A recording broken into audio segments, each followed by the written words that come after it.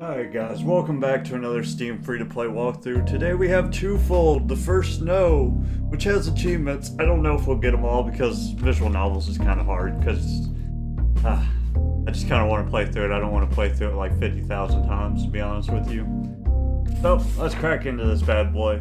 As always, I'll leave a link to the game in the description if you want to try it for yourself, and if you liked the video, please like and subscribe. The first snow of the year should be a comforting sight, yet this carries a different feeling when so far from home. I always like when they have the Paper Mario kind of like character design. Winter has always been my favorite time of the year, but the joy of warm fires and upcoming holidays is missing. There's only a month left to go until the season begins in earnest, but I can't feel any of the usual excitement.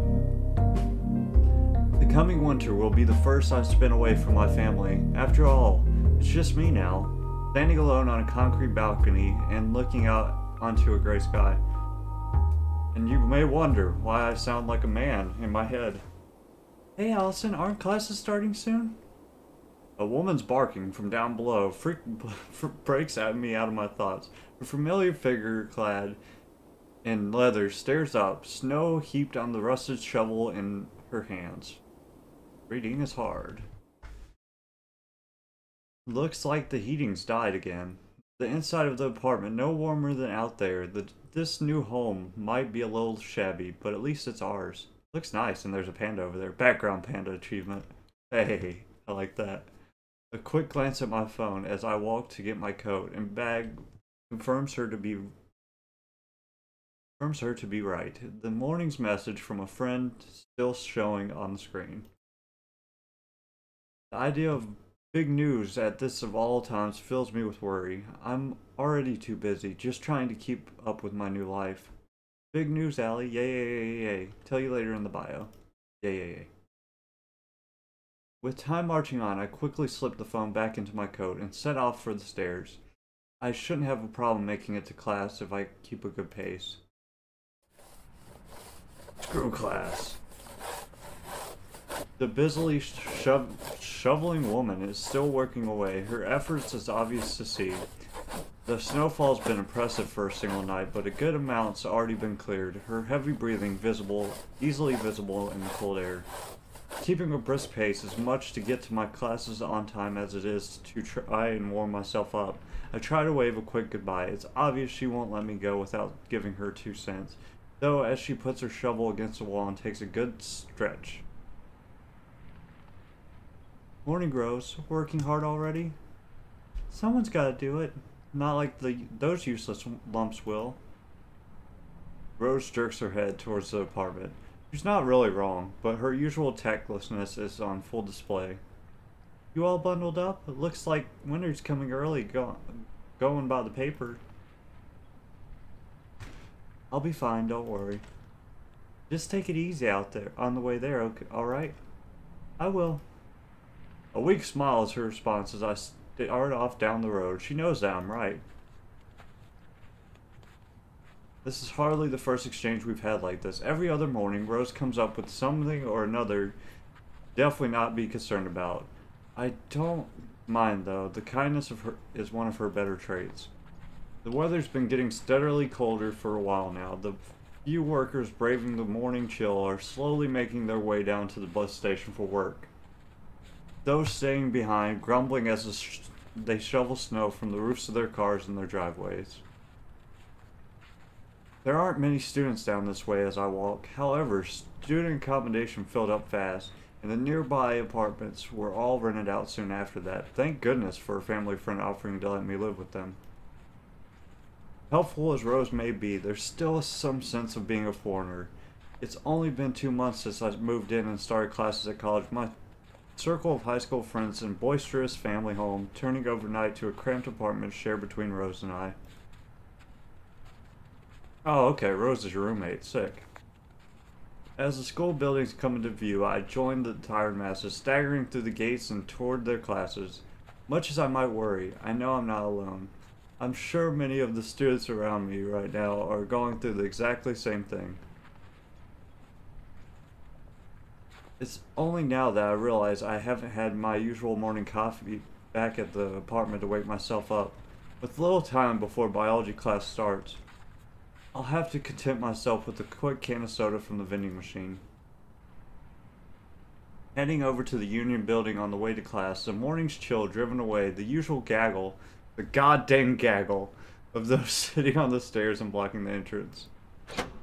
Rubbing my hands together to warm, summon some warmth, I head on in. I kind of want some winter now, get rid of all the dang bugs and everything. With the heating being cranked right up, you could feel, you could almost forget it's winter outside. My relief doesn't last long, however. My heart nearly stops as a deafening clatter comes from ahead. A vending machine. Oh gosh, he's attacking it. A couple walking arm in arm skirt around the edge of the room, doing their best to not draw attention. Draw the attention of a blonde woman nearby. She grumbles loudly before delivering another kick to the poor, abused vending machine in front of her. I hate situations like these. Either I do nothing and feel bad for not helping the vending machine, or step in and deal with the stress that comes with confronting someone involved with the vending machine. as I try to work my way out of this, my heart freezes as a woman locks eyes with me. I must make for a pitiable sight with my hands raised defensively in front of me, her rage calming as she settles for staring daggers at the vending machine. Resigned to my fate, I reluctantly shuffle towards her as my heart beats wildly. As I do, her dour look is only made all the more intimidating from the bags under her eyes. Had a rough night, man. Leave her alone. Is something wrong? Stupid thing, ate my money. No can or change at all. Threw five bucks in there too. Uh, the vending machine here messes up sometimes. It's usually better to go through the cafeteria for drinks. They should fix it then. Recounting the event only serves to stir up her annoyance. Another foot being jammed into the accused vending machine.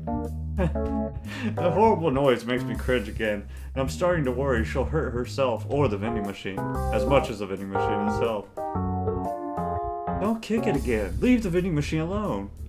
Why not? Thing's already broken, isn't it? I want to say that I'd rather not get in trouble with the staff, but I get the feeling that it wouldn't phase her, and I have to defend the vending machine. Reviewing my options as quickly as I can, there's only one solution I can think of that might settle her down. I probably shouldn't, but if anyone, nobody's paying much attention. Which drink you, did you want? She gives me a curious look after I manage to squeak the words out, but eventually points was just grabbing a lemonade on the way out. Could you turn, turn around for a moment? I have to show her the secret way to use the vending machine, or hide the secret way to do it. With great reluctance, she turns away as I ask. I doubt she could work out what I'm doing by looking, but it's better safe than sorry. Am I using a quarter with a string? That'd be really messed up.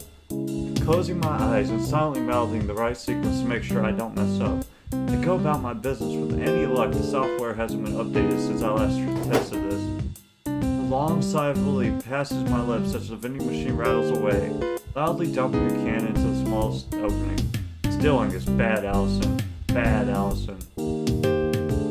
Pulling the can before the blonde woman's face as she turns back around, my reward is a somewhat impressed expression as she takes the item.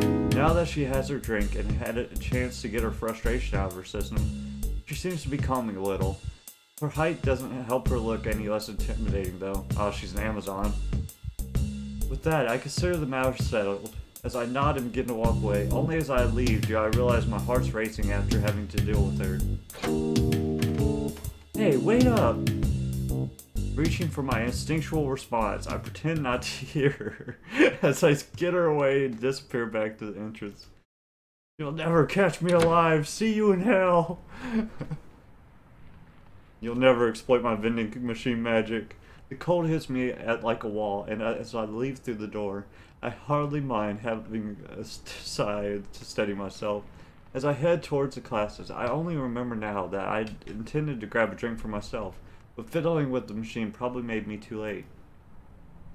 The empty campus grounds makes me nervous, making me take my phone in hand to check the time. A quick glance is all that's needed to send me dashing towards the sciences building.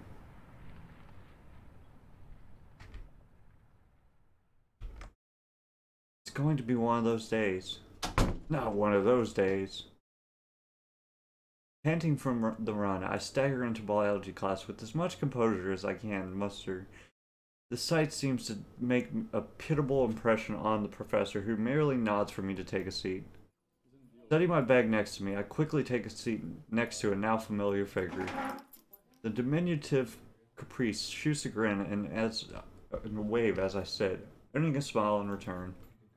It's nice to see a friendly face. As the professor gets back to lecturing, I grab my still pristine note textbook from my bag, flicking through the text through to the bookmark I'd, I've, excuse me, I'd added for where we currently are. Movement from the corner of my eye takes my attention as a ripped piece of sketchpad sliding before me.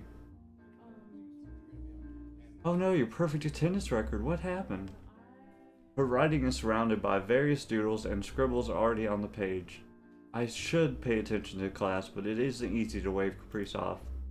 Then again, this is largely reviewing what we covered in high school right now. It probably wouldn't hurt to chat with her a bit. Oh, he added a picture. And got held up by someone. I'm so good at drawing in this game. I write a brief reply and a little accompanying drawing before sliding it back over. A quick look to the professor making sure the coast is clear as, she, as he drones on. Thoughtful look. Oh, oh Caprice's reply on the page is sit back. His pass back makes me grimace. I should have expected that. I almost reply before noticing the professor casting a knowing glance my way as he continues teaching. He knew what we were doing, didn't he? Thinking better of it, I tuck the page beneath my textbook and start listening properly. I don't need to look at Caprice to know her reaction. I hardly think worse of her for it. Though swapping doodles during the class was how she broke the ice with me, when I was just another lone freshman student, a shy one at that, Given we're still we are still friends. I suppose it worked. Uh, maybe we should save. Do we have answer choices in this game? I wonder. Sneaking a glance back at, at the page beneath my book reminds me how well the mercurial girl can draw. At least compared to me. What are you talking? Didn't you draw that one and she drew these? I think that one's cooler. Even though these are really good too, though. She mentioned one time that she's also taking art class, which must be paying off. Before I know it, the class starts winding up. The other students begin to get distracted as time goes on. The professor soon start starting to wrap up wrap things up in response. No sooner do the words come from his mouth that the class is over, does the loud clatter of people packing books and pens into their bags and backpacks begin. Caprice wastes no time in talking as the two of us do the same. That was weird. Oh, as we pack up our backpacks, got it. I was worried you were sick today, Allie. It was only a couple of minutes. For you, that's a lot. He has a point. It's likely I was more concerned about this than the teacher. After near perfect attendance through high school, though, the last thing I want is to set a bad expectation, expectation from the staff here. We're really concerned about the staff. Setting that aside, I'm not sure the professor really likes us passing notes to each other in class. Oh, don't worry about him. He's cool. We've talked. Well, if you're sure, I do like seeing your drawings. Aw, and I like seeing yours. I'm glad you're here today. Actually, I've been thinking, and I need your help with something. We're making an art club.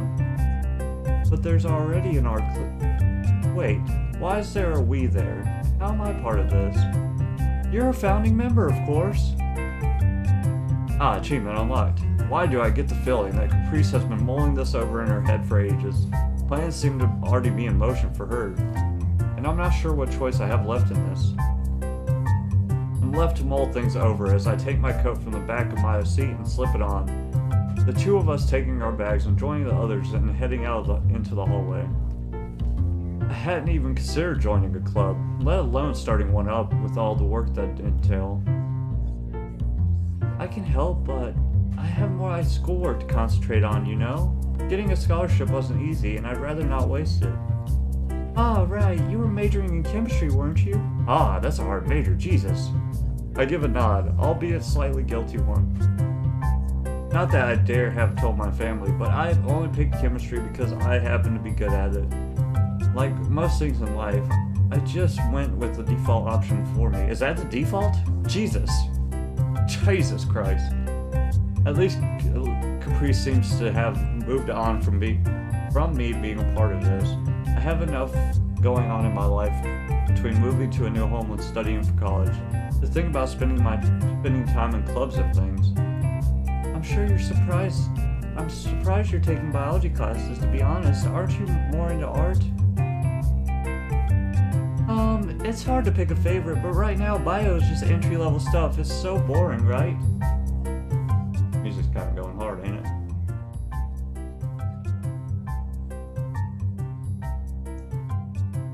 I talked to the professor though, and we're going getting into marine life chapters soon. That seems very specific.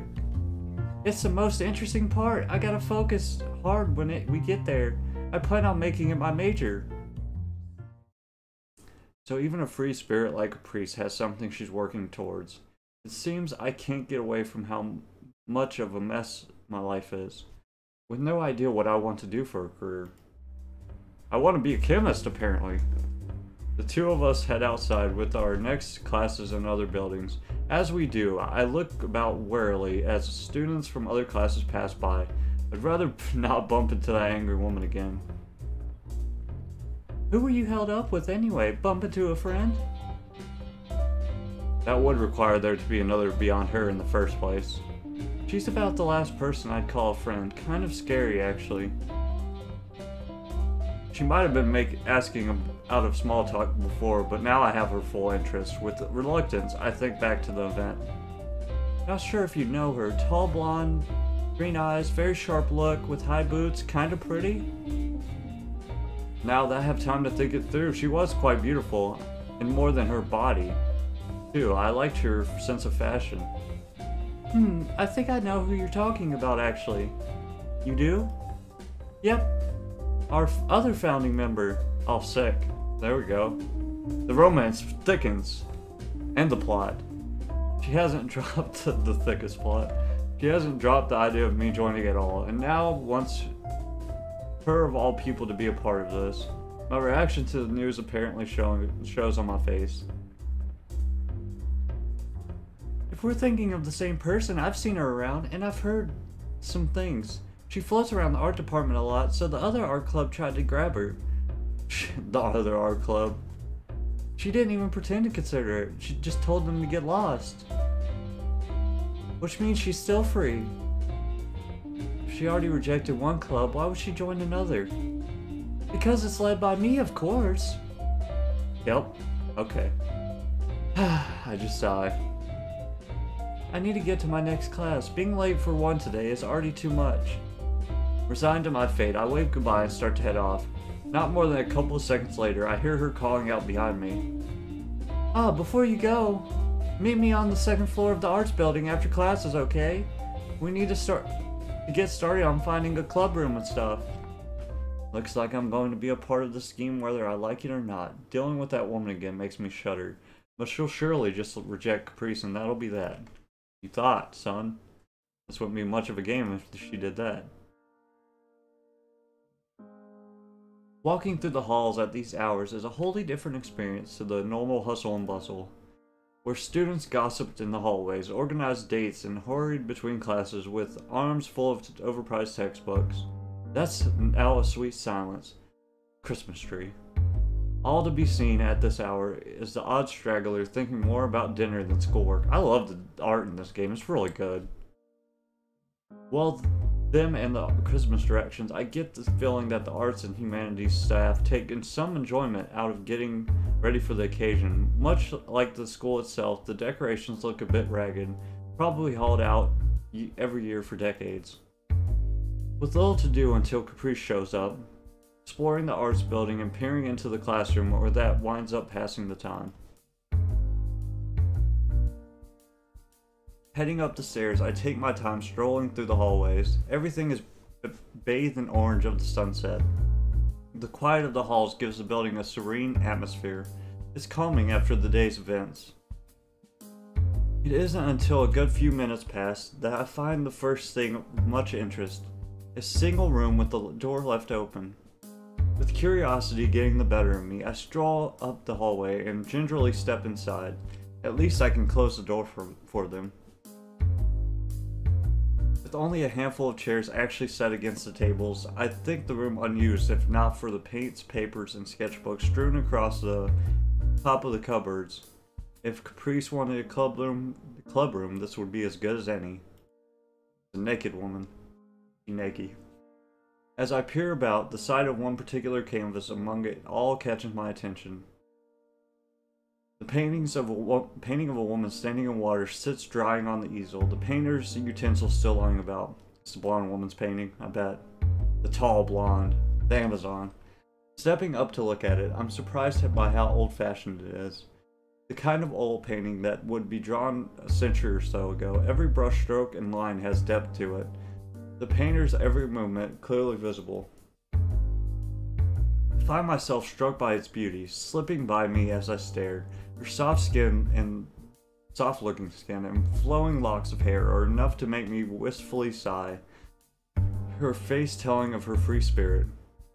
It's beautiful. My thoughts are suddenly interrupted by the creaking of the door opening further, causing me to whip around in fright. I knew it. The particular person standing in the doorway, looking straight at me, does nothing to settle my racing heart, much less the fact that I'm not even supposed to be here in here today. What is this, clerks? I'm not even supposed to be here today. Sorry, I mean... I quickly try to stammer out something, but the words keep catching in my throat. Oh, it's vending machine girl.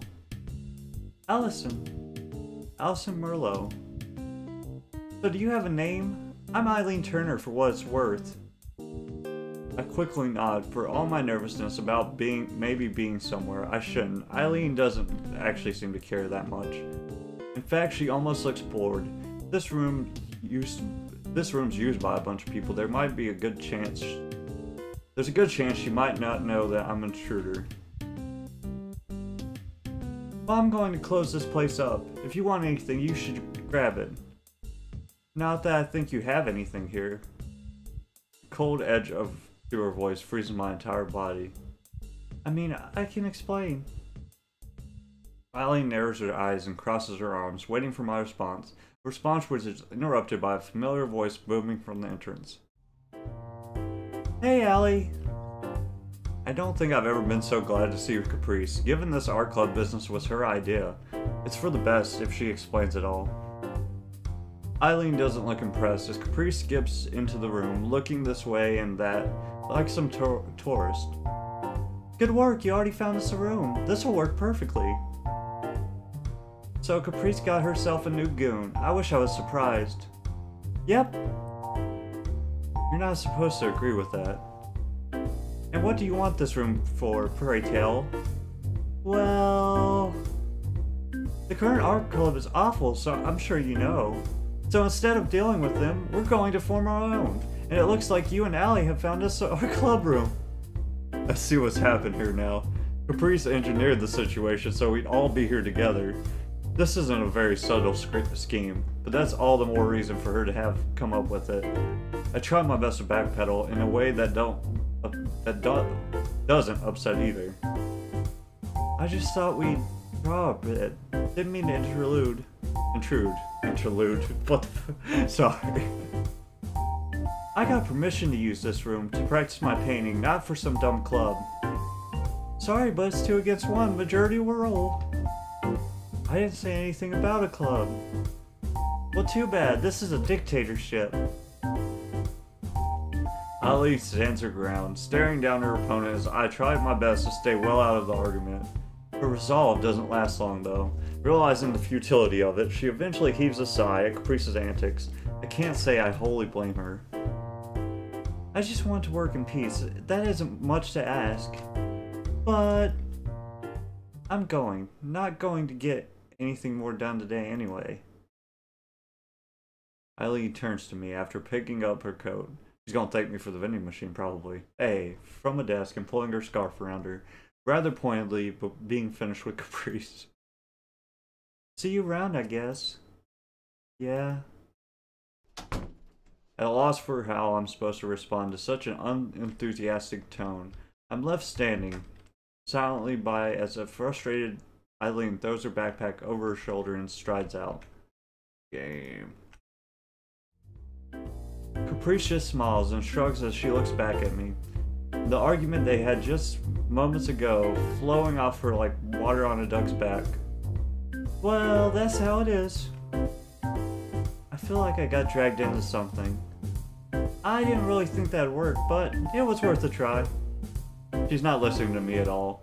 Am I really just an instrument to try and win this argument between them? No, I can't think of it that. that. Caprice is forceful, but she means well. If this did end up being a club, I'd probably enjoy it. Caprice certainly wouldn't make it dull, and I think if Eileen got to know me, she'd be nicer to me.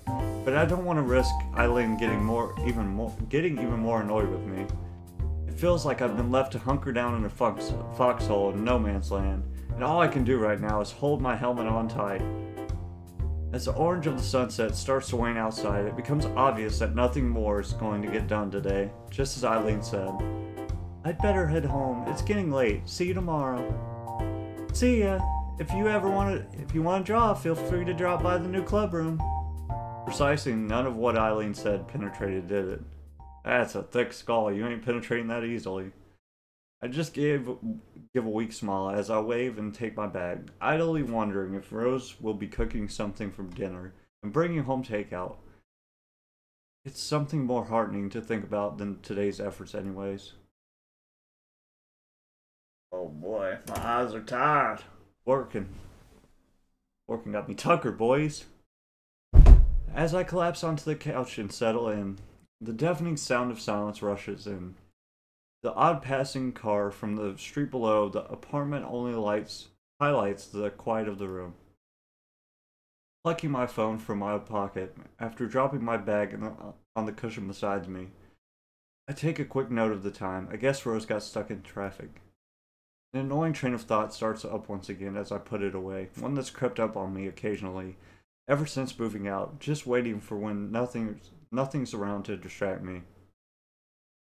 I can cope with the schoolwork easily enough. It's mostly just review right now. People like us, like Caprice, might be a handful, but they do liven up the day's routine.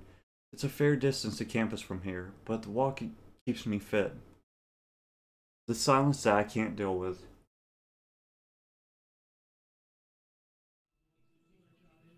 Grabbing the remote and flicking on the television at least provides some background noise, but it's no replacement for the sounds of home. There's no mother busying herself over the cookie pot, cooking pot to welcome me home and ask me how my day was. No excitable elder brothers fighting about this silly thing or that. No father for me to happily come see, happily come see, happily see come. That sounded freaking dirty. Happily come see home from work. Okay, I read that so wrong. That was hard to read for me for some reason. My brain was not grammaring. It's just me now. My fingers roll over the screen and dot as it brings up the lock screen, mindlessly tracing out the cracks in the bottom corner. I could easily call them right now, but my mom and dad both made it clear I could ring any time at all. She's homesick as a mother. Happens to everybody, I guess. More to some than others, but as I stare at the screen, a deep apathy strikes me. Before college, I thought that with my family and old friends, just a phone call away, nothing would feel all that different. Maybe I just couldn't admit to myself how big of a change this re would really be. Admitting defeat, the phone ends up on the couch beside me as I watch television. The news is interesting today, so at least it's some distraction from all this. Just when I thought I finally found a friend or two in college, it ends up being a mess. Why do people have to be so complicated? What is this, Avril Lavigne? As the door behind me opens, I close my thoughts on the subject. There's no points in, point in mulling things over any further. Ah, Art Matters achievement. Let's freaking go. Wait, I already had that achievement. Is there two Art Matters just achievement? Oh, there's a new art club, which I guess was the first achievement, and then Art Matters is the second achievement. Okay, gotcha. We're 2 out of 10 achievements, boys. The Saturday mornings air is brisk as I stagger back from the market, supermarket, hand with full, hands full with bags. The apartment itself may be nothing to write home about, but it's certainly in a good location. I still don't feel like I've been pulling my weight when it comes to daily life with Rose, but at least I can help with errands like groceries. Her attempts to teach me handiwork skills have been less successful. Even this much has been a learning experience. My parents usually doing the shopping back when I lived with them. Ah, sheltered. Reaching the apartment, I find Rose crouched outside and working on her motorbike. She looks perfectly content as she whiles away her time, with tools spit, spread around her, as if a child happily playing with their favorite toys. Working on the bike again? Hmm? Oh yeah, hey, that was quick. She levers herself up with a grunt before pulling back the edge of one bag with a finger to peer in and then another, I'm a little worried as she checks over my work. Having to hold my breath as she does isn't exactly helping. I'm still not used to the acrid smell of her smoking, but maybe that's a good thing. Good work. Everything we needed. And no weird impulse buys. Do we need more window cleaner though? You said to grab necessities if they're on sale and don't spoil, right? You're learning. Could you help me down here once you put everything away? I need another set of hands. I figured she'd have more of a deeper voice, but I went with a lighter one because I don't know how to make a deep female voice. Boy, do I not know how to make a deep female voice because it makes... Without anything in particular planned for today, I agree before heading inside. The rickety stairs creak as I slowly head up with groceries in hands, fumbling with the door handle. My arms are thankful for the relief once I manage to drop the bags in the apartment after opening the door. Dang, she's strong. Carrying groceries distance is hard, man. I used to carry them like two or three miles when I was at... Oh, man. Opening the fridge. I get to work stuffing in the frozen and cold items first. Next, I open the cabinet doors and start ladling in the cans and boxes. Yeah, because that lactic acid in your arms like builds up. I think it's lactic acid. Maybe it's a different kind of acid, but as empty shells fill in, I get an odd sense of uh, satisfaction from caring for myself. But yeah, it builds up and it's like, oh man, it's awful. Living as an adult is busy work, but it's rewarding in its own way. There's an odd and unexpected feeling of accomplishment from doing even simple tasks. I'm sure it'll wear off in time, but I'm holding on to it for now. With the job done, I close the cabinets and get back up to look about the room. The apartment is barely any warmer inside than out. I suppose there are downsides as well as upsides. Putting it out of mind as best I can, I head back down to head the Rose.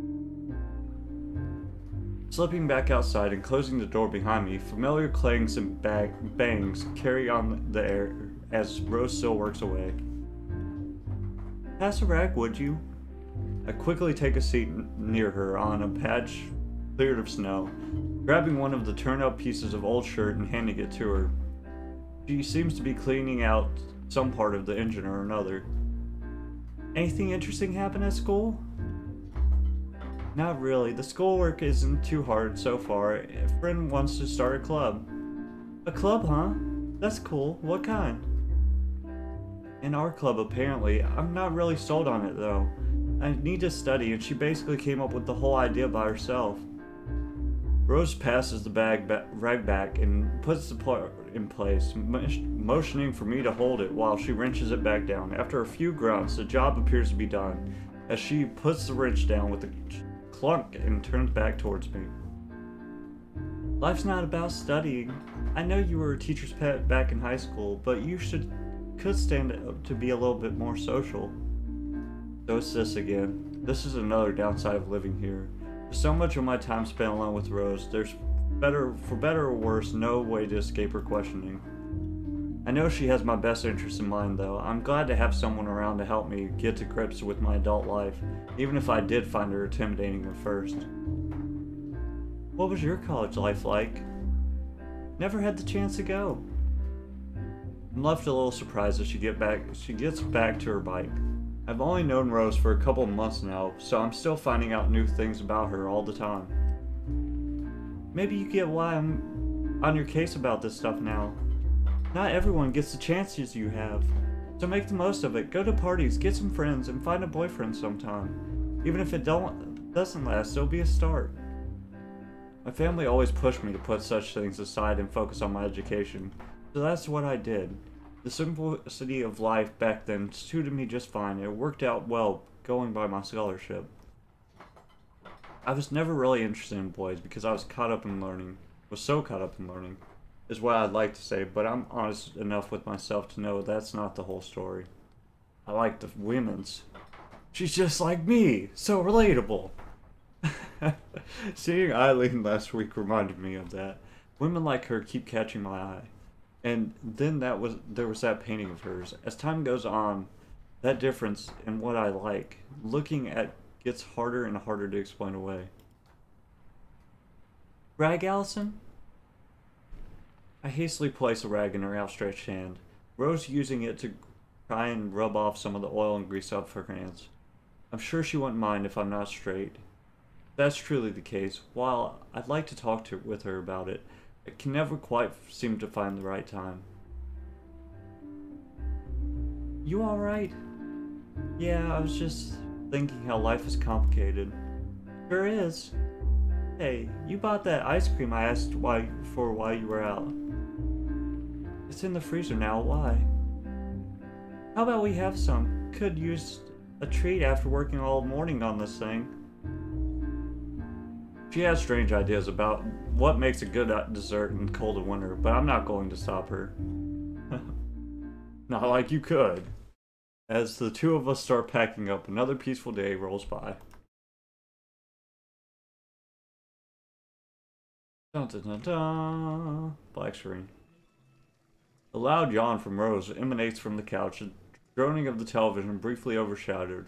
The only sound is the coffee pot boiling away from the kitchen, punctuated by the occasional passing car. Only half awake and still acting on autopilot, I lazily wipe the sleep from my eyes as I stagger through the door. The smell of Rose's taste to or toast roast wafts invitingly through the air, making me envious of her later start to work. Save game. I let out a loud yawn before I can stifle it, causing Rose to look over from the couch. Oh, she has a rose tattoo. Makes sense. Wow, you look like hell. Thank you. Stay up too late playing on your phone or something? Doesn't look like you got an hour of sleep. While Rose is less than tactful about this, it's true that I shouldn't be so tired. I'm usually a morning person, but right now I can barely remember where I even put my phone. Rose picks herself up from the couch as she finishes her breakfast, brushing toast off crumbs off herself as she starts towards the kitchen. Just the neighbors being loud again. I'm surprised you didn't hear them. I may say that, but it's hardly any real shock. She sleeps like a log, which I've always been jealous about. Rose puts down the plate in her hand, giving the more, matter more thought than I intended. The one above us, right? Man, I'm sick of them. I'll go have a talk to them later today and get them to knock it off. Making a racket during the day is one thing, but the night's another. You don't have to do that. They might be quiet from now on anyway. He looks surprisingly disappointed at my attempts to wave, wave off her concern. You have to stand up for yourself sometimes, Allison. Waiting for things to blow over aren't ain't always going to work. I wind up rubbing my neck and avoid outright answering. Apparently dropping the topics dropping the topic, she sighs and disappears into the kitchen after taking her plate again. I just don't want to cause a fuss, especially on my behalf. Is that really so bad? With time rolling by, I glance about and see my phone on the corner of the table. Slipping it into my coat pocket, I skip over and grab my bag sitting by the door. As I stretch a bit and try to wake try and wake myself up, before facing the cold outside, Rose calls out from behind me. Turning to see her, shows a fistful of crumpled do dollar bills in the hand, thrust out towards me. Here, go buy yourself an espresso or something by the on the way. It's fine, you don't have to. Just take it, you look awful. She really does have a way with words. I reluctantly take the cash and slip it into my pocket, thanking Rose as I leave. As soon as I get out of the door, the weather hits me. Looks like it's going to be a harsh winter this year, with the cold of snow dumping down being made all the worse by the chilly fog hanging in the air. Twisting my head to and fro to bury my scarf a little better, I set off down the road with hands firmly lodged in my coat pockets. There don't seem to be many people around there that are braving the weather. Not that I can blame them. As the muffled sound of snow under tires rings out, a garbage truck rumbles by. God, it's loud. It's only a worrying few seconds that I remember I did indeed put the garbage out for collection yesterday. Reaching the campus, the welcome sight of a cafe nearby lifts my spirits. I've overheard students mention the coffee here is good. and It's conveniently right next to the campus. It looks homely enough for from the outside and only a, has a handful of people inside at this hour. As I peer through the windows with a quick brush of the snow, fallen snow off my shoulders and bag, I take a quick I take a breath and walk in. say. A bell above the door rings out as I enter. The smell of coffee on the air, combining with the homely styling inside, making up for an immediately cozy atmosphere. Joining a couple of people in line, I quickly rehearse the order in my mind to make sure I get it right, and then I'm gonna mess it up anyways. The barista's nice smile towards other patrons keeps making me trip over myself, and I've never been great in dealing with strangers. Coming to the front of the line, I manage to blurt out my order of a latte with sugar before I can mess it up. He smiles and takes my payment, leaving me to wait for this, wait to the side as it's prepared. I briefly consider having it here, given how relaxing the cafe is. The oak tree, it does look really nice. That's before I notice Caprice loudly chatting with the tall man sitting across from her. I'm surprised I didn't notice them. I must really be out of it. As the cube barista slides the cup of coffee, or the coffee cup towards me, I decide I'd better leave the two in peace and drink outside. Before I can, Caprice catches sight of me, catches sight of me, and begins excitedly waving her hand in the air. Allie, hey, Allie, over here, Allie.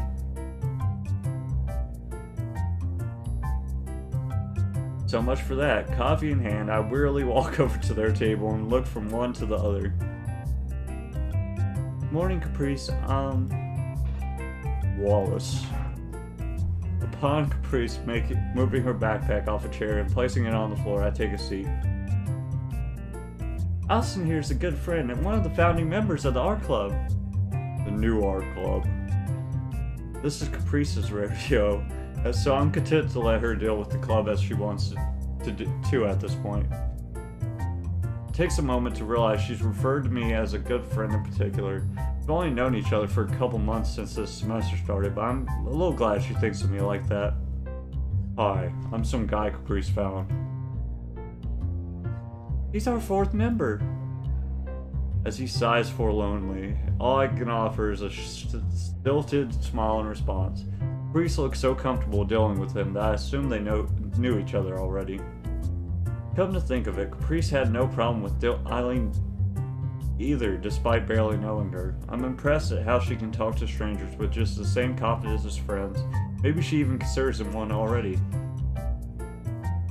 So what'd you get up to over the weekend, Allie? Just housework and errands. It's surprising how much I spend on that sort of thing now that I'm moved out. I get what you mean. Thankfully, I spent the work with my split the work with my roommates.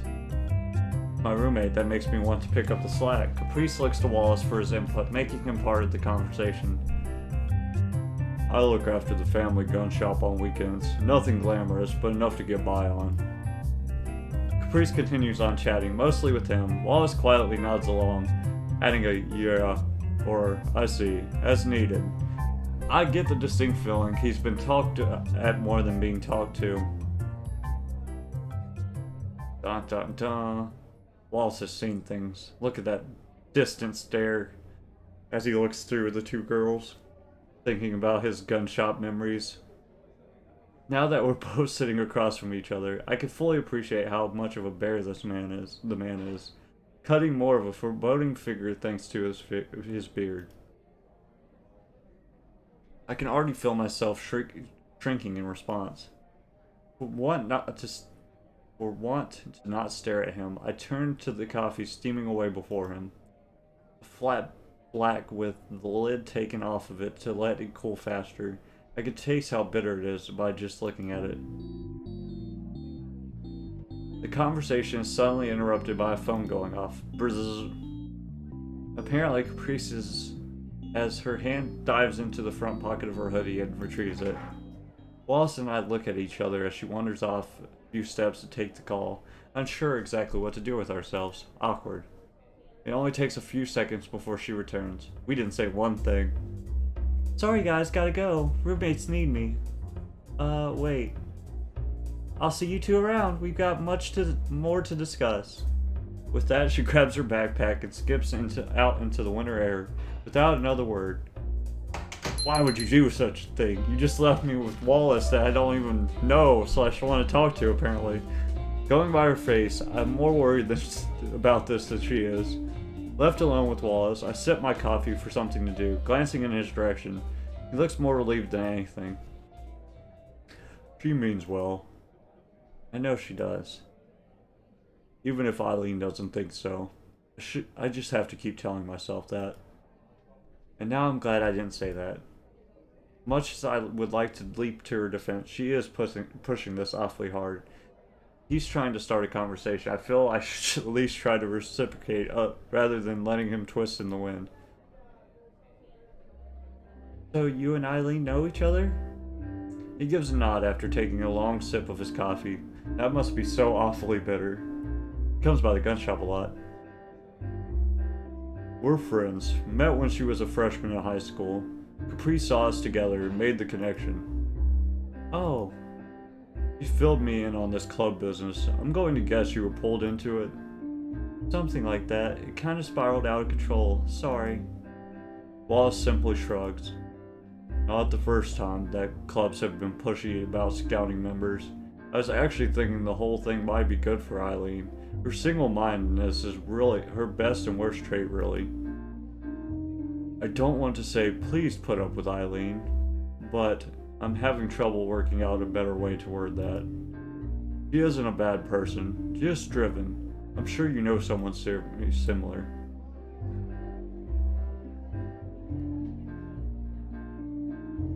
I do shudder what her reaction would be to being told she and Caprice are similar in any way.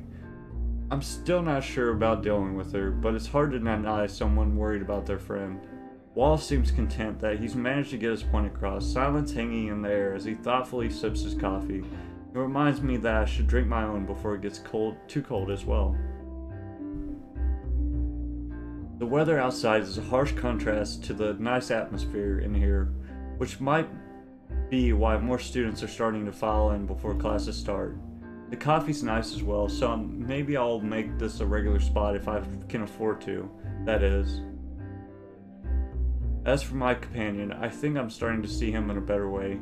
He's just concerned about his friend. Maybe he's just the gentle to giant type, who isn't that threatening at all. With his cup empty as he sails, sets it down, Wallace sits back to savor the last of its taste.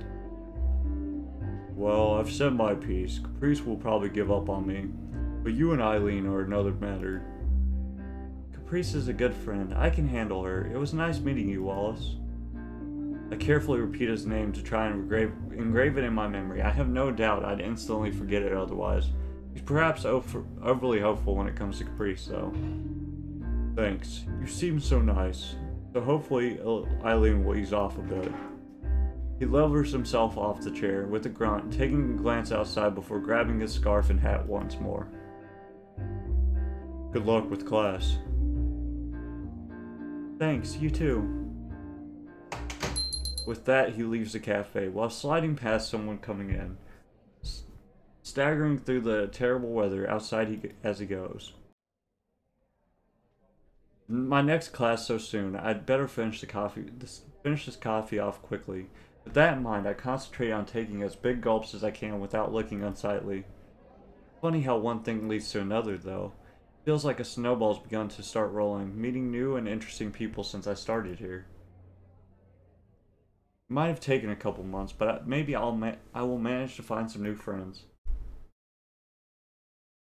I like this game so far. It's really well written, and the atmosphere slash drawings and everything look amazing. And that was really freaking cool transition. Transition. With the weather turning worse and worse as the week went on, the library seems as good a place as any to find. Uh, shoot, spend some time before having lunch. Unfortunately, it looks like I wasn't the only one who had that idea. While the library here is bigger than my previous school, that doesn't matter much when a large portion of the students are dumped inside. While my first choice would have been using one of the computers, that's obviously out of the question. Worried about looking like a dork as I loiter about, I start walking slowly through the library. Thankfully, nobody pays me much attention while I glance from side to side for an empty table or desk. That's where we run into Eileen. The students who are actually studying seem to out, be outnumbered by the, those gossiping with friends or catching up on sleep. It's only in a far corner of the room that I catch a familiar face, albeit not a necessarily welcome one. Boy, I am the psychic, I knew! My ESPN is off the charts! Eileen sits hunched over a thick textbook, occasionally scribbling into a small notebook beside it as her finger stops every so often on a, one important part or another. Hard to tell if she's annoyed or just studying hard. I consider leaving Eileen to her studying and braving the weather outside before she rubs her temples and looks mournfully at her notebook. That pose is all too familiar for any student. I feel a little bad for her, given the vending machine problems and how she wound up with Caprice stuck to her. She doesn't seem to have very good luck. She might not be the friendliest person, but if I could help her help her a bit. With Wallace's words weighing on my mind, I grimace and accept my fate as I begin walking to the other, otherwise empty table. He looks up and catches my eye as I come near, so I guess I'm committed to this now. Afternoon. My existence has been noted. I didn't don't think that could sound any more perfunctory, but at least she isn't shooing me away. Setting my bag beside my chair as I take a seat, I pull out my phone to check for any missed messages and switch it to silent before placing it on the table for me. Hi, surprised you're not in the art room. I don't live there, you know. Wouldn't it be more private there than here, though? She lets out a long, miserable, uh, as her head sinks. Hardly difficult to work out which, what she mean that means.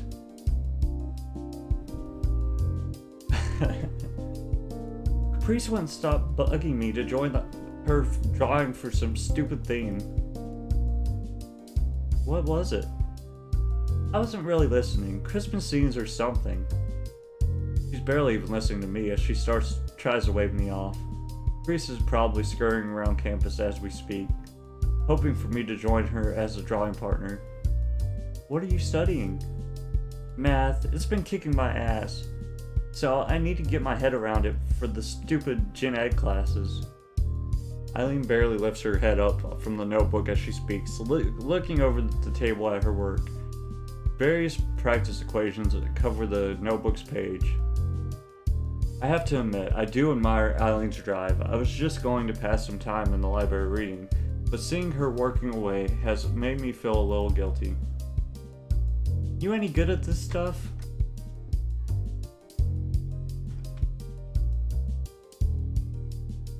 Let me save game.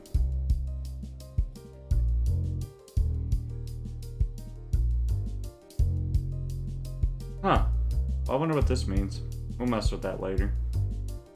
Theme, story, fall, winter. I don't know what that means. We'll leave that for now.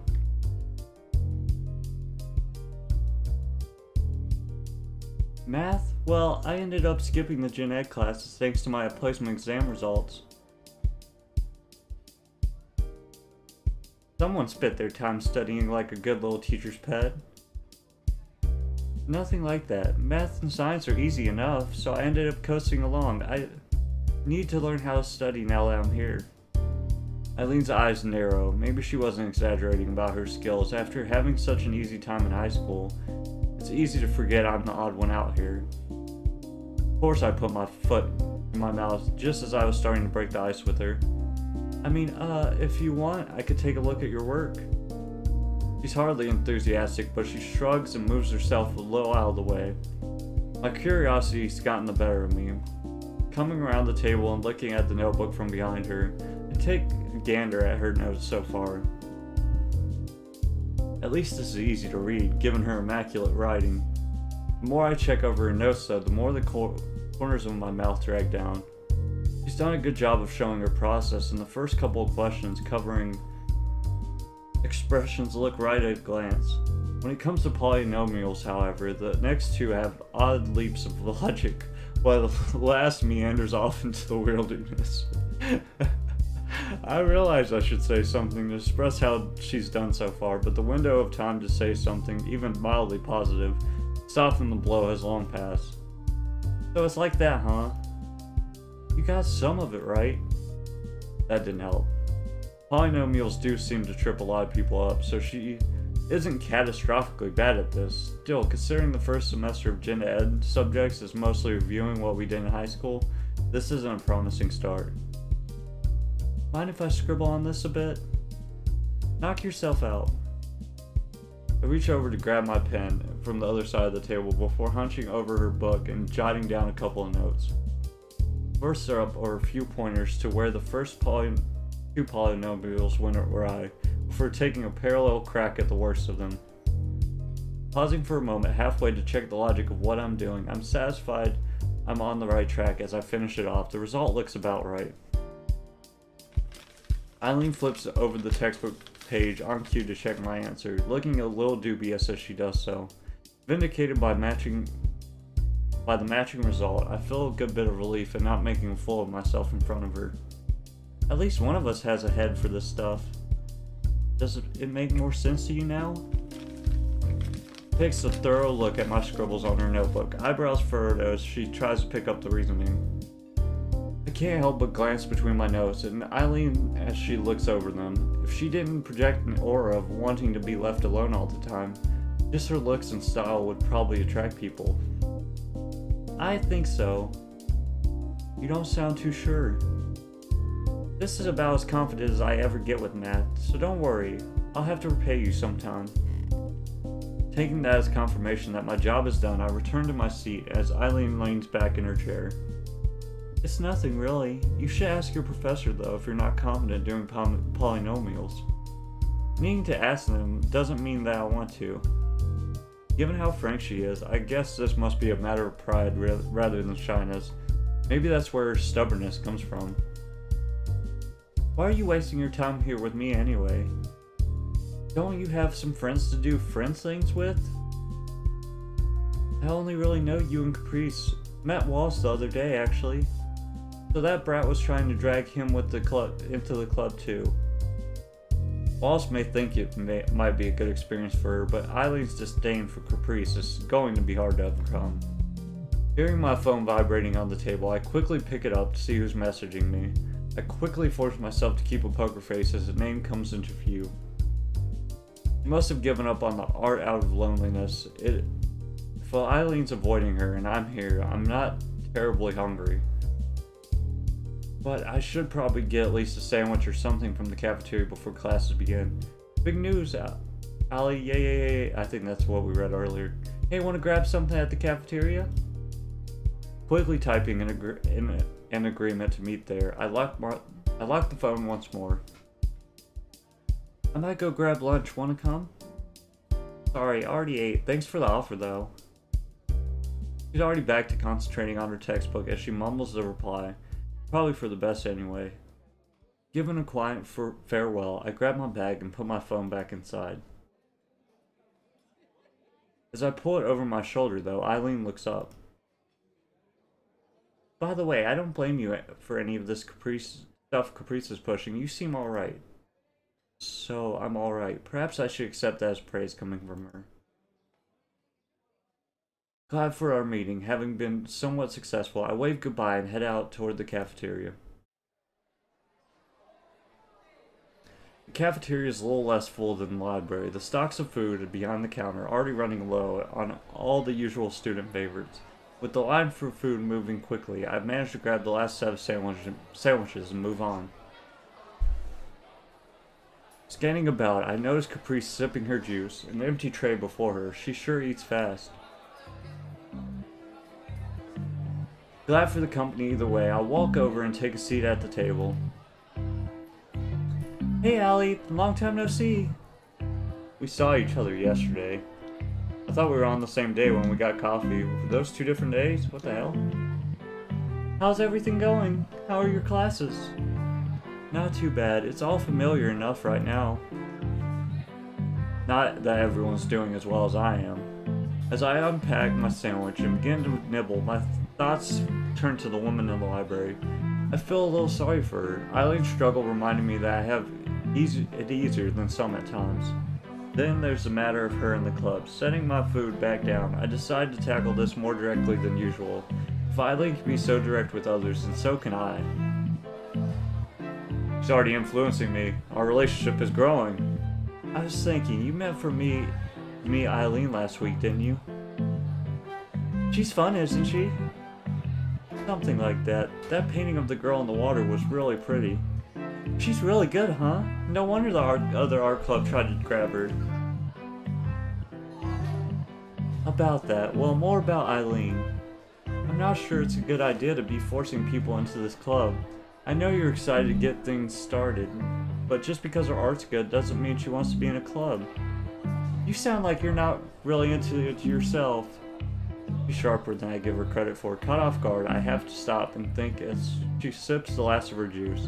The sucky sound as she makes sure to get every last drop doesn't help. I can't say I'm more enthusiastic about this. Eileen's studying is exactly what I need to be doing.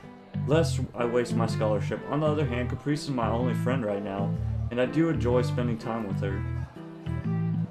If she puts down her drink with a satisfied breath, I know my answer.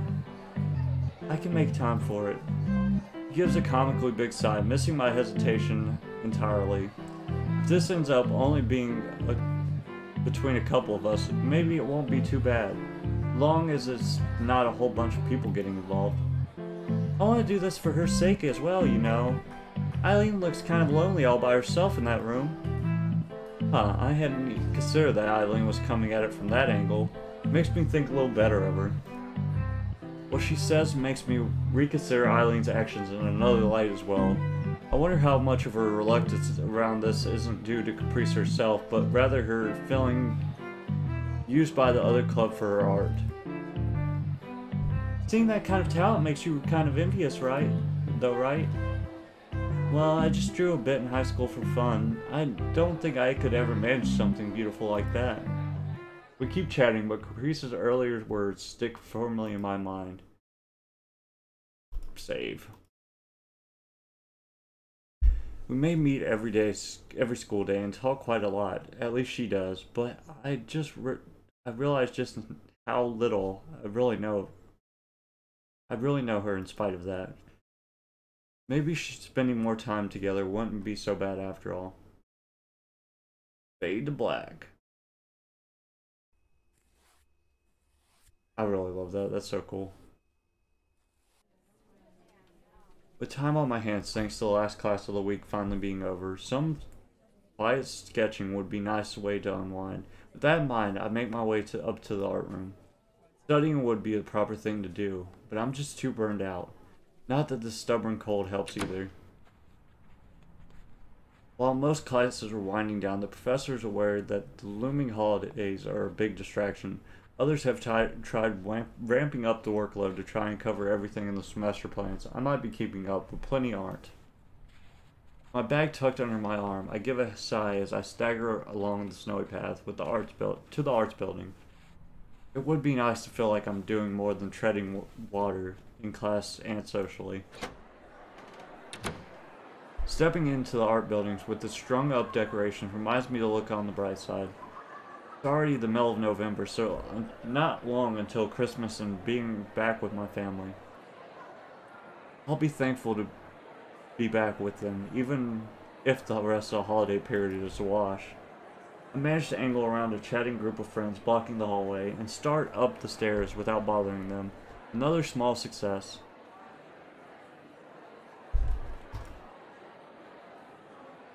I briefly wonder if Eileen is in the art room as I proceed along the second floor hallway. Her paintings are always nice to see, but whether she thinks of me is just another pain like she views Caprice weighs on my mind. Well, she already said you're not bad. Opening the door to the quiet room, I can't say I'm surprised at the sight before me, if of course she was going to be here. Eileen's eyes glance as I gingerly shut the door behind me, ending up being the only acknowledgement of my presence at all before she goes right back to her work. Curio curiosity about what she's painting gets the better of me. Is it okay if I watch? Go ahead. She doesn't bother to look as, at me as she says it, but it doesn't sound reluctant either. So I scoot over and sit myself on the table as quietly as I can. Eileen brushes continues to flick to and fro as she works on the background. So Caprice is another no is a no-show? She said she had to go do something with her roommates. Her shoulders slumps as she sighs, relieved. Do you really hate her that much?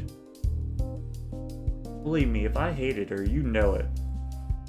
I'm just glad to have some quiet. Hard not to take a that is a thinly veiled implication that I should be quiet as well. Wallace might not be wrong that Eileen means well, but that doesn't make her any easier to talk to. Something on your mind? You're really good at this. It feels weird to say I've been talking about Eileen behind her back, what I said is true. What is this? Art Matters Mixed Messages of the Music. That's really cool. Huh. I really, this is a really dope game. It'd feel weird to say I've been talking to Eileen behind her back. What I said is true, though. I'm impressed she can carry a conversation while working, and I like how her painting's turning out. Thanks, been doing it for a while. As a hobby? everything works out, hopefully as a career, artist or teacher, aiming for the latter. That does explain her persistence as working away to get better.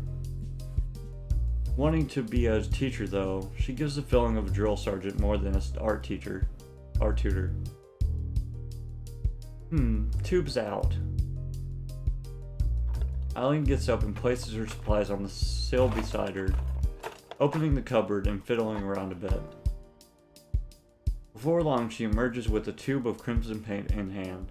Rather than getting back to painting after closing the door so, she instead turns to me. So what about you?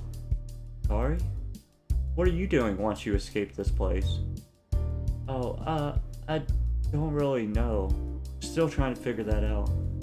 I feel like I failed a test as I trail off, but Eileen doesn't seem worried. You're still young, and there's a few good a good few courses to look into here. Just try your hand at whatever comes up until something grabs you. There are plenty worse ways to spend your time in college. You're smart too, so you have that going for you.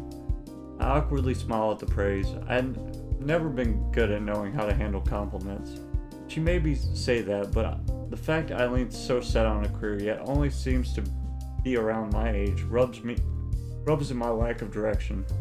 I'm still patting on my self on the back for managing groceries. My parents always told me I could do whatever I set my mind to, but it was so easy to tread water for me that I'd never bothered trying to swim. Sounds like you have a nice family.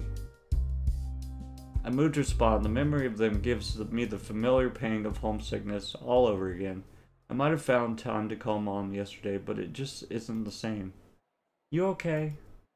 Yeah, I just I miss him. Well, everyone here is going through the same thing. You as well? I miss my sister, yeah. She's probably fine, but it doesn't make it any easier. Mom and Dad, too?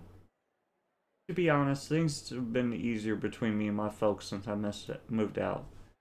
Huh? Hard to imagine being on such bad terms with my family that moving away was better. The best thing about Christmas will be the chance to see them again, but Eileen doesn't seem particularly fussed about it at all. Leaving me to ponder, Eileen goes back to her painting. I get the feeling she wouldn't be this gracious to Caprice, so she seems to think a little better of me at least. She lent me an ear. Not boring you, am I? No, not at all. I like watching you paint. He pauses a moment before continuing. It's only for a second, but I sense a hesitation there. Did I say something wrong? No, you said something right. The moment passes as soon as it arrived, Eileen's brush returning to the canvas. The other students appear to have left by now. The orange stained room, silent save for the, her work.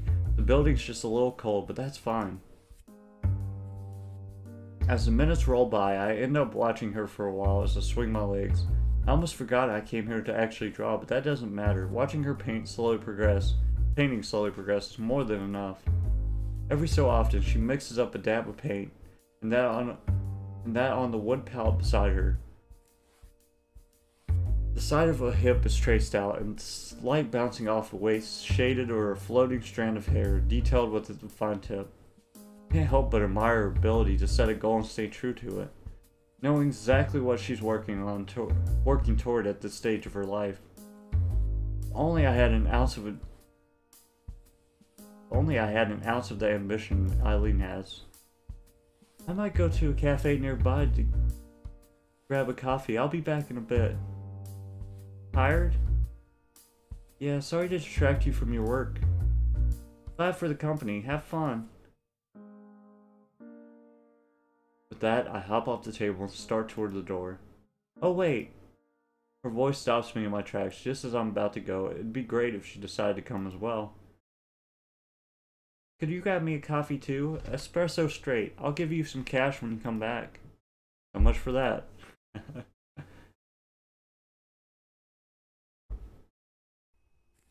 dun dun dun. The cafeteria hums away as students talks among, talk amongst themselves, the room having mostly filled up by now. The thought briefly passes my mind that winter must be great for business, given this being the closest place for cheap food during bad winter. Some smears on the edges of the plate are all that remains of a mostly cooked pasta served today. What's left of my accompanying soda bubbling away while I pass some time browsing this site and that. As I read, a shadow suddenly looms over the other side of the table. Looking up from my phone reveals a very familiar figure. Eileen peers down as she stands at the opposite side of the table. A large plate of food steaming away in her hand. The fresh pasta sauce is strong enough to smell from here. Okay to sit here? Ah, sure.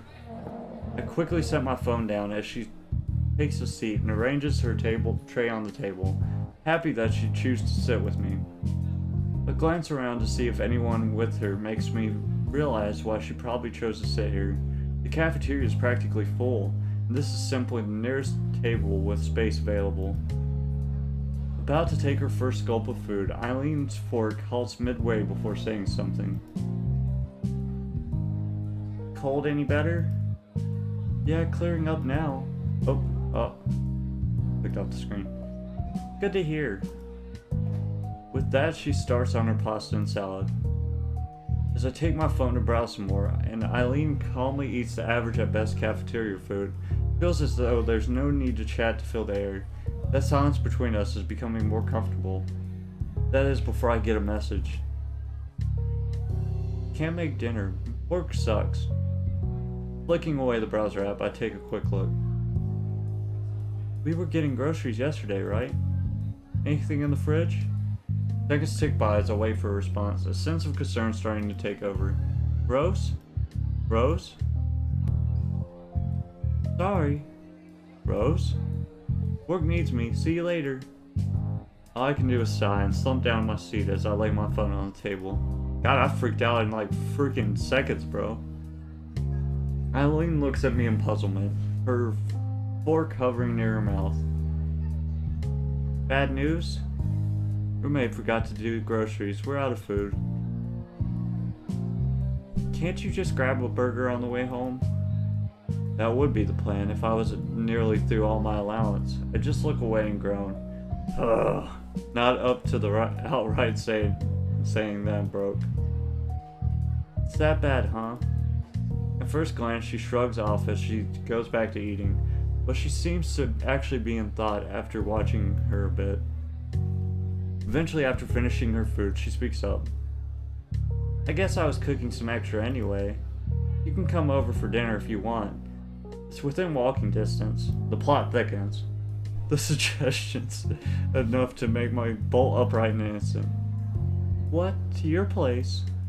Yeah, should be fine, right? You okay with stir fry? I, yes, thank you. Thank you so much. I really, really appreciate this. Sure, whatever. Just don't make it weird. Considering the discussion over, Eileen goes back to finishing off her food without much concern for what she's just said. Maybe she does have a good side. Stopping before the large black door, I repeat the address save.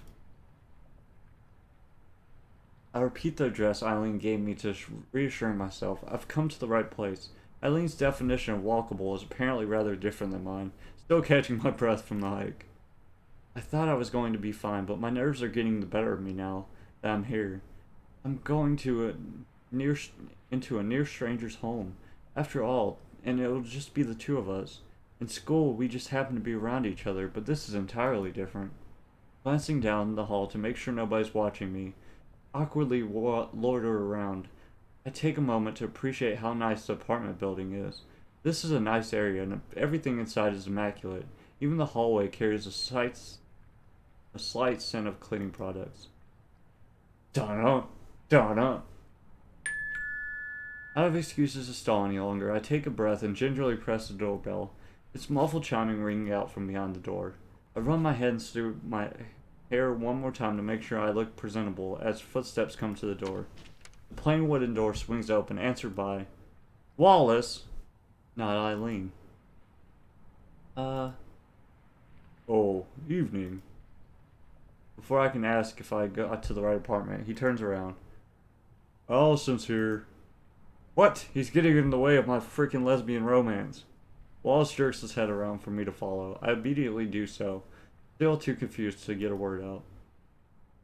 Eileen didn't mention he would be there. I don't know how I feel about it. Maybe I should feel be relieved it's just not the two of us. Barely noticing the thud of the door close behind me, I take a quick glance around her apartment as I place my coat on the counter. The first striking thing is how clean it is, with everything put neatly in its place. Then again, aside from a few paintings on the wall, that are possibly her own. There's not much clutter around to clean up. The television, quite a decent size for students, sits on a cable news channel, riveting as the economic situation report is, fairly audible over the crack, clacking rice cooker coming from the kitchen. As Wallace and I stride in, Eileen comes to her feet after having been on the couch. She lazily covers a deep yawn with her hand as she does. Um, hi, so you managed to find the place. Welcome to my home, I guess. I'd introduce you to this guy as well, but it seems you two already know each other. Wallace and I exchange a brief glance. Just had a coffee together once. While I did find his size intimidating at first, he seems to be a gentle giant of figure. Now that I'm around him more, it looks like this isn't going to be a dinner for just me and Eileen then. Taking one last glance about the inside of her place is as nice as the outside. From the meticulous cleanliness to the Trinity furniture, her home looks like looks more suited to a design magazine than a student's living area. Your apartment's really nice. Thanks, I like to try and keep things organized. Especially when visitors are over. Eileen glares daggers at Wallace, but he doesn't pay any heed. The two seem to have a good handle on each other. Moving on. Wallace, just watch TV or something while we get dinner started. Can do. Thanks again for letting me have dinner with you. Don't get too comfortable. I'm going to make you work for your food. Tutoring. Ali motioned for me to come over with her, but the gesture was unnecessary given her commanding tone. Wallace gives a dreary glance as he follows his orders, and I quickly do the same.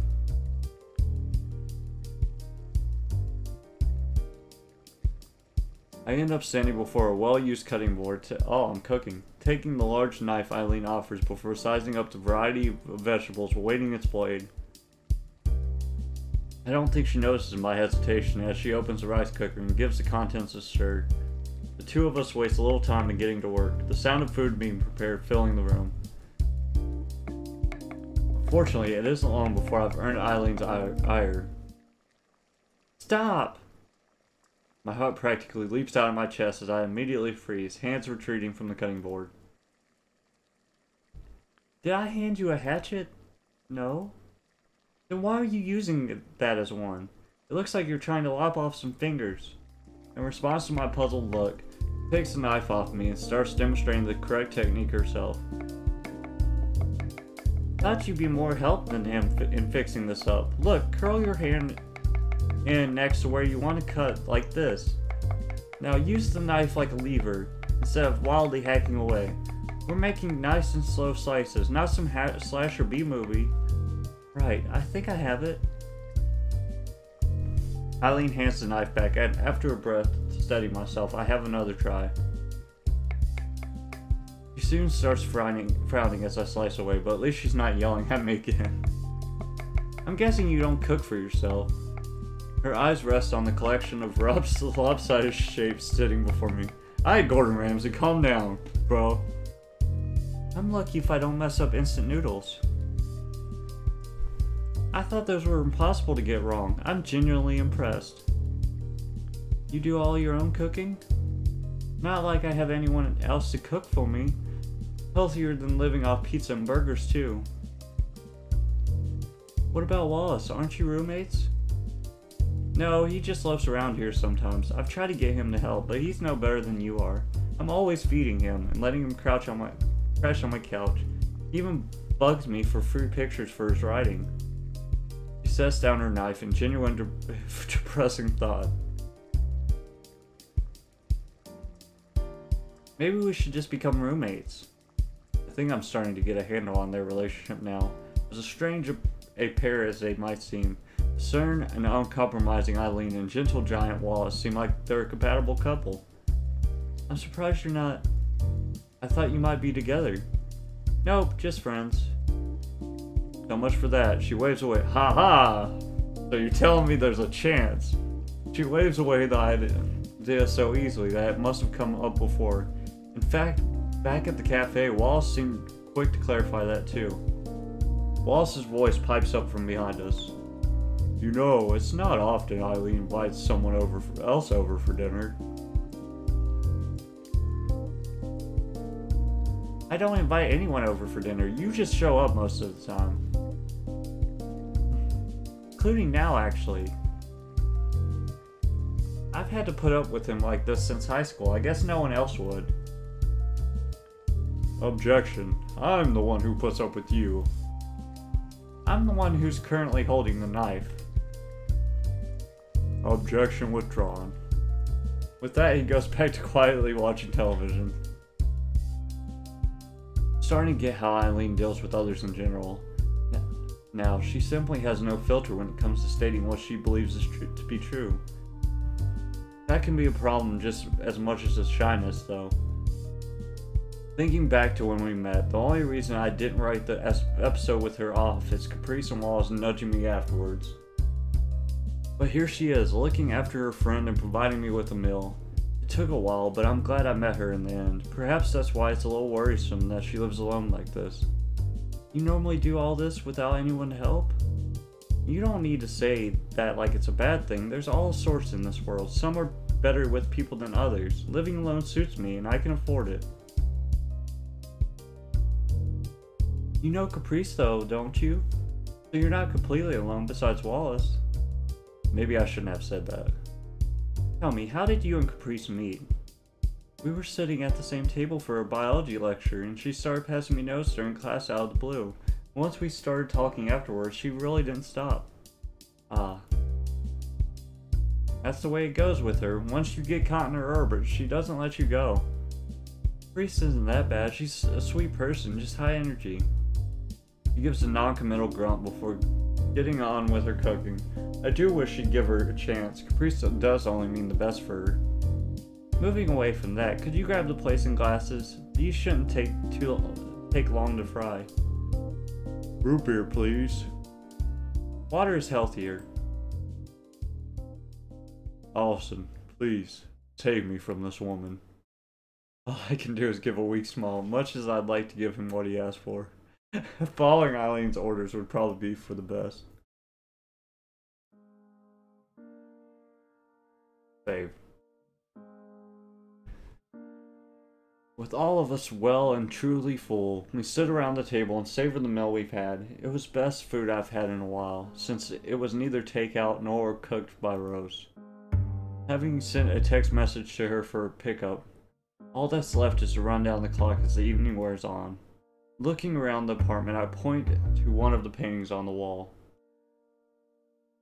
You paint all of these?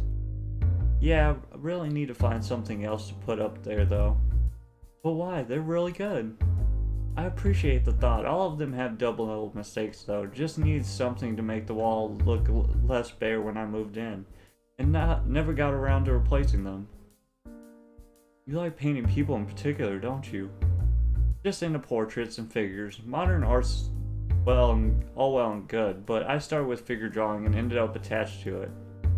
Bodies are pretty fascinating when you think about them. Really think about them that is I've spent days just sitting there sketching, trying to work out how the muscles fit together, how lighting interacts with skin and all that. The way she rattles off her thoughts, which with such feeling gives away how much she cares about the subject. I can't say I take it quite as seriously as she does, but I can see where she's coming from. Interested in this stuff, Allison? Me? I just drew a little in high school, passing the time, that kind of thing. Nothing wrong with that. I sketch on my tablet and Eileen gives me pointers. Gives pointers sometimes. Maybe I should throw you to the wolves and tell Caprice you like doing art as well. You wouldn't. I'm thinking about it. I can't help but giggle a bit at the two of them. Yeah, even as they do, there's a small pang of envy there. I can emphasize with Eileen keeping her group of friends small, but I do wish I was closer with her. More ways than one, she's who I wish I could be. The familiar sound of a motorbike's horn can be faintly heard from outside, bringing an end to the, both my thoughts and this little outing. That for you? Giving a nod, I get up from my chair and collect my coat from Eileen's helpful hand, quickly throwing it over myself. Thanks for tonight. It was nice. Not wanting to keep Rose waiting, I wave Wallace goodbye as I take my leave, with Eileen coming along to see me out the door. Got everything with you? I quickly pat around my pockets to make sure. Phone, purse, keys, they all seem to be there. All good. I'll see you then. If you want to come around again, feel free. If I'm not too much trouble, that'd be nice. I do a poor job of hiding my happiness at the offer. I replied just a little too quick to sound natural. Believe me, you're no trouble. It honestly does me good to see you a bit more upbeat. I tilt my head a little at the odd idea. You just seemed kind of skittish before, but now you're all sunshine and rainbows. It suits you. Ah, oh, sorry, I'm a bit shy. Not to mention a bit homesick. Being able to talk with friends outside school was a nice change, not to mention having a homemade meal. Even if I didn't help that much, it did take my mind off things. Eventually, as my mind slowly manages to get back into gear, I muster the words to say what I want to tell her as I get past being so flustered. If you don't mind me being around for dinner, maybe being together in a club wouldn't be so bad. He hesitates for a few good minutes, making me doubt myself as I offer the suggestion as carefully as possible. He knows I like her as a person, so hopefully she can look past our previous experiences. Just as I begin to think I've overstepped my mark, she gives an almost comically long sigh.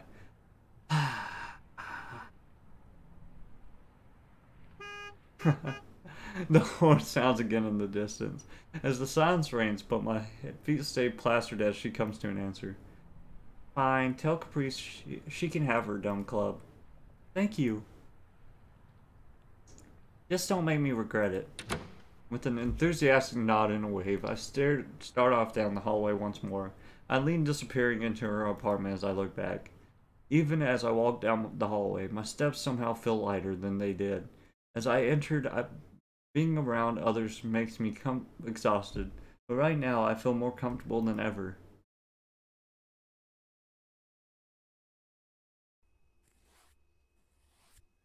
Do-do-do.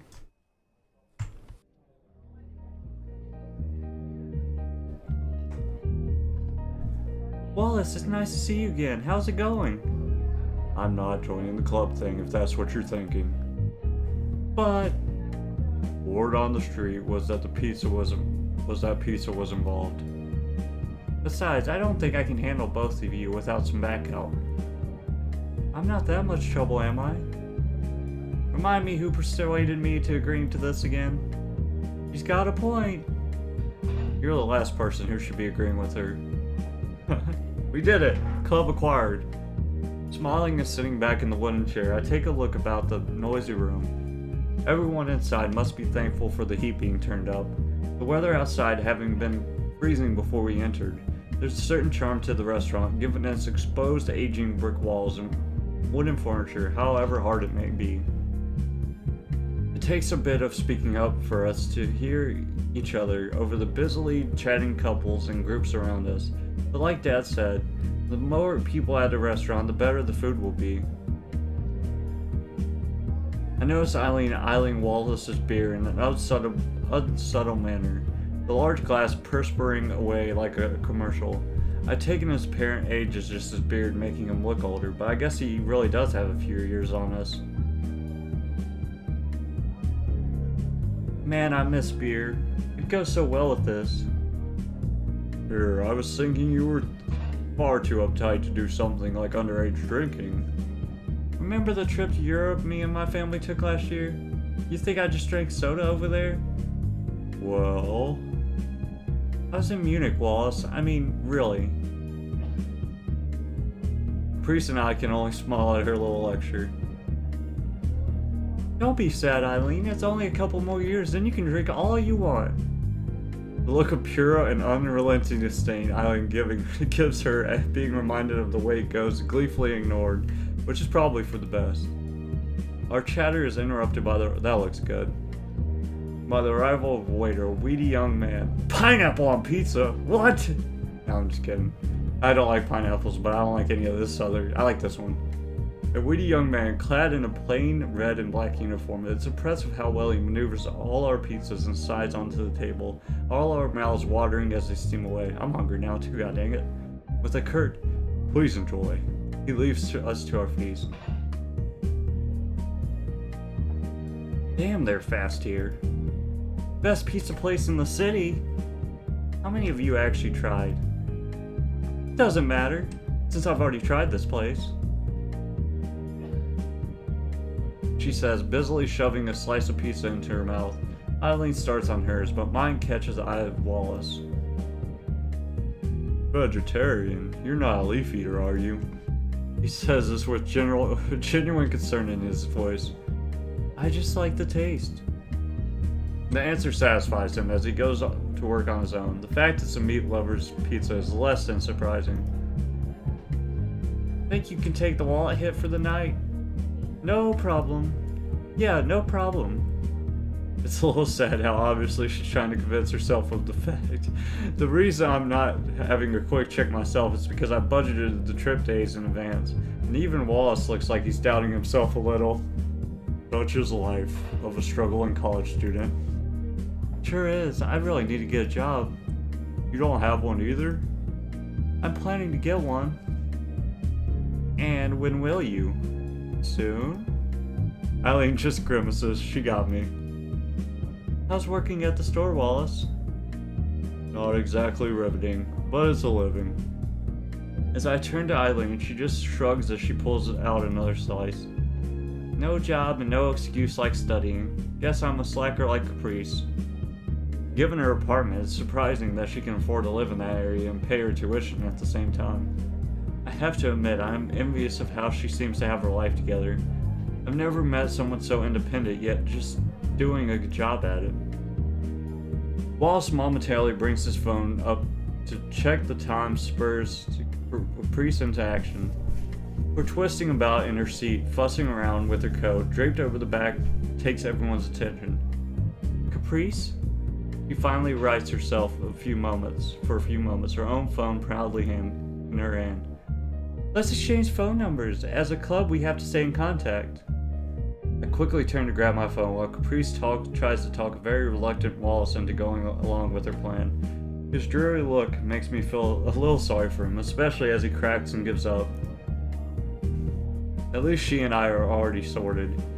It wasn't long after we met that Caprice or asked to exchange contact details with me. Take my phone in hand and took looked to Eileen instead, who looks up from eating with little interest. Don't want to? She just shrugs. I feel more feel myself deflate, deflate a little from my excitement of earlier, having under, overestimated how close we managed to become. I don't really use it much. Reading the room as she glances about, she reluctantly pulls out an ancient looking flip phone. I can't help but stare in stunned silence at such a relic. It's not that weird, is it? I just never had a use for a fancy one. It's definitely weird. I was going to try to get everyone on this group messaging app too. What's wrong with calling? You know the things phones were made for? Thoughts I had of possibly messaging Eileen start to vanish. I can't imagine her actually wanting to text anyone with that thing. And even that idea of calling someone somebody fills me with anxiety. As for Eileen, I think I might have inadvertently disappointed her by not tempering Caprice's reaction. With a quiet falling over the table, we end up concentrating on our cooling pizza rather than our phones. So I was right, right? Best pizza place? At least Caprice's endless enthusiasm and bright nature can't can't nature come in useful sometimes. The mood instantly lifting. You were right. Wallace gives a thumbs up as he tries to grab some cheese coming off the slice he's working on. They don't skimp on the toppings, do they? Alright everybody, listen up everybody. My first executive decision as club president coming here and now is now a regular event. Don't try your luck. You've got my art room and a warm body for the numbers you need. Needed, that's it. So cold. I'll come here with you, don't worry. See, Allison's a true friend. She slips her arm around mine and pulls us together tightly. Not knowing how I should react, I end up nervously smiling, with feeling myself flushing from the contact. I guess I'm just happy to hear her call me a friend. At least you've got Caprice with you, as company during the day, for better or worse. Come on, Eileen, you're not jealous, are you? You and I can hang out at the club room all time too. Now too. Are you trying to make me reconsider it? Bree satisfies herself with pouting as she takes a big bite from her pizza.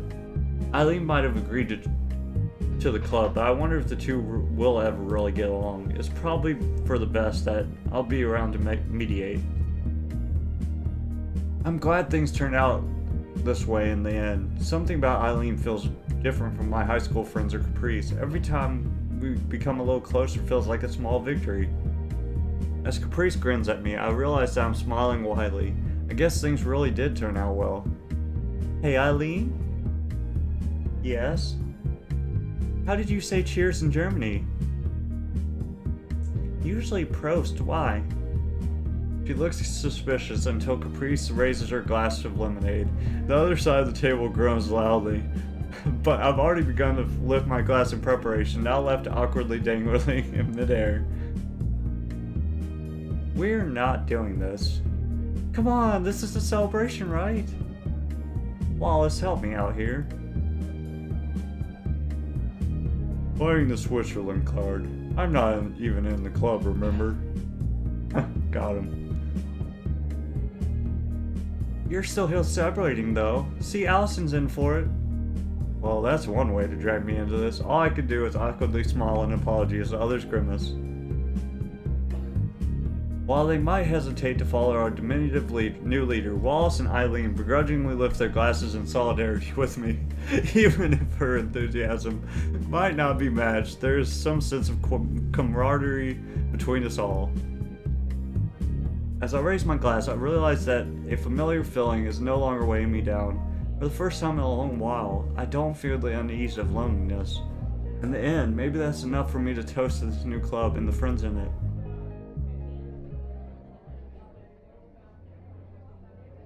To our new hour club. Prost!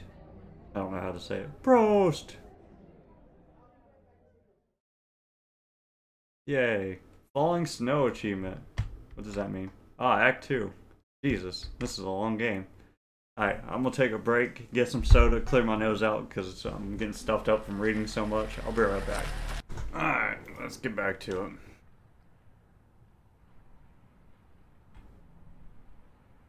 Alright, everyone, out.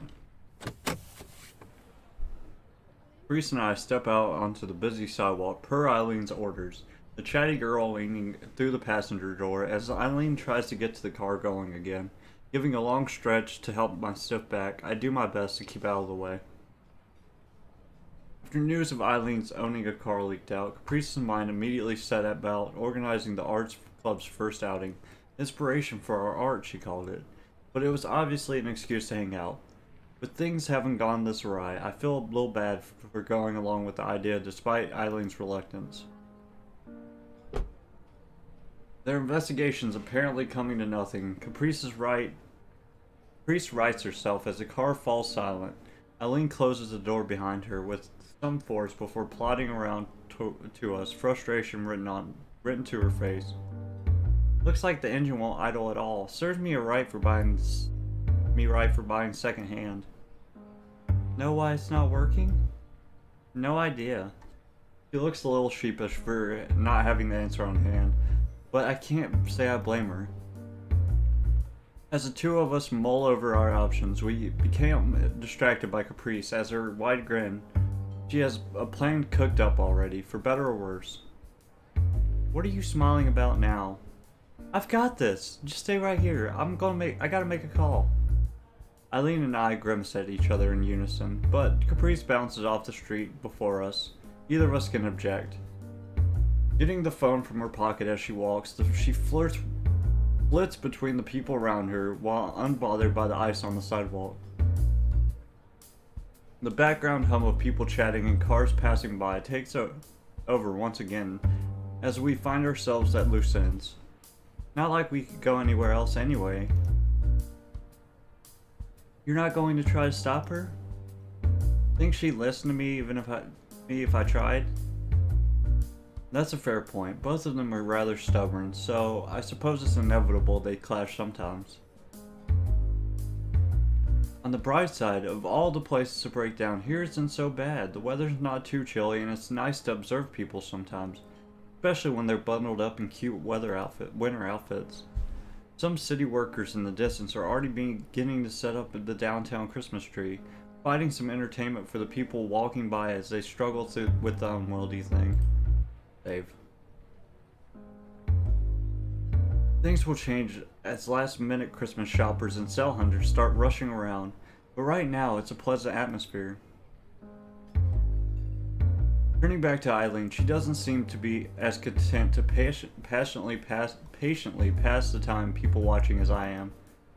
I'm going to grab a coffee. Want one? I'm fine. Probably having a bit too much of it lately. There's no such thing as too much. As I shake my head at her offer, Eileen simply shrugs and begins strolling down the road in the opposite direction to Caprice. Rather than dance around the crowd, people make way for Eileen as she moves, her gaze fixed and noticeably taller than most. With little to do now but watch a car, I huff into my gloved hands a couple of times to try and warm them. At least the aquarium should be warmer we ever managed to finish we ever managed to finish the trip there. Just as I'm about to settle in and watch the passing crowds, the phone in my pocket begins to vibrate and ring. Not sure who it could be, I quickly grab for it. Dad. That was second thought, I swipe my finger on the screen to pick up the call. Dad, hi. Hey, sweetie, it's good to hear your voice again. How are things? The sound of the crowd fades away as I listen to him, a comfortable warmth coming over me as I feel insulated from their gaze and focus on the conversation. Things are good, I guess. Haven't caught you at a bad time, have I? I could call back later. No, no, just out with friends. He gives his usual weird laugh, sounding more like air moving through his closed teeth than a normal full belly chuckle. What is that? I don't know. Never fails to make me smile all the time, though. Same, though. What's that about? Just a relief to hear that. Hear that. We've all been worried about you finding new friends after such a big change. What it was changing schools and moving out. Thinking to the people I've met in school, I guess I really have. Caprice pulled me into her orbit. Wallace seems nice and caring for his all his intimidating size.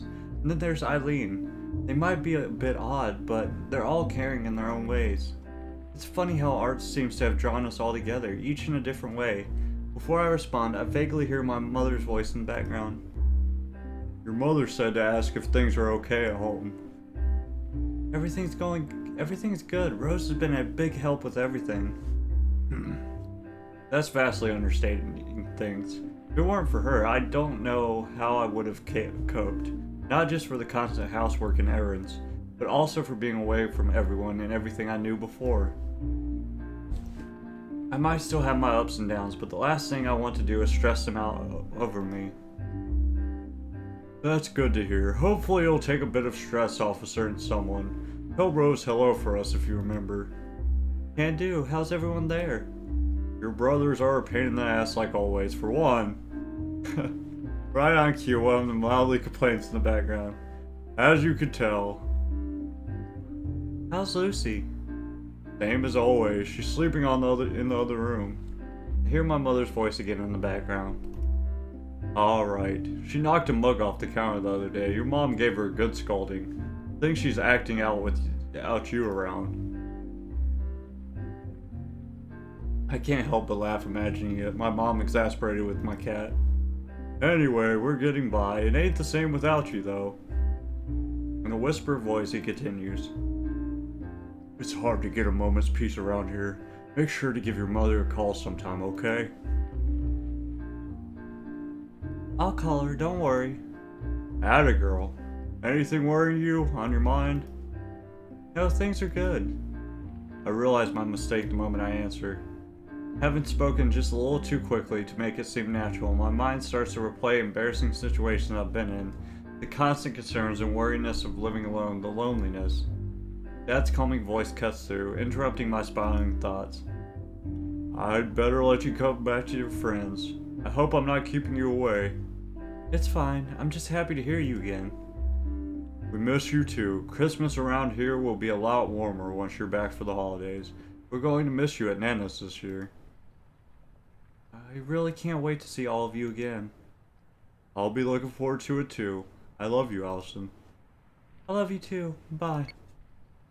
A few seconds pass before the familiar beeping of the ending call tone rings in my ear. I just couldn't bring myself to do it. Putting away the phone, I feel like I should be happy to have spoken to my family again. That couldn't be any further from what I feel, though. The horrible lump in my throat only gets worse as I stare glumly down at the stare down glumly at the dirty snow on the sidewalk. My heart hurts. The taste of my mother's food, my old bedroom, all the friends I left behind. When I went to college, my cat, they all came flooding back. It's just homesickness. I've dealt with this before, and more than once. The fact it'll pass doesn't help right now, though. Noticing Eileen through the crowd, coffee cup in hand as she sips away, I take a long breath and try to steady myself. I don't want to look weird in front of her, getting all sulky in the middle of the street. That was quick. Hey, the cavalry's here too. She jerks her head towards the top of the street in answer to my confusion. Caprice frantically waves to flag someone down. Their little car sliding into a parking spot not far from where Eileen's ended up. It looks well cared for despite its age. All Eileen and I can do is stare as the driver opens the door and steps out. I'm more than a little surprised when I recognize her as being another student from college.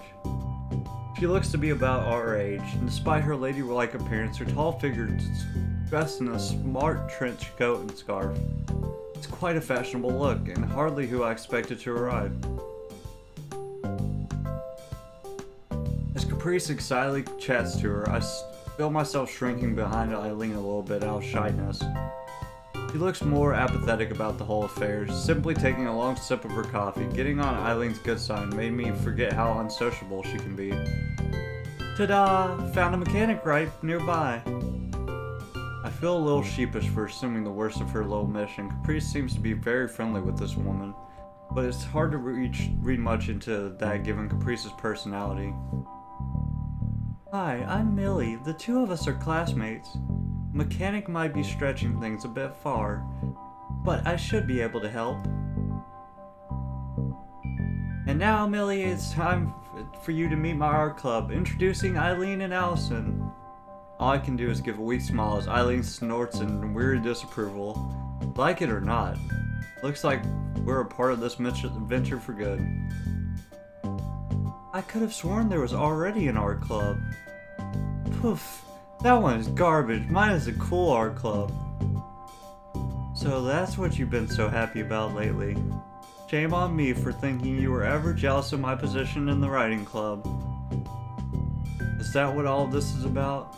Priest wanted to be on an even level with her friend. I guess that worked out well for us anyway. So you're in charge of the writing club? The current leader's graduating at the end of the semester, so she's handing the reins over to me. Seems I made a good impression on him. And the rest of the club doesn't get a say? That's how it works. I like to call it a stable line of succession. Speaking of which, I need to get back to the writing I was doing before I got that phone call. You had, your car had issues? Yeah, engine died without any warning. Managed to coast it to the side of the road. Eileen doesn't seem exactly taken with the situation. Millie's explanation of her being a writer, not explaining her ability to fix a car. We don't have much option but to put our faith in her at this point. I'm guessing Caprice gave you the briefing. Need me to start the thing? Oh, oh, let me! Eileen narrows her eyes, but eventually sighs and chucks her keys the, at the girl. Caprice's momentary hesitation shows she expected that to work no more than I did. Just don't go for a drive or something. I assure you, you haven't seen me actually angry yet. The seriousness of her tone seems to penetrate a little. Of course, Caprice being Caprice, it doesn't take her long to, for her to back, bounce back. Now let... Now then, let's fix this thing. Right, let's have a look. She gives us a confident smile before popping the hood. Priest taking on the job of her assistant. To Millie's credit, she looks like a natural as she quickly moves this and that around, about to peer inside. You don't need us, we'll just go for a short walk, alright? Got it! The meaning of we becomes clear as I save the game. As Eileen puts a hand around my shoulder to direct me, the two of us walking off beside each other and leaving the two to their work. Feels a little weird to have Eileen's arm around my back and holding my shoulder as we walk side by side. Even if it is to guide me, she takes a, a long while to let go. You sure you're alright leaving them alone? Not at all. Like I, not like I can do anything to actually help though. All I can do is awkwardly laugh it off. I don't have the first clue on even day-to-day -day maintenance for a car after all, so maybe just staying out of the supposed mechanic's way might be for the best. At least it broke the ice a little a bit, as I feel still feel a little unsure when I'm alone with her. I can never seem to get a good read on Eileen. Every time we talk, I end up getting caught in her pace. Even now, I, am not sure why she pulled me away to walk with her. No, that's not quite true. She might have noticed me being depressed earlier. Even if she isn't saying anything about it, given how she invited me over for dinner when I was hungry, seems like she does really care for me despite her stoic exterior. As she drops her empty coffee cup into a bin as we pass, I realize it's going to be up to me to raise the subject. So, you saw me earlier, huh? You did look a bit bummed when you got off the phone. Didn't want to bring it up if you didn't, though. She left me no choice. I missed talking to my family after so long. Sorry for being so flustered. Nothing to be sorry for, it's only natural. So you're homesick, huh? Sometimes. Moving out for the first time is a big deal. You don't need to beat yourself up, up over feeling stressed. Thanks. I thought I was doing okay, but when I heard my dad's voice again, it reminded you of what you you're away from. I gave a simple nod. She doesn't seem to be speaking in an overly soft or caring tone, but she is listening carefully. I appreciate it, really. She doesn't come off as patronizing. I can't imagine living alone. I have no idea how you do it. He gives me an absent-minded shrug. I'm not really fussed about that sort of thing. Besides, Wallace drops by sometimes, and you're welcome as well. It's good that you have room a roommate to get you, you get along with, though. That'll help. I get the feeling Eileen's circling around what she actually wants to say. As she looks to me, I think she realizes that the game is up, the two of us stopping as she turns in front of me. We're all freshmen here. You, me, Caprice, we're all away from our families and trying to find our niche. If you want to talk or vent, we're around. Wallace told me you talked, so you have that big oaf as well. That's it, I guess. I might have thought I didn't want to worry her but her reassurances are more comforting than I guess they'd be. Even if it's I manage to gather myself, I can't help but smile.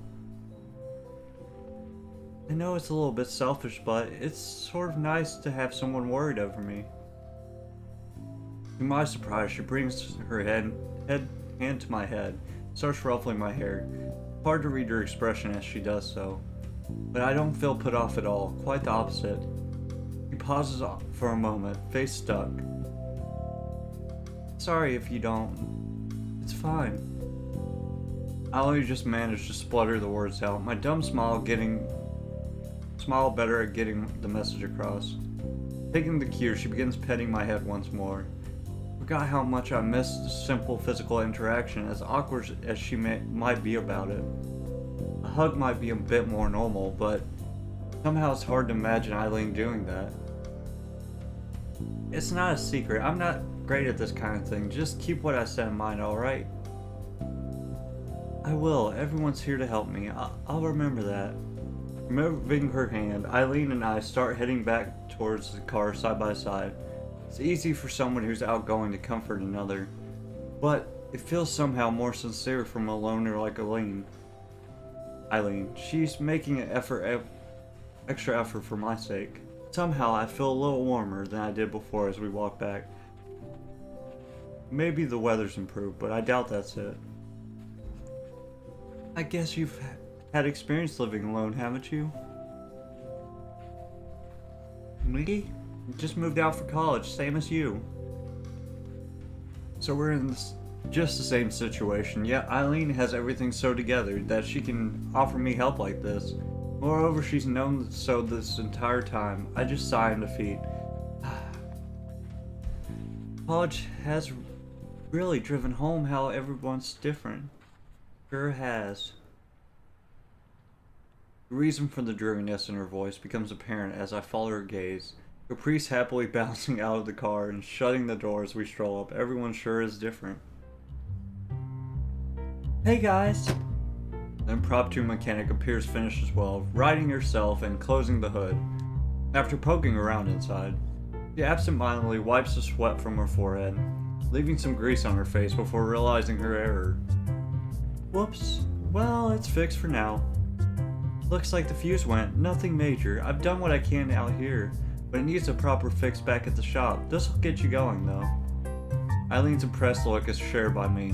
Being so handy is a good trait to have, and she did come all the way here just to help us. I'm impressed. Fixed cars before?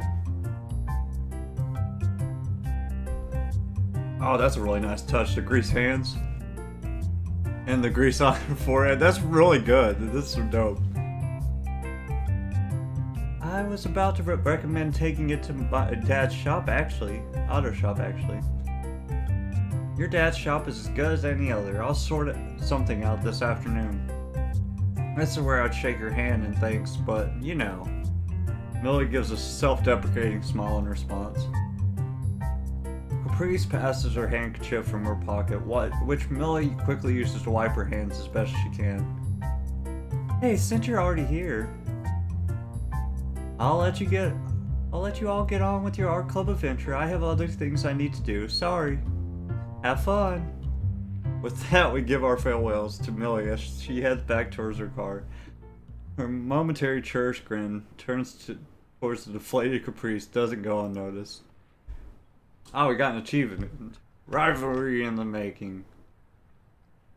Which means Oh, that was a hidden achievement, apparently. What was so hidden about it? Meet the leader of the campus riding club. We did it! Eileen snatches her keys back from the girl's hand, wasting no time in addressing the both of us. Now, are we finally going to the aquarium? Yeah! She beams brightly, her smile proving infectious. Turning to me, Eileen's emerald eyes stare into my own, checking my reaction after the day's events. As rough as she might be, Eileen really does care about others. Let's go, Eileen. With this, she gives one of those few smiles she dares to give.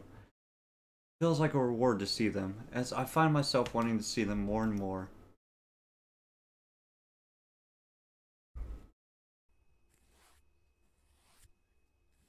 Ooh hoo hoo.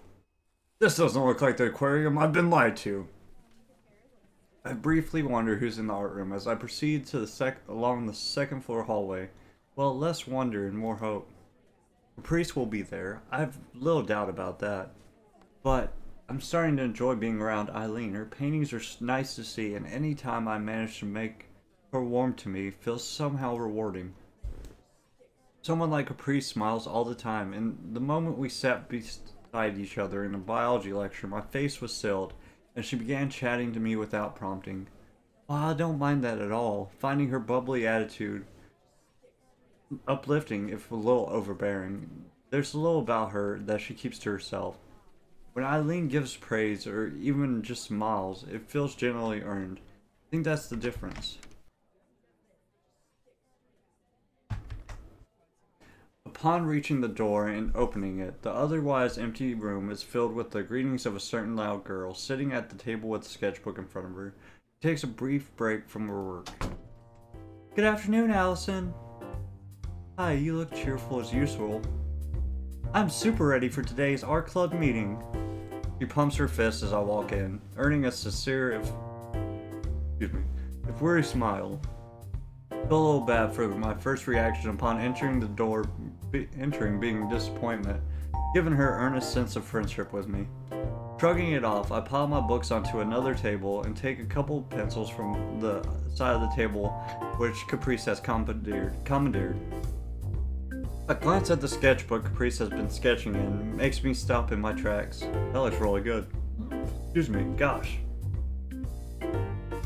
I have to look up at her and back down again just to confirm that this was done by the same person. Her casual doodle doodles were cute, but she has a real talent for this stuff now that I see her more serious work. I never really questioned how much Caprice had practiced her art. Now that I think of it, I'm I'm left a little chastised for underestimating how much effort she puts into this hobby. Oh, look at that cat. That's super cool. Hey, I like that a lot. Motivated to try a bit harder myself, I take a seat and open one of my notebooks, flipping to a mostly empty page. I ponder for a moment before setting about sketching a cat. They were always a favorite subject to doodle. That looks awesome. I lose track of time as I start to get into it, trying to replicate Caprice's shading from the memory. It's only when Caprice pipes up with another greeting that I take a break. Eileen strides through the doorway as I look up, giving a quick perfunctory wave. I think perfunctory means like short, concise, but I'm not sure. To the both of us, she looks barely awake, but given how tired she always looks, it's hard to say if it's any worse than usual. As we exchange greetings and Caprice gets back to her sketching, Eileen's eyes fall on my notebook. Without breaking stride, she turns on the ball of her high boots to take a detour from her easel and peer at my work. Eileen's figure looms above as she stands in front of me. Figure pressed to the top of her my sketchbook as she looks down, conjures up feelings I haven't felt since middle school, as in a student shrieking before their teacher. What? The drawing was awesome, hater! Haven't done this in a while, have you? Sorry. Why are you apologizing? If you haven't, you haven't. You have the fundamentals right, at least, which only comes with practice. Her fingertips skates back and forth on the paper, pointing out this and that. Musculature looks a bit off, looks off, but that's a pain at the best of times for animals. Try to draw from references instead of relying on what your mind thinks something looks like. The weight feels as if it's been lifted from my shoulder. It's not exactly high praise, but the fact she's willing to give me pointers feels like some validation. You like cats? I have one back home. Explains it. More of a dog person myself, really. Ever had one? Would have been nice, but my parents weren't interested in the idea. Sounds like you and your parents don't get along very well. We don't. Pet thing's nothing to do with it. They wanted me to go into one of their approved careers, and I didn't. Oh, I thought it'd be something more complicated. Sometimes things really are as simple as they seem. I'm sure things will work out eventually. That's nice. I open my mouth to respond, but the tone behind her words makes it clear that she considers the discussion over. The air goes cold between us, leaving me at a loss of words as my shoulders slump in defeat. All I meant to do was cheer her up. All I meant to do was save the game! As she steps over to another table and pulls off her coat, Caprice gleefully fills this awful silence with her bubbly voice. Hey, have you tried doing other stuff as well? What do you mean? You know, other kinds of art. There's oils, watercolor, paint, pottery, fletching. I don't know what fletching is. Like bow, an arrow, fletch.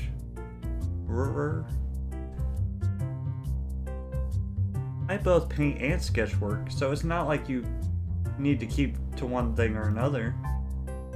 I can get some pottery stuff if you want. Eileen barely restrains herself from rolling her eyes by harassing this the poor professor into giving you some kiln time and clay. It's not harassment, it's negotiating. I think I'll be fine for now. Eileen gives one final piece of advice as she turns toward the cupboard, taking advantage of the lull from Caprice focusing on her, her own work.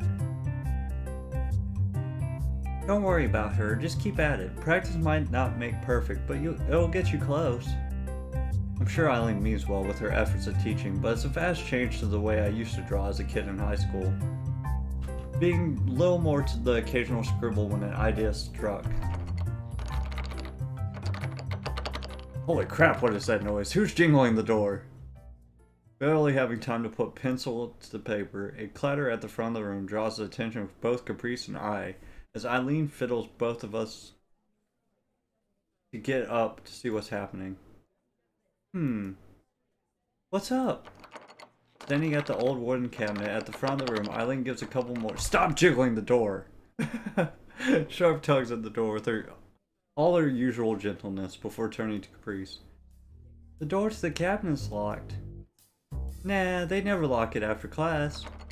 He bounces over to Eileen and takes the handle in her grip, giving it several pulls at various creative angles and its case is jammed. After one last try, hard enough to have her feet slipping on the floor. Could you say that again? I didn't quite catch what you said. As they face off, that face. as they face off, I take a look at the cabinet between them. It's a type of look lock I've tried before, and not particularly high end.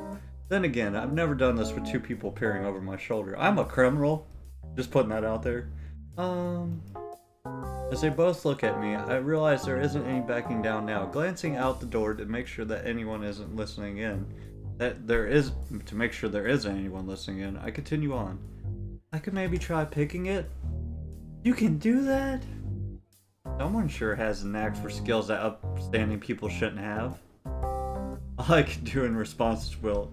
Eileen's not exactly wrong, even if I do like to think I only use such things when I should, sure. We don't really have much of an option. Think you can do it? Accepting my fate, I get up and hold my hand towards them. I'll need a couple of paper clips. Alright, MacGyver. You can do anything with paper clips. Taking to my feet once more, Eileen and Caprice look more dubious than impressed. Well, did you get it? A little more of confident than Caprice, her face having been plastered right beside the lock out of curiosity as I worked. I take a long breath and reach out to the handle, giving it a timid tug. The relief in the room is palpable as the door, old door creaks open, revealing shelf upon shelf of supplies. Awesome! Caprice gives, oh god, gives a tight hug from behind in appreciation and excitement, leaving me to awkwardly laugh off the praise as Eileen starts taking her paints and brushes. As she writes herself and Caprice detaches herself from me, Eileen gives a couple claps on the shoulder with her free hand.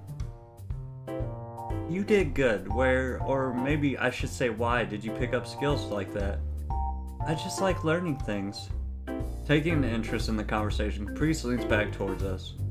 What kind of things? Other cool stuff like that? Just things. Schoolwork wasn't too hard. So instead of studying, I ended up teaching myself stuff like how to pick locks and tinker with different machines to keep myself occupied. Except for a car, of course. Are you aware of how sketchy that sounds? It's not about doing bad... Excuse me. Not about doing bad things, they're just puzzles. The point is working them out, not getting free stuff. When I put it that way, I guess it's pretty useless to learn.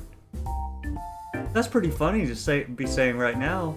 Caprice nudges Eileen, who just raises an eyebrow. She makes a decent point. Hoping that no staff were around to notice, staff were around to notice what ha just happened, I throw the twisted paper clips into a bin. Before heading to my table, as Caprice takes to hers, and Eileen sits herself at her easel. Without further ado, we each set to work. It's a nice atmosphere with the three of us working away at our own little projects. I'm not sure sketching cats in a notebook really counts as much of a project. Having friends around makes it somehow more meaningful. With winter setting in, I find myself settled in for the evening on the couch watching a movie on the television, blanket draped over me to keep try and keep warm. Rose still isn't back from work. Rose just disappeared apparently.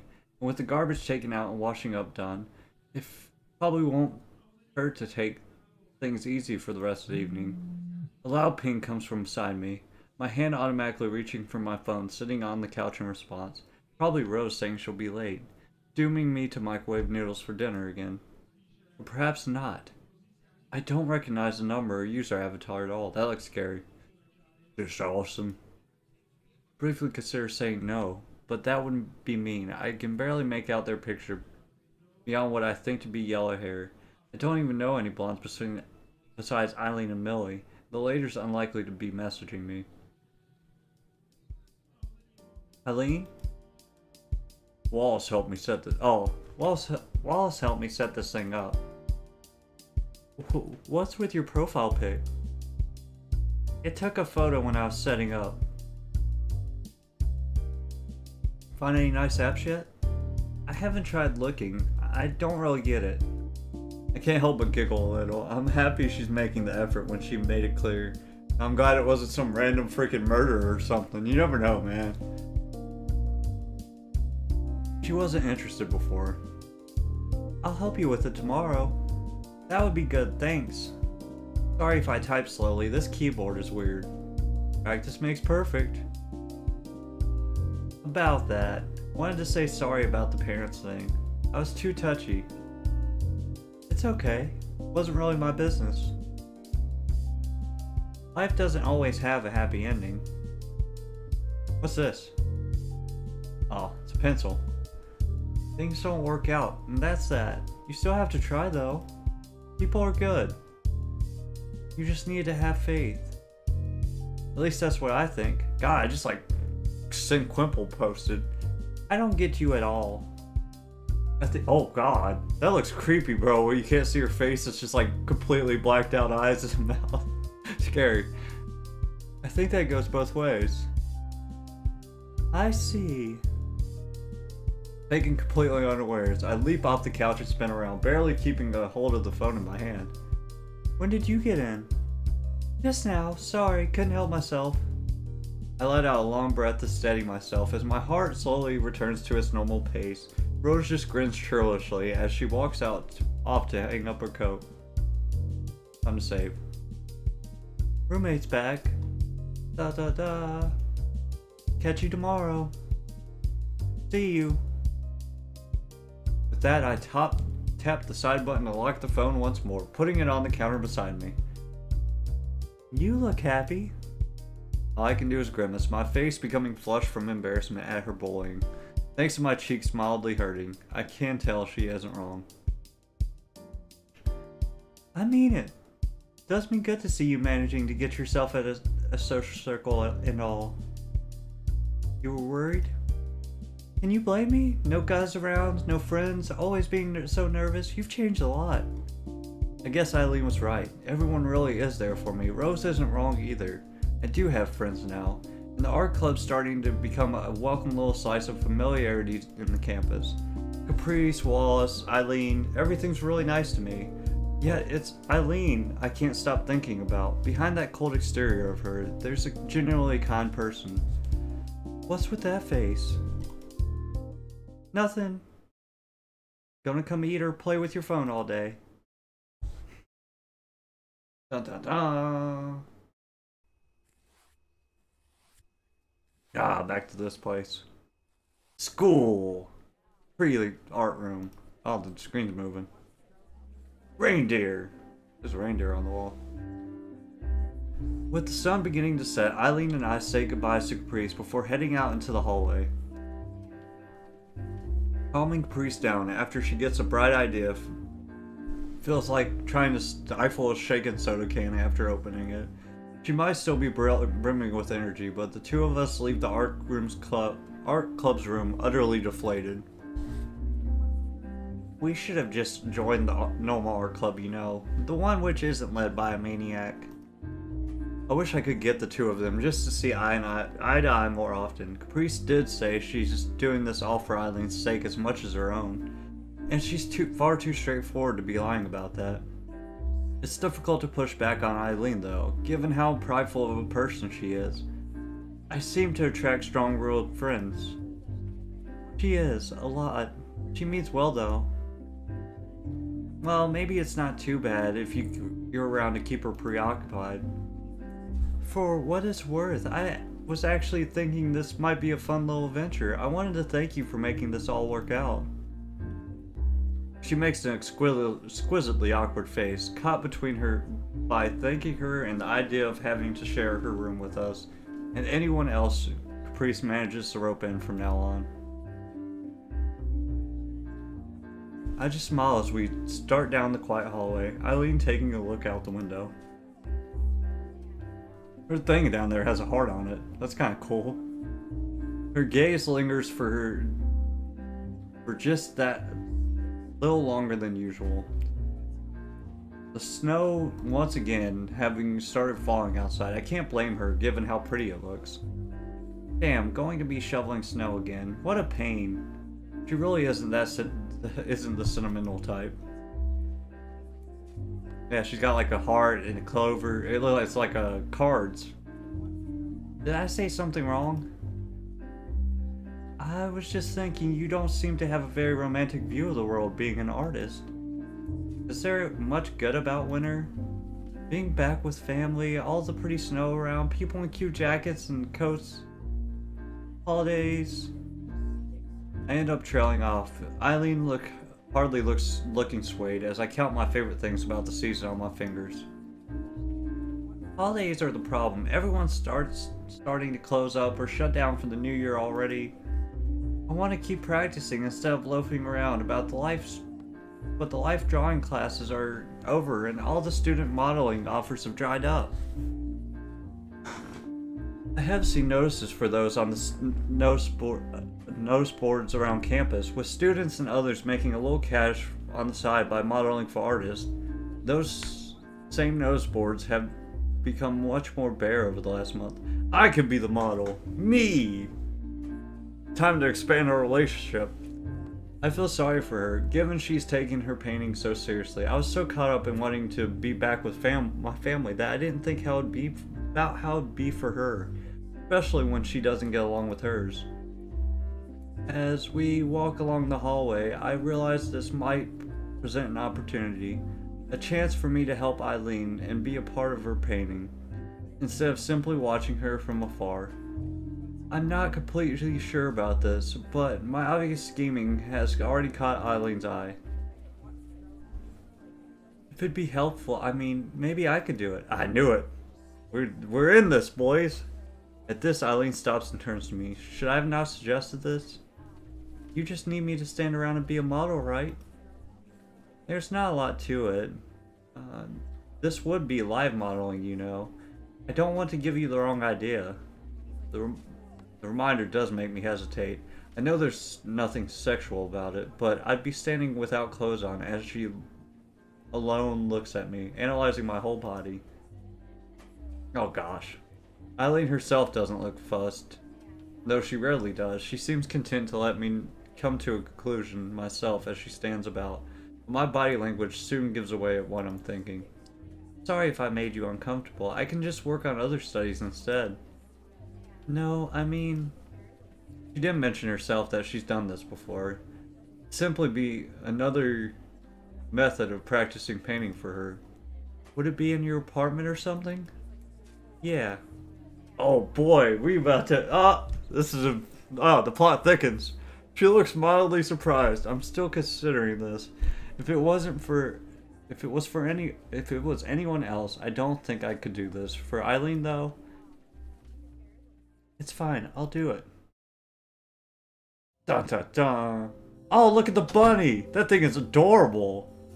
Oh, that lady's naked too. We set down our coats and uh as we enter her apartment, the bright light giving such a different look to her living room compared to mine. As for Eileen herself, I don't get how she isn't exhausted at all from after a walk like that from school. But try as I might I, to distract myself, something feels off. No matter how I try to ignore it, painting live models is probably totally normal for an artist like Eileen, so I don't bother saying anything as she sets down her coat. Want a drink or something? I'm fine, thanks. Suit yourself, I'll grab my stuff. Just make yourself comfortable. I like the bunny. The bunny's awesome. He walks off to get her easel and paints as I nod. His name's George. We're naming him George. Without much else to do, as she disappears into another room, I idly look around while taking off my coat and gloves. Her apartment hasn't been cleaned up this time, which is an interesting change beyond the easel with a finished painting still on it A few colorful fashion magazines lie on the coffee table, near a mug left sitting around. On the couch, a couple of crumpled t-shirts and an old pair of jeans strewn over the back and the arm. What watches my eye most, however, is the resident who looks very comfortable on the end of, other end of it. George? Without thinking, I walk over and pick George up. A particularly large stuffed rabbit, big enough to need two hands to hold comfortably. Though well made and adorably designed, it's obviously a little well loved by now. It's freaking adorable. I'm sure I'd have noticed such a thing if we're a think if we're around when Wallace and I came for dinner. So it must have been stuffed into a room or something. Noticing movement out of the corner of my eye, I turn and look up. Bro, when it's blurred, it looks like their eyes are like completely blacked out. It looks terrifying. Eileen simply stares at me, face flat, as she holds a bag of supplies in her hands. I really shouldn't have gone and started fiddling with her stuff. Sorry. Um, it's really cute. George is really cute. She put her bag down the sides, giving me a bit of relief that she wasn't angry. Silently, she strides over and takes the toy, takes George from me, as I offer it to her. My sister gave George to keep me company when I moved out. I'm disappointed by how little emotions in the Eileen's voice when she says so, but those little thought those thoughts quickly disappear as she gently sets down George where it had been. She takes care set it down gently with a quick brush of George's fur. The momentary smile as she steps back and looks at George warms my heart. It only lasts for a second, but her face is unmistakably that of a child, one taking care of her, their favorite companion. So Eileen does have a cute side to her. Somehow feel a little, a bit less wound up about everything. Now she's not that different to me in the end. She turns away. I remember the task at hand. So, I'll just set up the easel and the canvas. Then I'll have everything ready. Should, should I take my clothes off then? Yes, obviously. That's what we're here for, I'm guessing. She's about to answer before pausing for a moment. Much as I might try to stifle my audience, uh, awkwardness, undressing in front of someone else is still weird. If it's a problem, you can grab a towel. I can make do. Feeling more than a little sheepish, I glance around to make sure, make be more sure of my surroundings. The blinds are as shut as they were before. The door's still locked, so I'm not sure what I expected. Maybe the silence is putting me off. The apartment being set so far back of the road, unlike mine. Shuffle, shuffle, shuffle. I want to, I want to say that I'm fine, but I can't get quite, can't quite get over the stumbling block of being bared in front of someone. Meeting halfway will have to do for now. As Eileen sets her previous painting on the kitchen counter, I pop into the bathroom. My heart's practically in my mouth as I reappear in the room with the towel wrapped around me. Precious little being covered as I take my place before her. Should I stand like this or... She looks at me for a few moments in serious thought. It's a little interesting how quickly her demeanor changes to that of a painter. Carefully considering how best to use my body as an artistic prompt. Prop.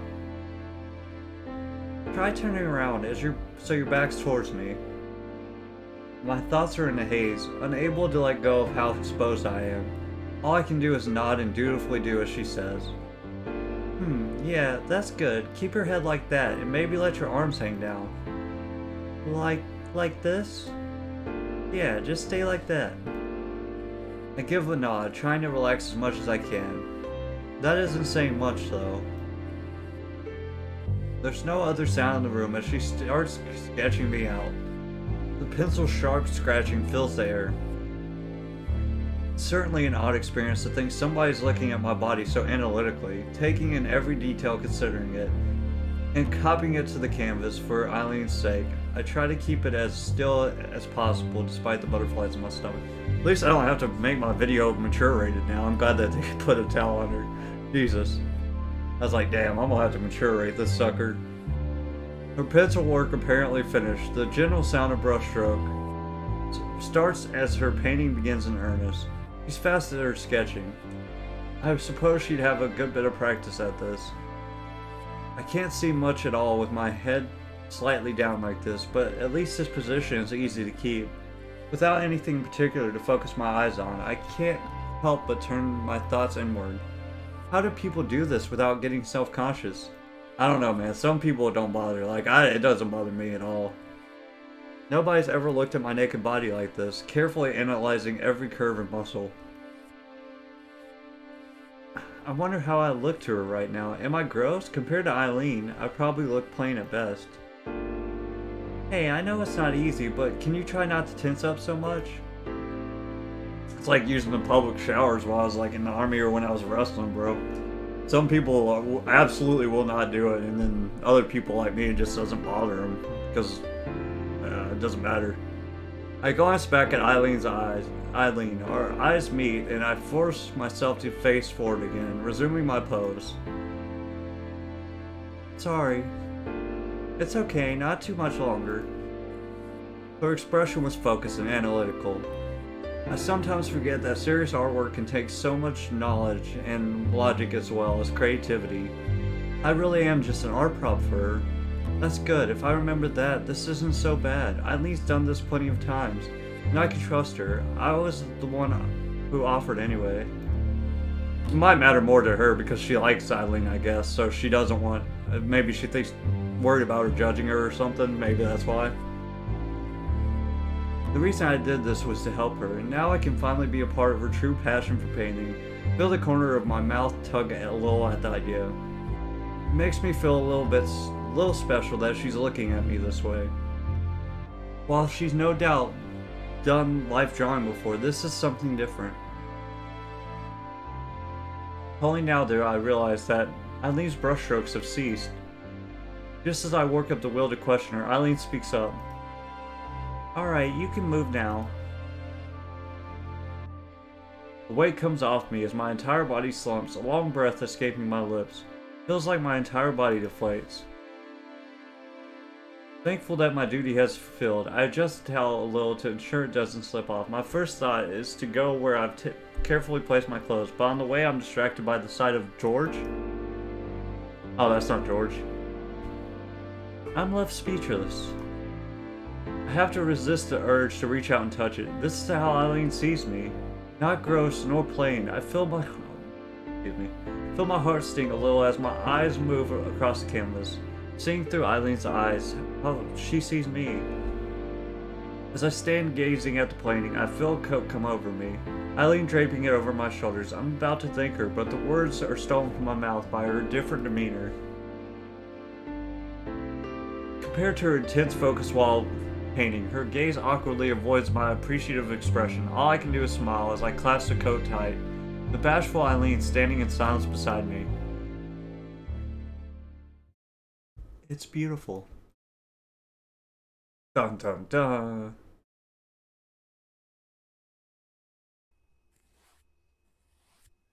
Hey, we did it. We survived. Oh, this is a new setting. The streetlight leads us along as we walk along the snow-dusted street. The pit, their pinpricks of light piercing the evening's darkness. The two of us walk side by side without a word, the only sound being snow crunching underfoot, far from the silence feeling oppressive. i am rather glad that we don't need to fill the air with idle conversation. With our classes finished, I offered to repay her for the dinner she made for me. Hardly one to turn down a free meal, she rarely accepted, it's not like the excuse to bring her over was a lie, as such, or at least that's what I tell myself. In truth, I want to be closer to Eileen. As I grew, throw furtive glances to her, I mused about how many times together, how the times we're together feel different to when I'm with others. Her earnest yet clumsy attempts to help me with, help me feeling all the more rewarding. I'm not sure, but I don't think these feelings are just friendship anymore. Excuse me. You're lucky to live so close to school. I still have no idea how you can hike all the way to your place every single day and not be exhausted. That's what happens when you don't wimp out of walking. Being fit has its advantages. Well, I stop myself from imagining how fit Eileen's body is. I'm reminded that she's seen my own body. I cringed in embarrassment as I remember modeling for her the other day, trying to shake off the feeling before she notices. Eventually, we reach the now familiar apartment building, the two of us stopping for a moment. I'm a little surprised myself at how quickly I come to think of this place as home. The ill-maintained building, feeling so foreboding at first. Everything here is different to home, right down the streetlights we stand under. Gone were the modern white lights of the downtown and the suburbs, replaced by dull orange lamps, which occasionally flickered. Well, here it is. I'm more than a little nervous about what she thinks of this new home after bringing her all the way here. Rather than judging for me for it, she looks more to be carefully studying it, my nervous attempts to read her stoic gaze get me nowhere. Looks nice. So what's your roommate like anyway? I got her, scared her. No sooner did the words leave her mouth than she jumps from a hand latching tightly onto her shoulder. I didn't even notice her in the darkness. Rose is a ninja, apparently. She must have been having a smoke outside when she saw us. Yo! As we sit at the dinner table, Eileen's gaze has trouble staying on us. I know those eyes well. They're those of a tourist taking in everything around them while desperately trying to engrave it in memory.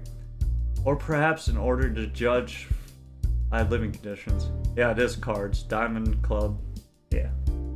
And the spade, boy! From the best card game ever, the spades! I have to admit, this must look a bit shabby compared to our home. She surely worked it out that I'm not exactly well off from the area already, though.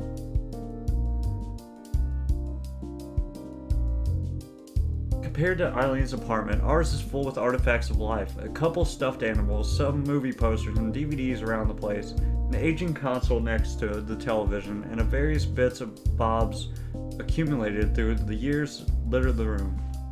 Eileen's eyes pass over it all, but she still stays unusually subdued. Perhaps the reason isn't the room itself, but the person sitting across from her. So this is where you live, huh? Sorry if it's a bit cold, the heating's having problems. You mean, having problems as usual? There goes trying to put up put on a front. I know it doesn't look great from the outside, but we keep try to keep the place nice to live in, fixing leaks, giving the place a lick of paint, patching holes, and all that. Gets Allison crash course in handiwork too. It isn't much, but it's home. It's gotta count for something, right? It does. You've done a good job making this place homely. You never told me you were this good at science and math, Allison. No wonder it seems so easy for you. She gestures towards the trophy on the side table and a certificate on the wall above it, being awards from competitions I won in high school. You never asked. What? Seriously, Allison, come on. I earn a playful clip over the head, Eileen snorting in amusement. She was good enough to get a science scholarship thanks to that brain of hers. Never having been great at knowing how to respond to praise, I just hang my head. Feels a little embarrassing to be complimented in front of Eileen. Makes sense. She's got me out of a jam a few times now. She's a handy person to have around. I feel myself flowering to a blush at the words sinking lower into my chair, and my face feels hot. I'm surprised how nice it feels, despite being so awkward. A smile spreads on my face as my legs sway beneath the table with unexpected energy. It feels different when it comes from Eileen. Thanks for the food, by the way. It's nothing. Nice to finally meet someone from Alice's side of the fence for a change, actually. I was starting to get worried that she didn't have any friends. I can only bring my hand to my face as Eileen raises an eyebrow in pointed interest. I do wish Rose wouldn't make a big deal out of me, my being shy. Really? Not exactly the outgoing type, I guess. I'm shocked. She takes a large sip of the soda before her before continuing on. There's a few of us in our little circle now, no thanks to her dragging me into a club. You agreed to come, it's Caprice's club anyways. Oh, so now you have nothing to do with it. This is a new story. All I can do is grimace as Eileen lifts an eyebrow, getting the rise out of me that she wanted. She softened blows a little with a small nudge from her shoulder, earning a smile from Rose. Eileen gives a mighty yawn, poorly hidden by a hand over her mouth. I don't think I've seen her bother trying to hide one before. Sorry. Tired? I'm always tired. What's with the bags under your eyes anyways? Rough night? Insomnia, it's fun stuff. Here I was trying to be tactful and not, bringing that up, and Rose just kicks down the door as usual. That does give some context to Eileen's short fuse, though I shouldn't jump to conclusions. Well, they say good wholesome food can fix that. Hopefully this will pick you up a bit. Nothing says homemade like burgers and fries after all. As the two talk, I quietly begin on my food. I hadn't realized how empty I was, the fries disappearing into my mouth at quick pace. Thanks, thank goodness for having a good metabolism. Someone's hungry. I look up quizzically at her, drawing a raised eyebrow. It's only now I realize my cheeks are as full as a chipmunk's. Good to see you two get along well.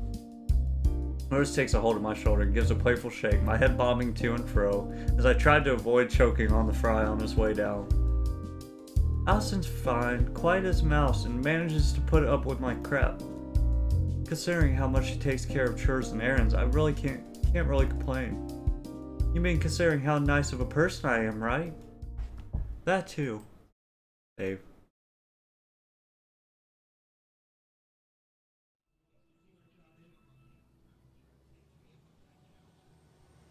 Three of us munch away on our food, the quiet sound of, sound of cars outside and prattling from the television and providing what little noise there is to be heard. Panda. Seems like Eileen is starting to settle, which is a relief. It took me a while myself when I first met Ro Rose. Surprised you two keep your figures eating this kind of stuff. You don't uh, don't have it often, do you? Rose and I share a quick glance. No, not at all. Not often, just special events. There we go, falling afoul of Eileen's judgment. Should just get a rice cooker, buy rice in bulk, grab some veggie packets, throw them together, easy, cheap, healthier than takeout. I have to admit, it was nice when I dated a guy who could cook. Having her around doesn't make things too awkward when you bring guys over. You learn to be quiet. I guess you would. I frown at the both of them. I don't want to hear about this. You didn't know already. That means I've been doing a good job. Rose's comment only caused me to frown, my frown to deepen. I can only feel myself blushing just from the topic of conversation, which just embarrasses me more. Besides, if you ever get a boyfriend, you're going to have to learn too if you want to bring him around here. I won't be doing anything like that. Rose laughs, and even Eileen looks amused. I sulk, hating that the attention has been centered on me now. I especially don't want this conversation around Eileen. Thankfully, Rose seems content with their teasing. So what's your story? You're a friend of Allison's, right? Turned out that way. Just another student at the community college ma majoring in art. Darcy type, huh? Going for the big bucks, though. Thanks. I'm sure you'll find something. Hopefully not involving burgers and fries. Eileen's limits are clearly being tested, being less tolerant of being poked at than I hopefully... Hopefully Rose realizes it. You seem like the artsy type yourself. What's with all the ink? Eileen motions to her Rose's left side while brandishing a french fry, the tattoo on her upper arm only made more noticeable by her tank top. Looks cool. Uh-huh. Expected it to be my life story or something? That was my first. Wait, no, forget what I said. I'm in the Yakuza, and they gave me this as my initiation. Nothing says Yakuza like a biker in the middle of America. As Rose's chest heaves with light-hearted laughter, I find myself smiling as well. I'm glad these two get along, though a little part of me wishes I could be like Eileen. It took me months to warm up to Rose, yet Eileen gets on with others so smoothly. Sitting out in front of the apartment once more, we say our goodbyes for real this time. Even though if she pointedly refuses Rose's later offer, later offer of transport, at least she'll be going home on a full stomach. It's not an atmosphere. It's time to say our goodbyes, especially given the nice chill has having set in. But neither of us quite want to say the words. When you said you had a roommate, that's the last kind of person I expected you to be shacked up with. Excuse me. Rose is nice once you get to know her. She's a family friend, so I guess you could say I got this apartment through connections. Eileen's not real. Eileen's not really wrong though. Ever since starting at community college, I've gone from having a couple of very alike friends at high school to an increasing menagerie of odd characters. The way Eileen looks as she gazes at the building catches me off guard. Hardly the comfortable existence she seems to have. Rose and I pretty much eking out a living with what scraps we get, yet she looks so wistful. You really have a nice thing going, don't you? Yeah, I guess so. Um, if you ever want to visit again, you're definitely welcome. He gives an amused snort, and a smort and a smile. I have to take you up on that sometime. Moments tick by as the two of us stand out on the sidewalk, neither quite knowing what to say next. I want her to stay around some more to get to talk to, but I know it's already getting late. Idly thinking over our dinner time for something to talk with her about. One particular part of the conversation keeps sticking out, replying it in, replaying it in my head. I can feel my face going red before I can cover it with my hands. What's wrong? I can't believe Rose was talking about that kind of stuff even though you just met her. Sorry about that. It's alright, I'm the one who brought it up. That's right, you're just bad. I give her shoulder a firm tap, immediately feeling conscious of the gesture. I pull away from her and look elsewhere, fuming away in my embarrassment. Eileen rocks back and forth between her heels and the ball of her feet to pass the time while I recover, hands not knowing quite what to do. Eventually, thankfully, Eileen breaks the silence between us. Thanks for inviting me here. I'm glad to have been over tonight. Why? Be honest, I had you pegged as someone, some spoiled little delicate flower when I first met you. You know, the kind of coast coast along on their parents' attention before the real world punches them in the face. It looks like you have your life pretty sorted, though. You got a good head on your shoulder and friends and a cool roommate. You managed to scratch together a pretty decent life for yourself. She just gives a long breath, rocking back and forth on her feet as she tries to put some words together. I wanted to thank her for Khan's word, but I'm left speechless after such a warm-hearted appraisal of my current world. I don't really know what to say. I guess I feel a bit dumb for lecturing you so much. It's fine, really. My frantic brushing off of the idea puts the both of us on the back foot, smiling with that wonderful rare smile of hers. She seems to accept the situation. Before I can say anything more, the blonde girl turns to begin the long walk back home. Without looking back, Eileen simply raises her hand in the air as she strolls off down the road. She's as confident as ever. Think, things just happen around me, and I work problems out as they occurred.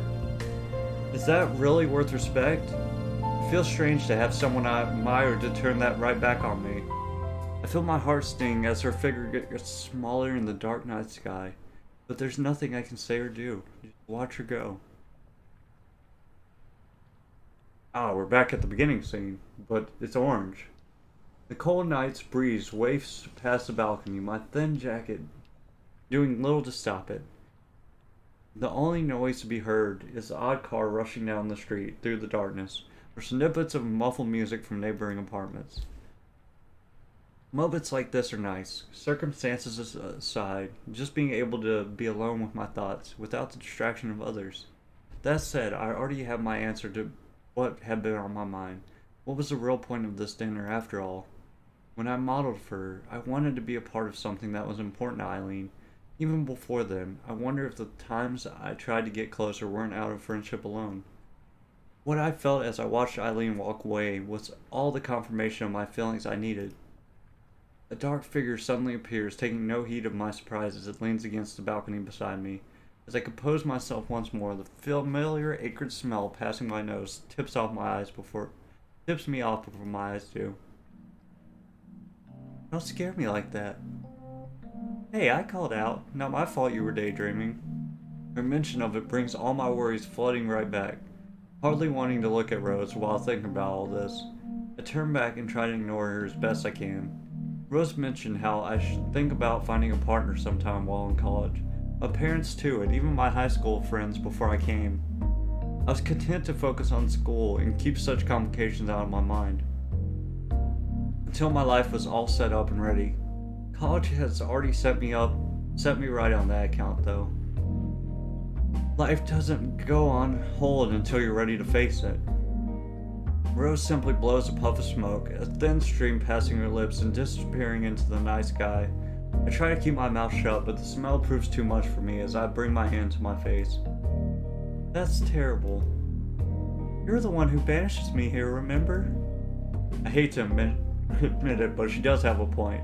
Rose stubbornly makes a point of taking a puff of her cigarette, but soon notices that something is amiss.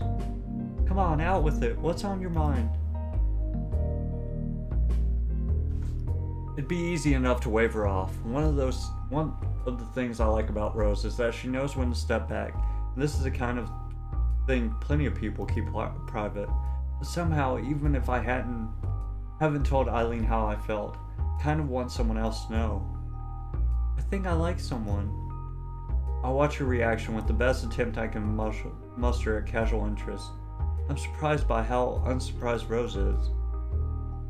After a tortuously long time, finishes her puff of cigarette and takes it from her mouth. You had the look of someone with that on mind. It's that Eileen girl, right? My mind blanks. She picks that picked that up herself. She hasn't taken off guard by my by my liking the girl at all. Well, of course, you were just with her, and now you're telling her you like someone after having like a heart to heart outside with her. That's like, ah, nostalgia. this game's really good. I like this. The knot of the anxiety I hadn't even noticed forming inside of me suddenly twists and turns. The expected spluttering, spluttering explanation suddenly not needed. I psyched myself up so much, only for it to go nowhere. The silence between us continues as Rose patiently waits for me to respond. It's just what's supposed to come after saying that. I didn't think you knew about Eileen, or, you know. Well, I mean, kinda hard to ignore what's in front of your face, you know, seeing you two together. It all clicked. You don't think I'm weird? Apparently feeling a little more sure of what to say, she gives a disarming smile. Believe me, I'm not in any position to call anyone someone weird. Yeah. Hey, that's not what you're supposed to say. She elbows me in response to my most uh, mostly unintentional bite back. With the situation diffused, I managed to calm down a little. Just saying I like her makes my thoughts feel all the more real, my heart skipping a beat as I repeat the words in my mind. Rose thinks to herself a little, before snuffing out her cigarette on the ashtray and looking at me squarely. Sorry, I shouldn't be so flippant when you're all worked out. I get that coming out can be hard. For what it's worth, I really appreciate that you trust me so much. The warm smile on her face proves infectious all tension from the air fading away. I hardly mind now that I've managed to unwind a little. I get the feeling she's stumbling through this herself. Minutes ago, by the by with only the passing of cars beneath us for noise, both of us savoring the peacefulness of the winter's night. At loose ends, I lean against the balcony railing and finally break the silence. What should I do? I don't think that's something I can decide for you. Just remember that you're still young. So you don't think it'll work out? I'm not saying that. Just take it easy, alright? Relationships are a pain in the ass. This isn't what I'd hope Rose would say at all, but that doesn't mean she's wrong. I thought love was supposed to feel happy and warm, but I feel more nervous than anything else. Welcome to relationships. Welcome to relationships. Falling for someone is easy, isn't what comes next that makes him hard? Her disarming smile at least puts me a little more at ease. I'm glad to have Rose here for me. In many ways, I feel like we can't relate to each other, but we can still have this kind of conversation and understand each other. We're just two girls talking about love. You're a good girl, Allison. I promise that whatever happens, you can call me, okay? Thanks. But you know, if things work out, you're still gonna have to learn how to be quiet for my sake if you bring her around. Rose? uh.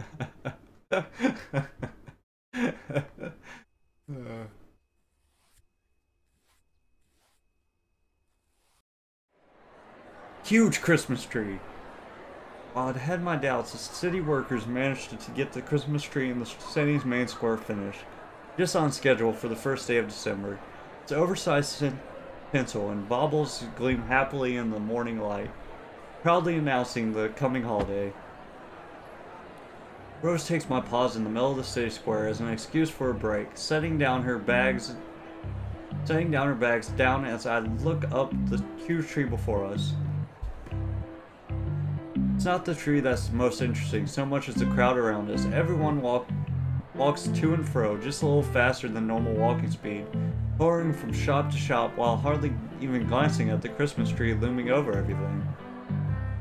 I think I read something once about feeling alone even in a crowd. So many faces pass by, from couples holding hands to businessmen, to groups of people, yet I feel more disconnected than when I when I'm actually alone.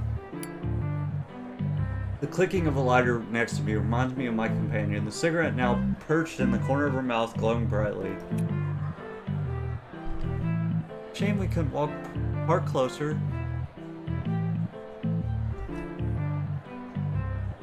Downtown's pretty crazy these days, isn't it? Maybe we should put up our own Christmas tree. Hey, I got a tree for us a few days ago. I was the one who bought that. It's like a, also like a foot tall. Oh yeah. the cigarette perched in her mouth tilts downward as she looks at me. Her mouth's turning just a little less cheerful. Missing holidays at home, are you? A bit. She clamps onto my shoulder and gives me a firm shake. Hang in there. I might not be much company, but at least you've got someone around. Were you homesick when you first moved out home? Given the circumstances, no. I don't think you appreciate how lucky you are sometimes. Wander straight into that landmine. Rose has never talked about her immediate family in the few months I've known her, so maybe I should have taken the hint.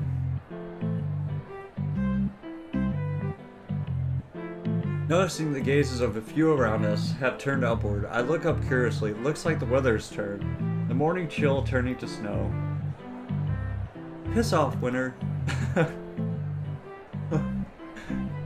With a dissatisfied puff, she puts out her cigarette on a nearby bin lid before flicking it in with a practice motion.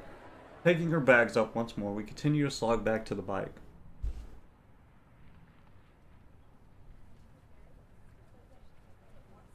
Up, eh?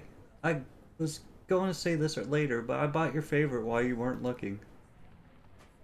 Strawberry trifle? You know it. Just a thanks for pulling your weight a bit more. Nice to see you getting yourself together. Just as I'm about to thank her, a loud ping comes from my pocket. A little sheepish, I take my phone from my pocket to check what the message is. Behind you. Confused, I stop walking and turn about. Hey!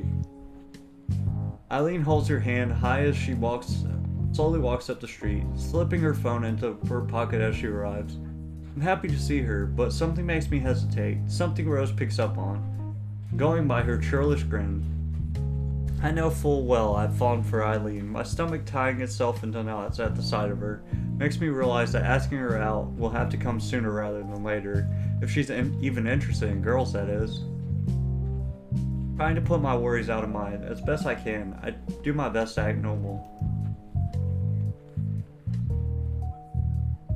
You've sure got been getting some use out of that phone. Starting to see the appeal of these things, yeah. Morning, morning Rose. What's up? Just out for a walk. The apartment's getting stifling after a while. Not interrupting anything, am I? When she puts it like that, she sounds far older than she should. In fact, given she doesn't own, didn't own a smartphone, likes simple walks alone, and spends her days painting, starting to doubt, excuse me, starting to doubt the girl I fell for is really my own age. As the two of us strike up a casual chat, I remember how Eileen and I came to meet. Being pushed into the club, take, taking chance after chance to come closer to her in hopes of spending more time together. Only that persistence which gained me her friendship. My heart begins to beat as I walk, hulk myself into the plan forming in my head. Pushing myself got me this far. Perhaps if I could take one more step. Hey Rose, can I leave these with you? She hesitates at the change of plans. The words blurted out before I could help my, stop myself. Sure, I'll see you later. If you need a pickup, just call. Before I can so much as thank her, Rose quickly starts the work of strapping the shopping bags out her back to her bike. It'll probably be easier to get everything home without me uh, on the back anyway. Eileen and I give her our goodbyes to her as we walk on.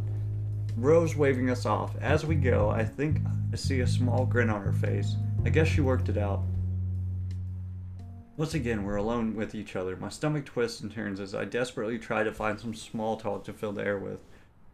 Not that Eileen looks fussed about it at all. Dun dun dun, save. Buried in thought, I barely register us moving through the old, wrought iron gates and into the city park. The water in the pond lies nearly still, the ducks lazily bobbing about with the odd flap of their wings. Shake off the snow. The normally rustling branches of the trees stay silent as they gather falling snow, green slowly turning to white. With everybody in town busy shopping, all that's heard as we walk along the wide paths are our footsteps on the freshly fallen snow.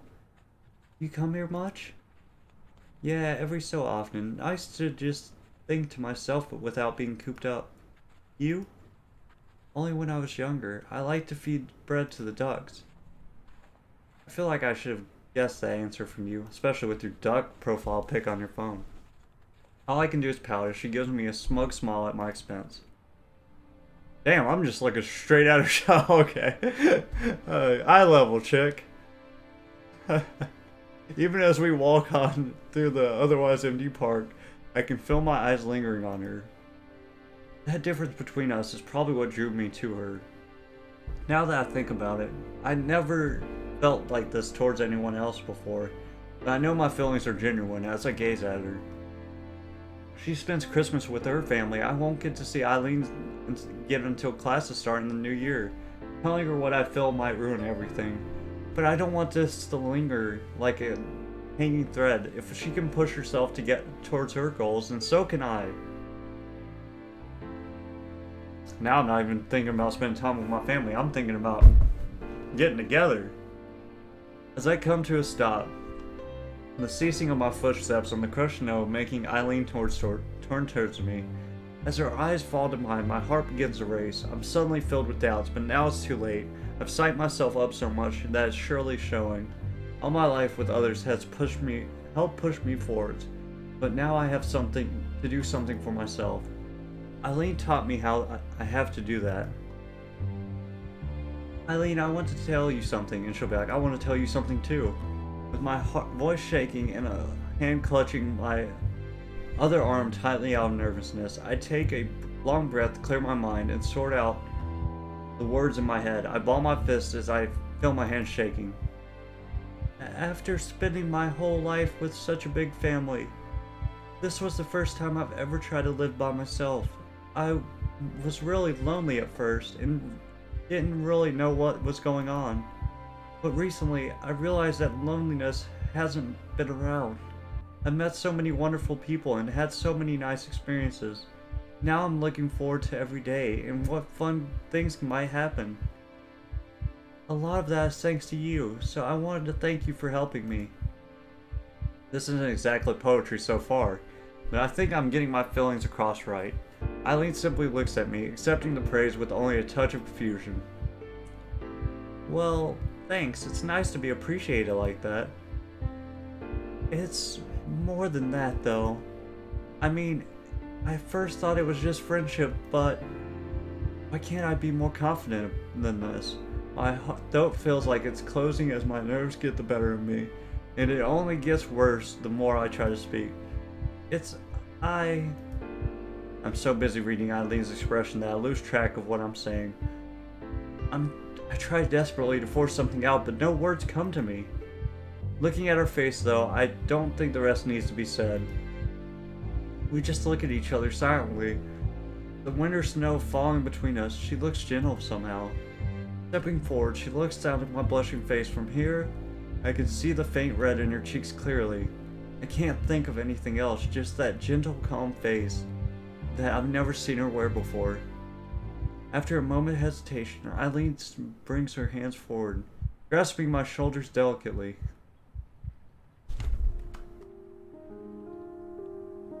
Yay! And then, as she leans down, everything stops.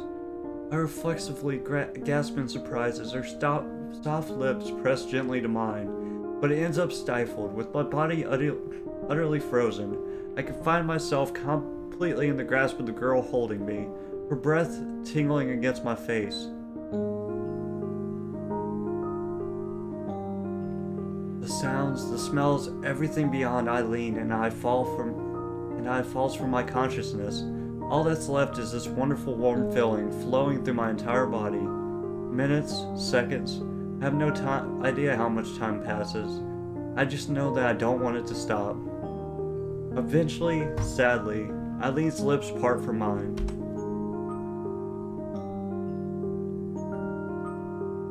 Straightening herself as she steps back, Eileen takes a long, shuddering breath as I stare dumbstruck at her wildly blushing face. The feeling of Eileen's lips pressed to mine replays endlessly in my confused mind, clouding everything else. Eileen, you. The air between us falls quiet. Eileen left waiting for a reply as I stand in a silent daze. Simple shock is one part of it, but far from all, Eileen is not only interested in women, but also in me. I feel like my heart could burst from the relief. It's only now that I see her fidgeting, playing with her hair and unable to quite stand still. I wonder how long that's been going on, unnoticed.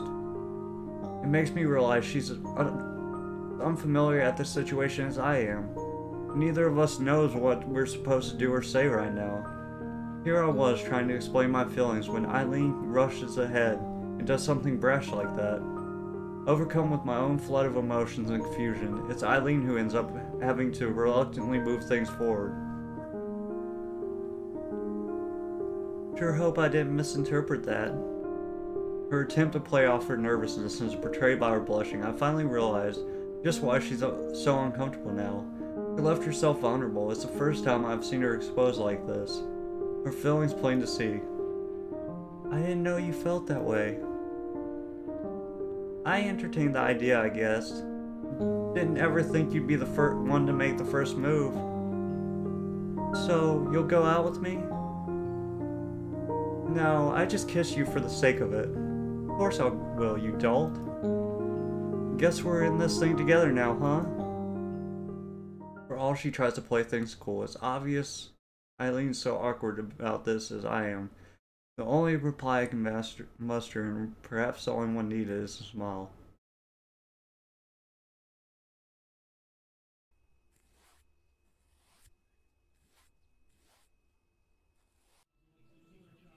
Loud yawn fills the living room, the droning of the television briefly overshadowing. The scene could be more normal. Rose lounging about the couch, watching the morning news, the sound of traffic outside heading off to work, and me stumbling around, pulling up on the last of my clothes as the morning lessons loom. One thing is different now, though. Just thinking about what happened last night makes my heart race, but I have no idea what's supposed to happen after something like that. What happens when I see Eileen again? How close am I meant to be with her, now that we're going out? Then there's the kiss itself, playing over and over in my mind. The feeling of her soft lips on mine, the way she looks so flustered afterwards. Ow!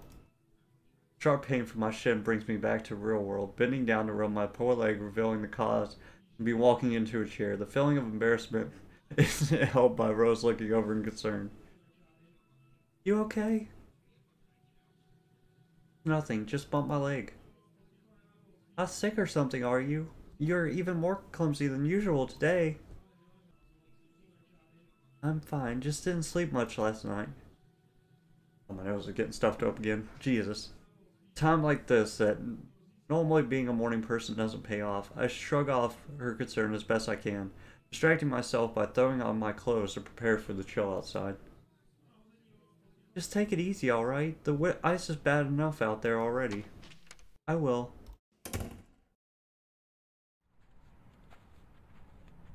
Walk down the road towards the campus does give me good does me good, giving me time for my mind to settle and get back to the daily routine. Not everything is quite the same, though my footsteps feel light, and what's typically an arduous walk feels unusually easy. Not quite dancing in the streets, but the day feels just a little brighter than usual. It's nice. The snowfall's been getting heavier now that's December. I pass a few people standing outside buildings, which looking mournfully at their roofs. While looking mournfully at their roofs, plotting on how to dislodge the snow, ah, dislodge the snow piled on top. The traffic's all slow to a crawl, rolling by carefully. As for Christmas sales on television are into full swing by now, which reminds me that I should get my shopping done when I have some free time. God. When I have some free time, I think I could scrape together enough money to buy a little something for everyone in my family. Then there's Christmas cards for my new friends here, not to mention organizing a trip home for the break. Christmas is meant to be relaxing, but it feels like there's so much to organize for it. Welcome to adulthood. Sucks. for Christmas. Coming up to campus, I tried to focus my thoughts back onto school for the time being. Thankfully, the paths here are better cleared if nothing else. As students file in past the gate, my heart skips a beat as I recognize a particular blonde girl. She looks back and notices me as I skip up to meet her, her usual tired expression unwavering. I've never met someone so far from a morning person. Morning! Hey, Allison. With that, the both of us begin to walk in side by side. All thoughts of score leave my mind as I try to stop myself glancing at Eileen, furtively trying to work out exactly how I'm expected to act around her. The part where we admitted we're interested in each other is also where most of the romance movies I've seen end. And I've never gone out with anyone before. Then there's the fact that neither of us have said a word to the other beyond a quick greeting. I try to comfort myself with the thought that it's probably the same for Eileen too. It's always hard, so hard to read her poker face. Good grief, it's cold today. She's not thinking at all about yesterday, is she? With a long breath, it feels like all my restlessness leaves me. Eileen's relaxed attitude makes me feel embarrassed for getting so worked up after seeing her again. How are you so confident about this, you know, with us going out and everything? I'm just really good at faking it. Hanging my head, I give up on ever trying to read her. The grin Eileen gives me makes me feel better about today in an instant. Her normally cold demeanor, if just for a moment, is pierced by the sincere smile that peeks through. A smile which soon evaporates, collapsing into something else entirely. Is something wrong? I just remembered something troublesome. Crease. I almost asked why before the obvious hits me. My thoughts finally moving beyond the girl at my side, the implications of this all became clearer. Should we just tell her? I'd rather not. You know Caprice as well as I do. I don't want her to make a fuss about us getting together. Then again, she'll probably work it out herself. She's not stupid. She knows to pay attention if I'm serious. Besides, is there really that much harm in letting her be happy for us? My serious tone and defensive Caprice seems to catch Eileen off guard, catching me a little off guard too. Fine, if you're going to tell her then, I want to be there too. The discussion comes to an end, yet I find myself not wanting to leave despite having nothing further to say in particular. Seems Eileen has the same problem as she awkwardly mills about, the chatting students passing around us, only making the silence between us more pointed. Would it be okay to kiss her here now? Yesterday in the park we did it without thinking. Eileen's always so awkward about physical affection that I'm not sure she'd like it, especially in public. What I'm thinking must have been plain to see as Eileen reaches down, placing her hand on top of my head and scruffing it around in response. Might be an odd way for her to show her feelings, but I can't say I hate the gesture. Feel my cheeks blushing as her hand rubs my head, enjoying every moment until she stops. Eileen's awkwardness around all this makes me feel a, little better about my own uncertainty. Everything will work out fine, I'm sure of it. Ever the optimist. We better get to classes. See you at the club, I suppose. She sure doesn't seem to share my optimism as she waves and walks off, nor my like of our new club. I'm sure she'll come around though. Oh, we're still in part two. I really love this game, but it, is long.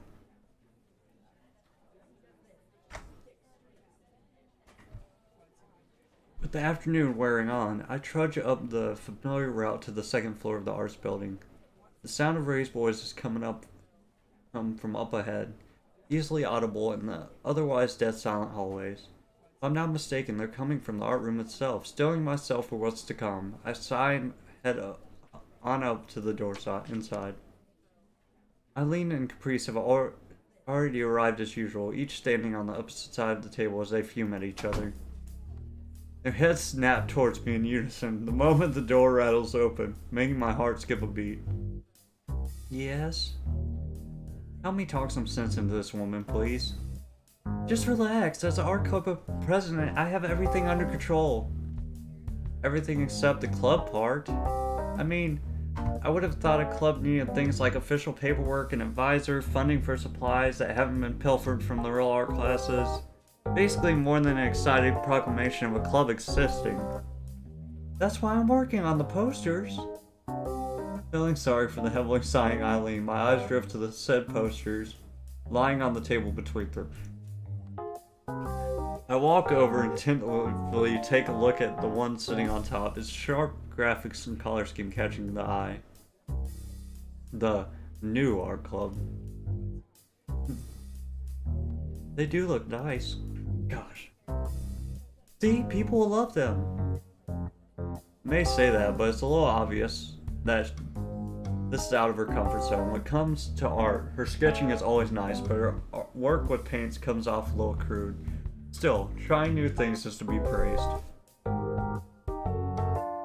Think about this logically. It's near Christmas, all the students are going to be a break soon. Even if they weren't, nobody would be looking for a club to join around now anyway. I wouldn't exactly say that.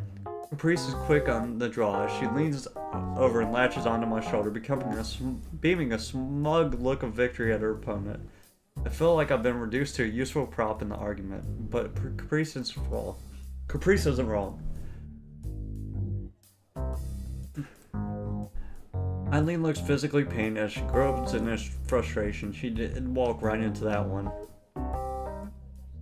what could only be interpreted as a universal sign of giving up, she shakes her head and starts to walk away, retreating to the cabinet to grab her things. Looks like posters will be the accomplishment of today as far as club goes. I suppose it doesn't hurt to try and draw in some more members. Hopefully we can get them soon too. I wanted to have another club outing and the more the merrier. And like I declared, we're going to make the pizza place a regular thing for the club. I'm up for it. Eileen looks drearily as, at the traitor to her cause, but knows her goose is cooked as she hangs her head. I swear she looks more tired than usual. Stressed out, man. Then it's settled.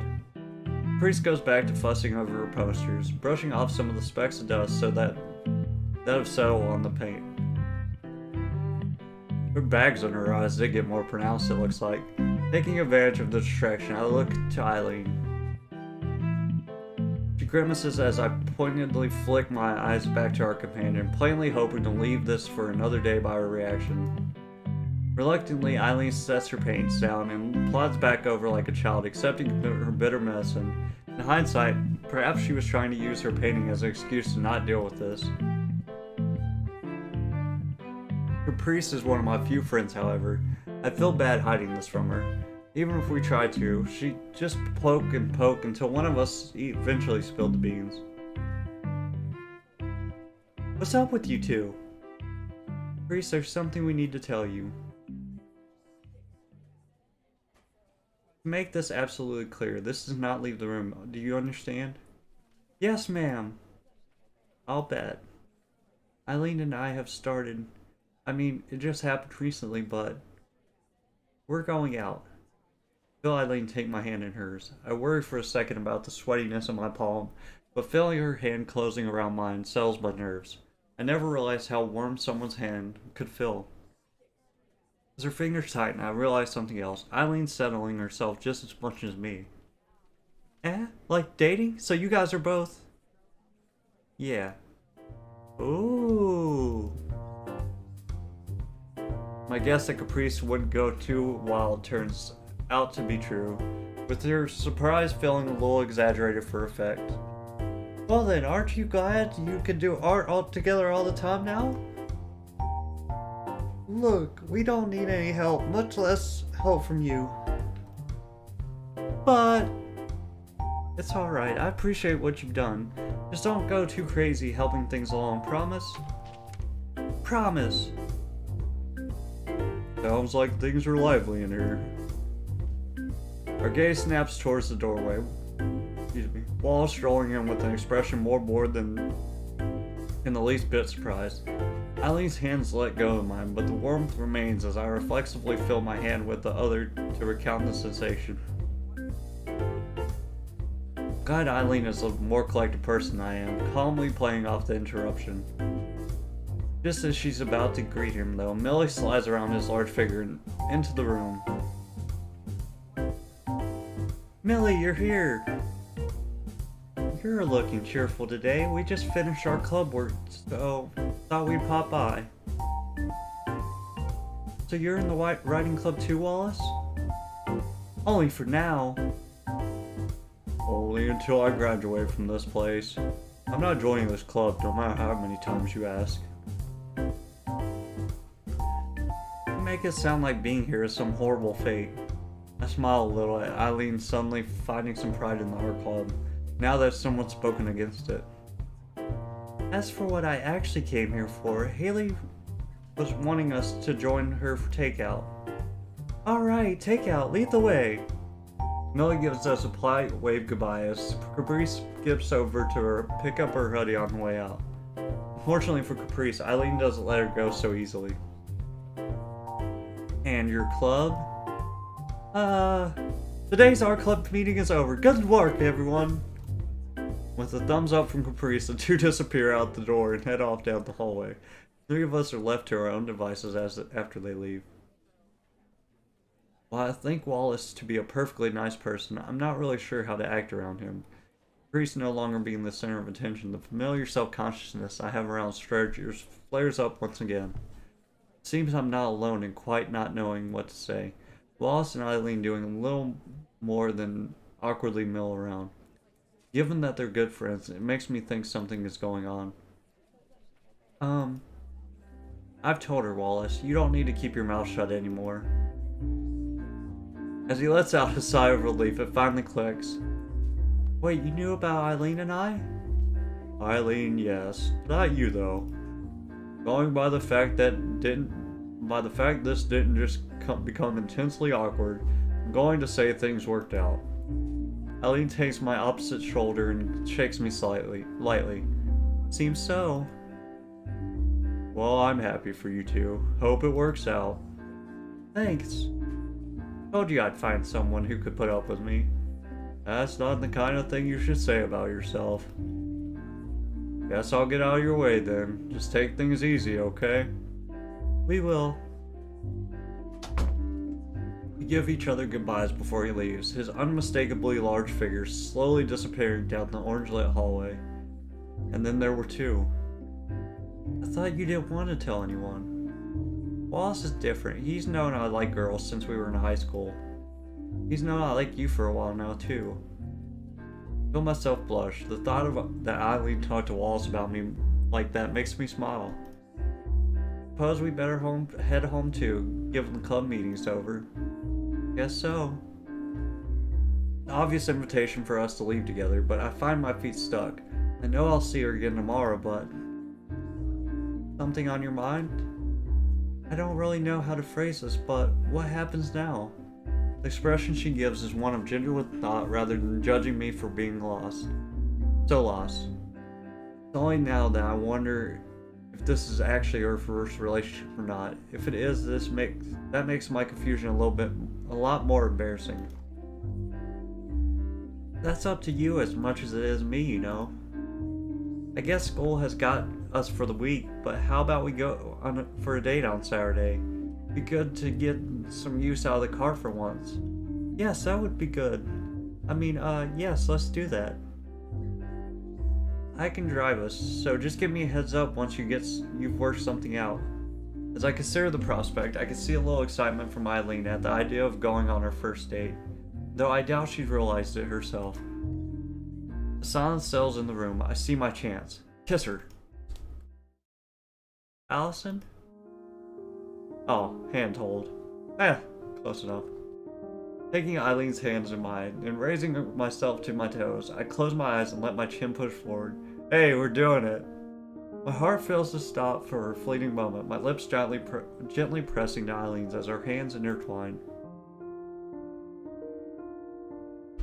As our lips part and I come back down, my heart makes up for lost time. Come to think of it, I guess that's the first time I've ever kissed somebody myself. I have to admit, the physical side of us being together is nice, even if it is awkward. I can't help but feel the sensation lingering despite the moment having passed, filling my, me with warmth. Even Eileen, so normally placid and stoic, looks flushed. The two of us end up standing around like complete dorks, the only one, only sound being the trees rustling outside. I've been wanting to do that since this morning. I swear, you're getting bolder by the day. With a gentle smile, Eileen reaches over and rubs my hair. Even if I still don't know how to react when she does so, I can feel my head leaning into it and a grin, dumb grin spreading on my face. Oh, that was nice. Such a happy relationship.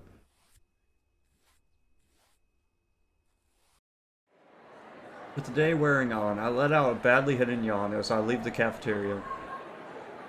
I clutch my bag tightly as I walk, both from the cold and trying not to take up too much space given all the people milling about. I can't help but eavesdrop on the conversation around me as I walk, the building humming with activity. One conversation from the groups idling about catches my ear, the chatter about same girls about their plans to be with their families again for the holidays. It makes me excited for Christmas all over again. As I push through the heavy door and step outside, I wonder if Eileen would be as eager. The fact she doesn't get on with her parents is a worry, but surely they can't be too bad if they're paying for her to live in such a place.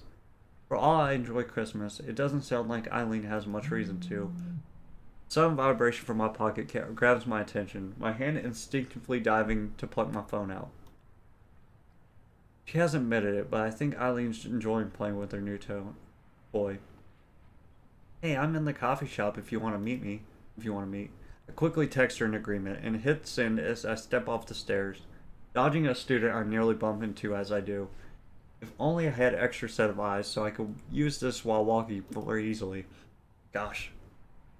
Heading toward the cafe, I muse on how normal things still feel. I'm happy for us.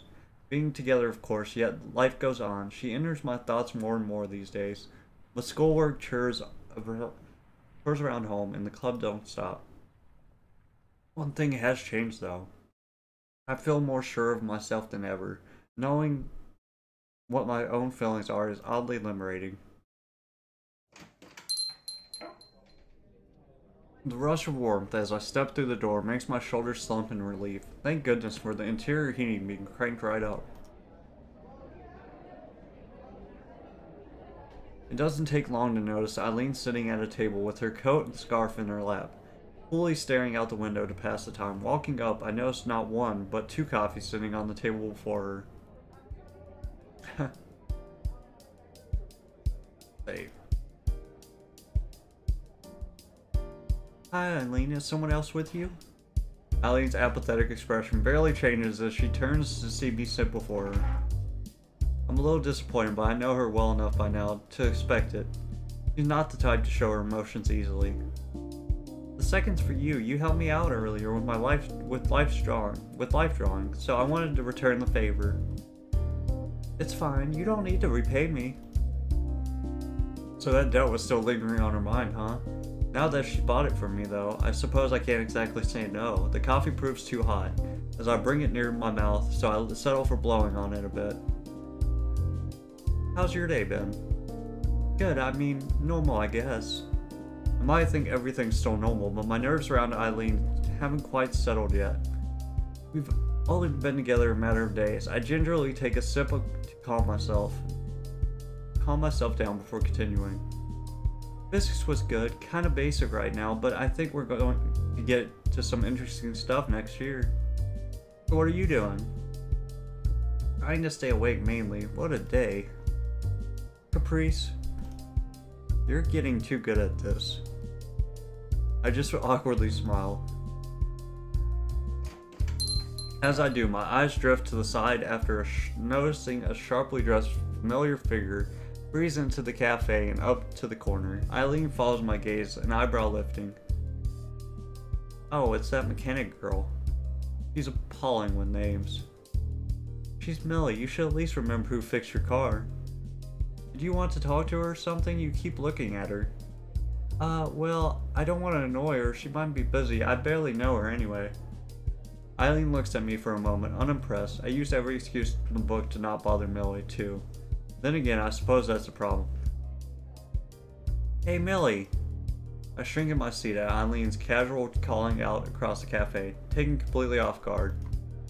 Millie turns towards the source of her name, giving her usual calm smile upon recognizing us. See, it's not that hard. This is a good, good opportunity to know her better.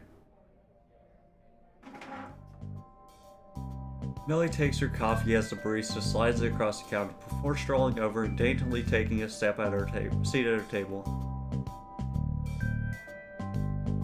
Good afternoon, and Eileen. Afternoon, welcome to Friday. Finally so, yes. Any plans for the weekend? Eileen and I exchanged a brief glance. Both of us were looking forward to the plans we made for Saturday, but there's still the day after. Depends on the weather. I was thinking of heading out to the mountains with Wallace if it's not too bad. As Eileen takes a long drink of her coffee, the majestic mountain ranges and foothills around the city float to mind. They'd be freezing cold this time of year, but she seems to be made of stern stuff. I hadn't taken her for the outdoorsy type though. That sounds nice. Hiking? Eileen shakes her head as she sets down her cup. We brought some permits for deer, deer hunting. Deer hunting? As in killing them? Bambi, no! She stares at me for a moment before look, looking downward, trying to make sense of the words. It takes an awfully long time for her to formulate a response. Well, we don't pet them. Wallace taught me how to shoot down at range, at a range, and I take a loner whenever we head out. So that's what Wallace gets up to outside of the riding club. I did wonder about that. It's nice that they found a way to bond as friends, but to think of a big, proud deer lying dead on the grass. You know now where meat from goes from an animal into a pretty little package at the supermarket, don't you? Of course I do, but I wouldn't want to personally involve myself at that level. Is that the point of a big day? Of a big day out for them? I have to admit, I'm a little jealous of how they share this whole little world, but I don't think I could ever be a part of it. Millie reads the room quickly as I take another sip of my coffee. Any plans yourself, Allison? Nothing so exciting, just shopping for groceries. Sounds like my weekend plans. I'm the only one of my roommates with a car, so it's easier, easiest if I do the groceries myself. Speaking of roommates, what are your thoughts of the new club of Caprices? At first, I thought it was just a diversion, but she really does want her art club to work out. She's talked a lot about you two as well, actually.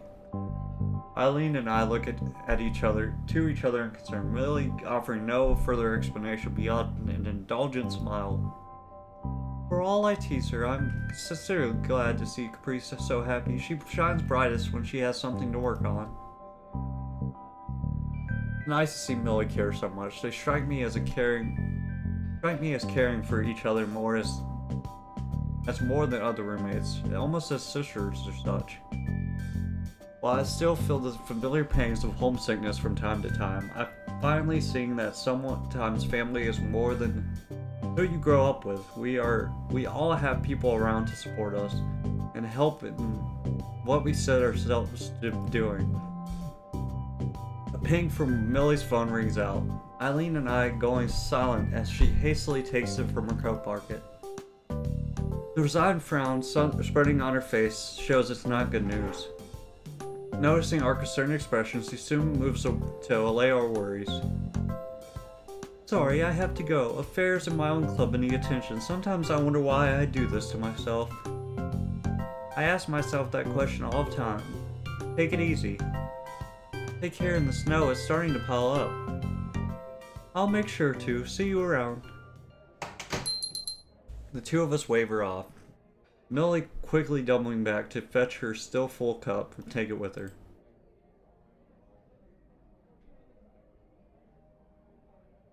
A brief silence ensues between the two of us as we sip at our own. The quiet chatter of our other students and staff at the club, at the cafe, providing background noise as we do. Sorry for being so weird about the hunting, that is. I was shooting my mouth off, forgot you liked animal and that sort of animals and that sort of thing. I didn't take you for liking the great outdoors. Being stuck indoors all the time is easy to do when focusing on painting, but it gets stifling after a while.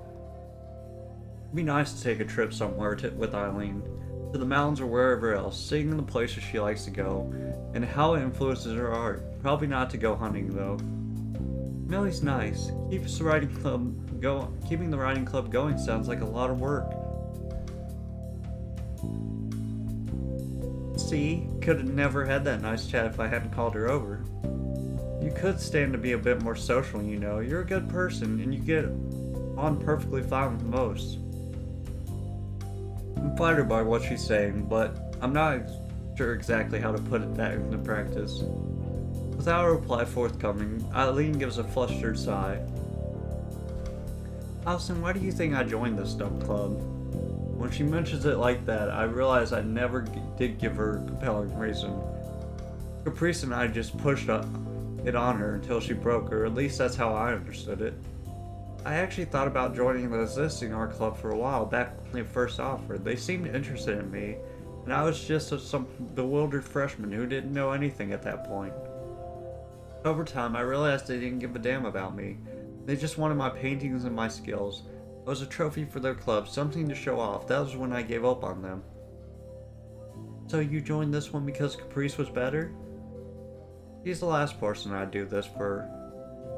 I joined this club for you, Allison. You just wanted to hang out while I did my thing. I liked that. There were no mental games and no need to worry about ulterior motives. I had something, someone to share my interests with. That's all I really wanted. Worked out pretty well in the end. I got someone to share my love of painting with and thought that maybe the club would help you open up a bit. You joined for my sake as well as your own. I awkwardly fiddle with my coffee cup, trying to think of how to reply as my cheeks flush. I don't know what to say. Well, I do. We need to get to class. Raising an eyebrow at the change of topic, I grab my phone to check the time. I really had completely lost track of time while relaxing here with Eileen. I quickly jump from my seat, pushing it in as Eileen collects her things and swings her scarf around her. Uh oh, we're late! Ah, chemistry's just about to start. What classes did you, did you have coming up? Math.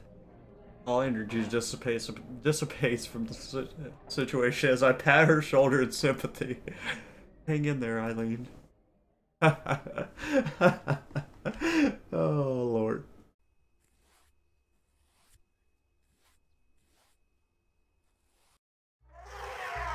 The elephant's mighty trumpeting sends a couple of children scurrying away with giggles of laughter. The animal is excited about the crowd, small crowd watching on as they are of him. Stepping back from the enclosure and joining Eileen once more, the two of us walk on. Even as we brought, bought our tickets, I'd be I wonder if coming here during winter was such a good idea. It turned out to be better than I could have hoped. I've never been here with so few people around. Usually this is a complete madhouse. It's nice. As we stroll on, Eileen takes my hand as in hers as we walk. Weird how such a simple gesture can make me feel so warm, my cheeks hurting against a smile. I've seen it done in so many romantic movies, but actually feeling someone take my hand in theirs is so unexpectedly comforting. They're easy to please. Without any real idea of how to respond, all I can do is keep walking. Maybe I should find it off-putting that Eileen's so calm about this sort of thing compared to me. But I think I might even prefer it. She feels reliable, I think level-headed. Crowded or not, it's nice too. You've never been here before? Considering I've only been in this city since college started, not really. Wait, where do you come from then?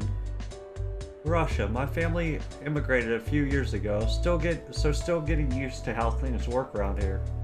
The question of whether she was a native has generally never occurred to me. She doesn't have any kind of accent, so I ne would have never have thought of it.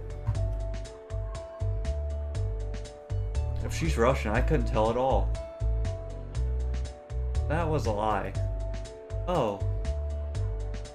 I can't tell if she meant for it to be a joke. Her expression makes it obvious she didn't expect me to actually fall for it. Too late to laugh now, and I just feel stupid for not questioning her. I'm actually from around here, but moved to Colorado when I was a kid. I never had much interest in zoos. Oh, so we're in Colorado. I've been to Colorado. Oh, or maybe I misread that. Colorado, huh? But why would you come back here? Okay. Moved out to my moved out from my folks' place to make my own path, have my own home, partner, life, and all that. To choose to move so far away from her family, especially to live in her apartment alone, it's too hard hard to imagine, considering how hard it's been for me. Having problems with fam her family is one thing, but jumping states to get away from them Left wondering if I should delve into the topic any further, Eileen speaks up as we leave the savannah area.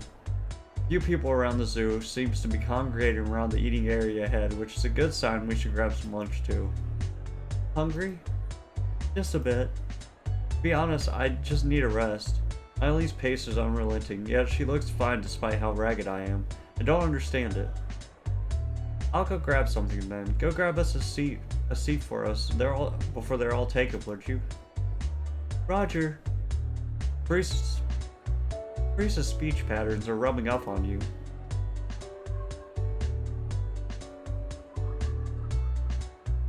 We both share a grimace at the idea before we part. I Eileen's heading for the hot food stall. Ahead as I skip down to one of the two unused tables on the outside of the seating area. I practically fall into the hard metal seat, watching the condensation from my breathing rise into the air as I recover myself. Nothing else, at least going out with Eileen will do wonders for my fitness. Several couples in line ahead of her, Eileen crosses her arms and patiently waits. I can't help but let my eyes settle on her as she does. Ever since we met, I've noticed how beautiful she is. Her order made, I'm a little impressed at her managing to bring the sodas and hot dogs over in one trip with some very careful use of her fingers. Hungry from all the walking, I quickly slide mine towards me as she sets him down and takes a seat.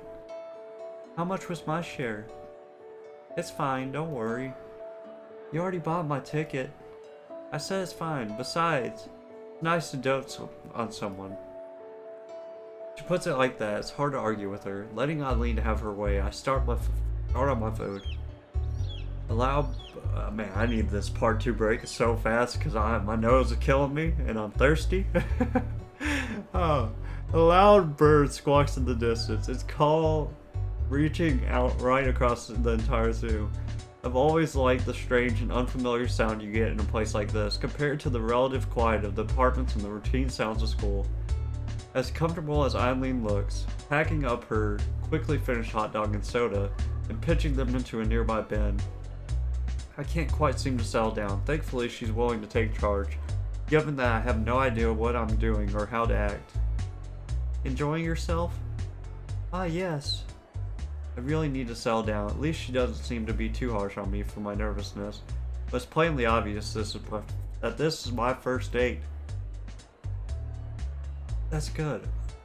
That's good. I'm not sure what to make of you when you climb up. Climb up. I'm just not used to this as you are. What makes you think that? You've never gone out with someone before? Do I look like I have? I almost blurt out a rather blunt answer. Uncompromising is definitely the word for her. But that doesn't mean she couldn't have had a girlfriend before me. Especially at our age. Come to think of it, I at least I had the excuse of being a bit shy and focusing myself on schoolwork. Eileen says she's said herself she's known since at least high school. Excuse me. Holly brings her head down, resting her chin on her arms as they lay on the table. I'm dumbstruck as she looks up at me with those tired eyes of hers. For what it's worth, I'm glad you're my first. You're a sweet girl. That look she gives me, a single hand that look she gives me single-handedly explains why people do all this dating business. For one brief moment, it feels like the two of us are really in sync as we look into each other's eyes. Oh god, the bird attacked. Only for a small a moment, though, before a small bird suddenly lands on the table between us. Its head darts this way and that. But it doesn't seem to be in the least bit shy about parking itself in front of Eileen's startled face. Well now, hello there. Ah, little fox sparrow, it's so cute. Even my excited whispers don't seem to bother the little thing, leading to me gingerly breaking off a little of my hot dog bun and trying to feed it. While a little too timid to outright take the food from my fingers, it seems quite happy to pick a few pick a, a few sprinkles of butter I left leave before it on the table. Eileen seems content to simply watch our little companion. You know what it's actually called? It's orange and white after it all. After all, that would make it easy to remember. As the slightly chubby bird busies itself becoming a little chubbier, I feel my cheeks hurting from my smiling. You really like animals, don't you? I pause a little but quickly start feeding again as the bird looks at me expectantly.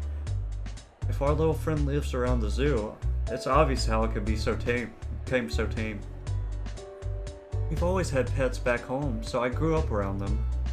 Your family keeps getting bigger and bigger. Must have been a hard cha change when you moved out. Having apparently had its fill, the bird spreads its wings and flies off at surprisingly speed. At surprisingly speed for its weight. I wave as it goes, my hot dog the worse for wear, thanks to me pick my picking at the bun. Bye bye. You're a dork. I laughed off her jab before returning to our conversation. It was hard when I left, yeah. I have a new family though now now though. You, Caprice, Rose, and everyone else Ah, I met at college. Yeah, a real family. Disappointingly, Eileen looks rather skeptical at the idea. Then again, she doesn't seem to get on that well with anyone besides Wallace and I. I was always an optimist, I guess. Nothing wrong with that. Maybe some of it will rub, rub off on me. Eileen picks herself up from the table, giving a big stretch as she does. For a moment, we just look at each other, simply appreciative of the fact that we're here together. Hey, Allison? Yeah? She picks herself off up a little off the chair in order to lean across the table. It becomes obvious what she's doing. Relaxed enough to let her get away with a quick peck, I close my eyes and lean forward a little in anticipation, my heart beating just a little faster. As the feeling of her tongue hits my cheek, my body suddenly freezes up as a shiver runs down my spine. I hear myself giving a weird subtle gasp before I reflexively fall back into my chair. Eileen looked rather nonplussed as she settles back into her own chair, her eyes studying me as she does. What was that? You just had mustard on your cheek. And I was maybe bullying you a little. I feel my face flower into a wild blush as I grimace at her, partly for her betrayal after my expectation of a affectionate gesture, partly for startling me so badly. I don't know how quite how to read Eileen's interesting expression. I, I don't care to ask as I sulk. I am generally a little mad at her, but I don't think it's getting through. I'm still not used to the physical side of all this. Letting out a amused snort and picking herself up from her seat, Eileen dusts herself off and gets ready to go. Come on, Miss Pouty Lips, let's get moving before the weather gets bad.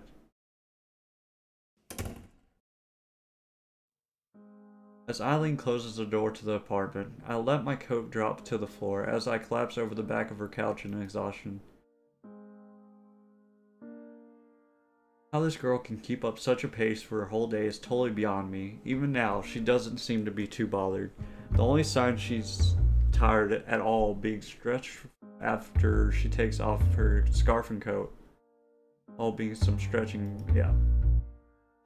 Haven't collapsed on me, have you? I'm dead. You can have my stuff. Better check before digging your the grave. Remember how they used to do that? Sticking a big pin into a toe to see if they wake woke up from the pain? Look at that, I'm suddenly alive. The Christmas miracle. As she busies herself behind me, my eye is drawn to her entertainment cabinet, cabinet that the television is sitting on. With curiosity getting the better of me, and perhaps to distract my wandering mind, I walk around behind the couch and press the right door to pop, pop it open.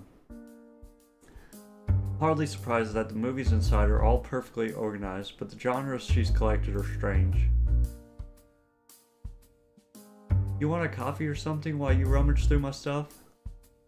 I'm not rummaging, I'm just... I try to think of another word to describe what I'm doing, but it doesn't take long to realize Eileen's right. Looking like, looking like a kid caught with their hand in the cookie jar, she walks back over. I try to change subject topics.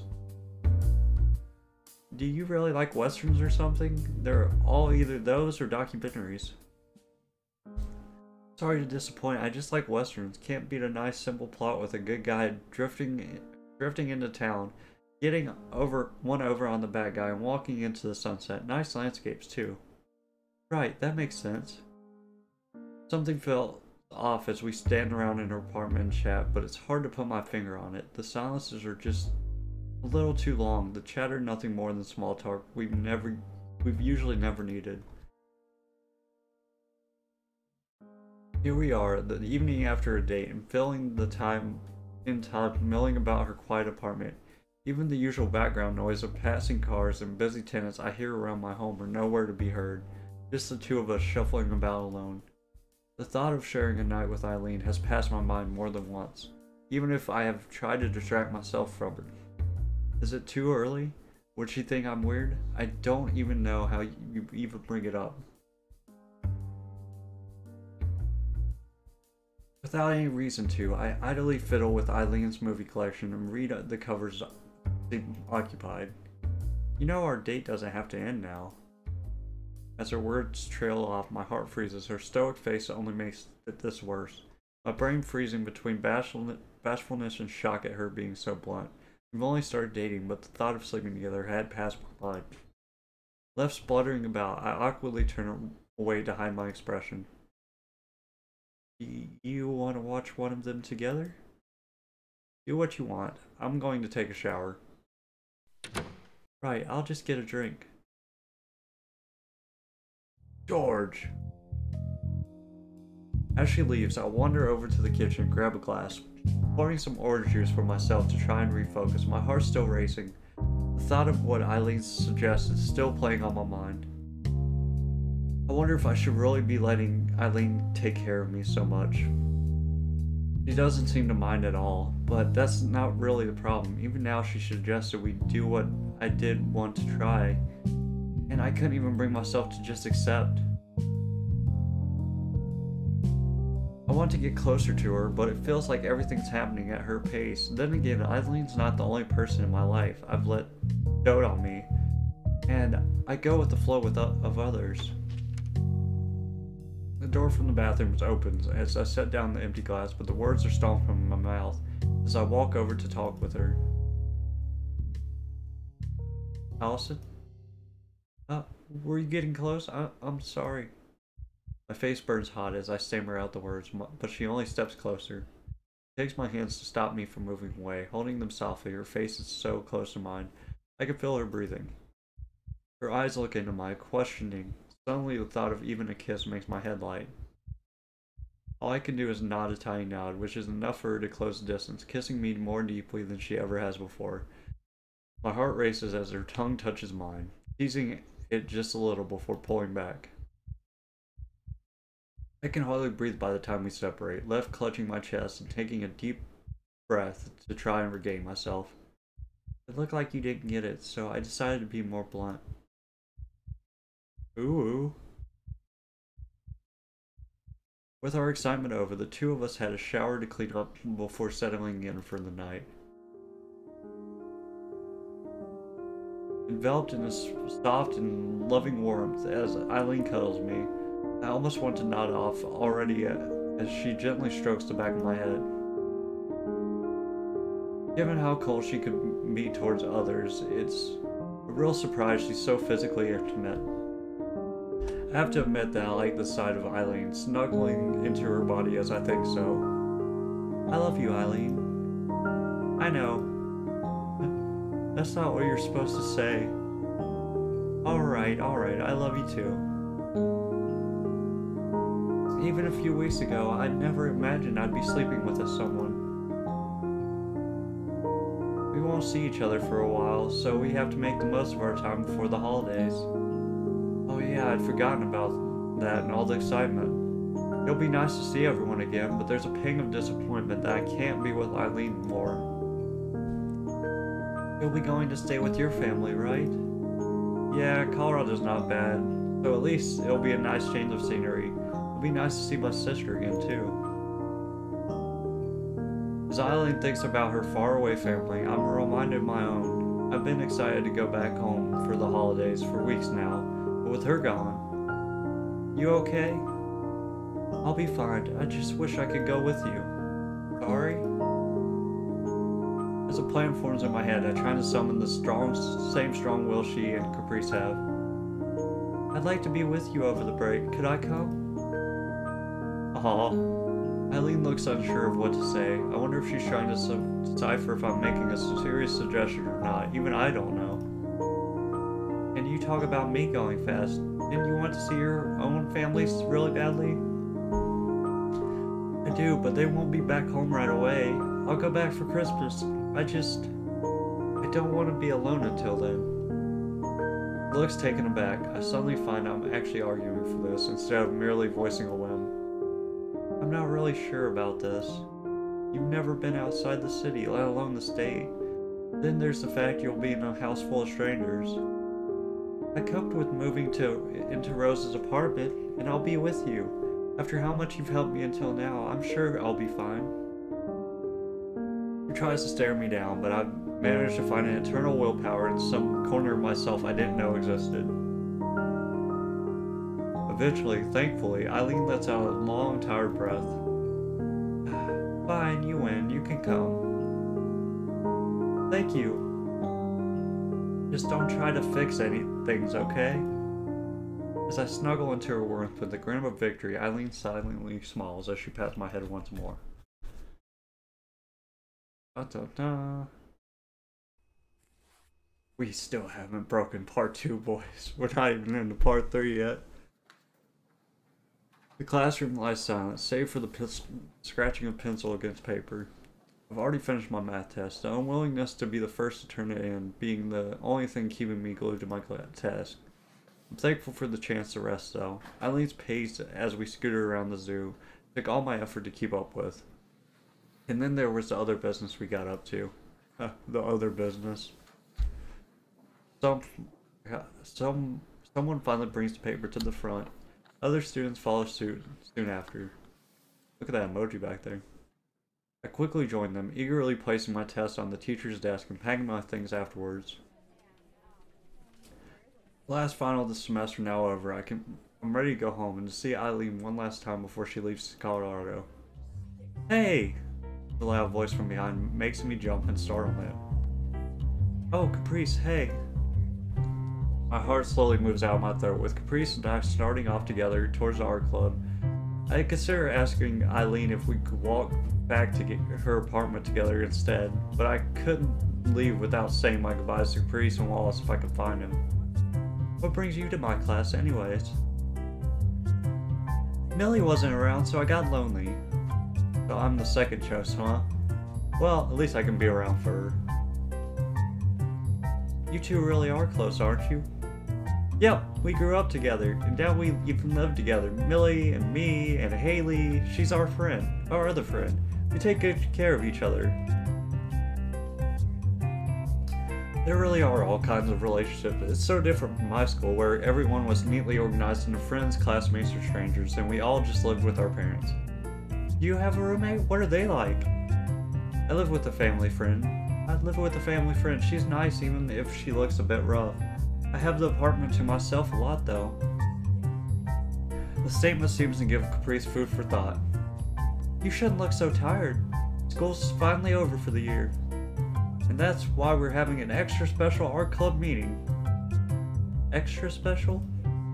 You'll see what I mean. I have a feeling she's working this out as she goes along. I still can't decide if I like that spontaneity of hers.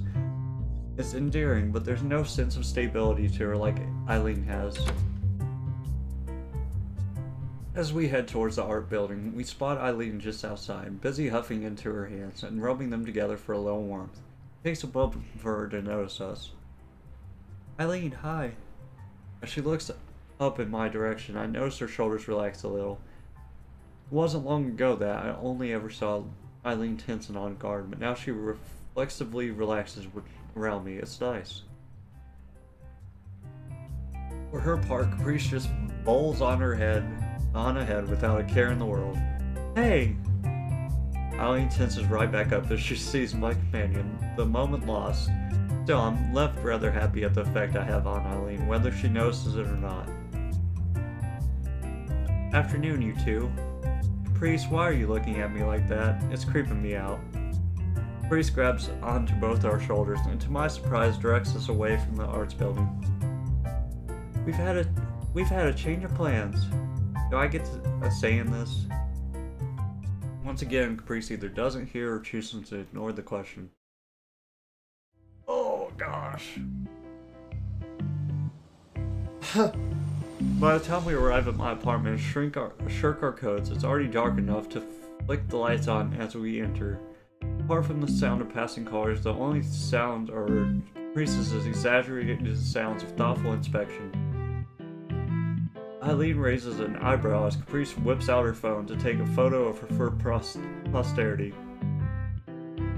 The item disappearing into her pants pocket almost as quickly as it appeared. Will you just leave that thing? You've been fiddling with your phone on the way here more than Allison does. Hey. Well, it's true. Caprice gives a thumbs up, but it has the opposite effect if anything.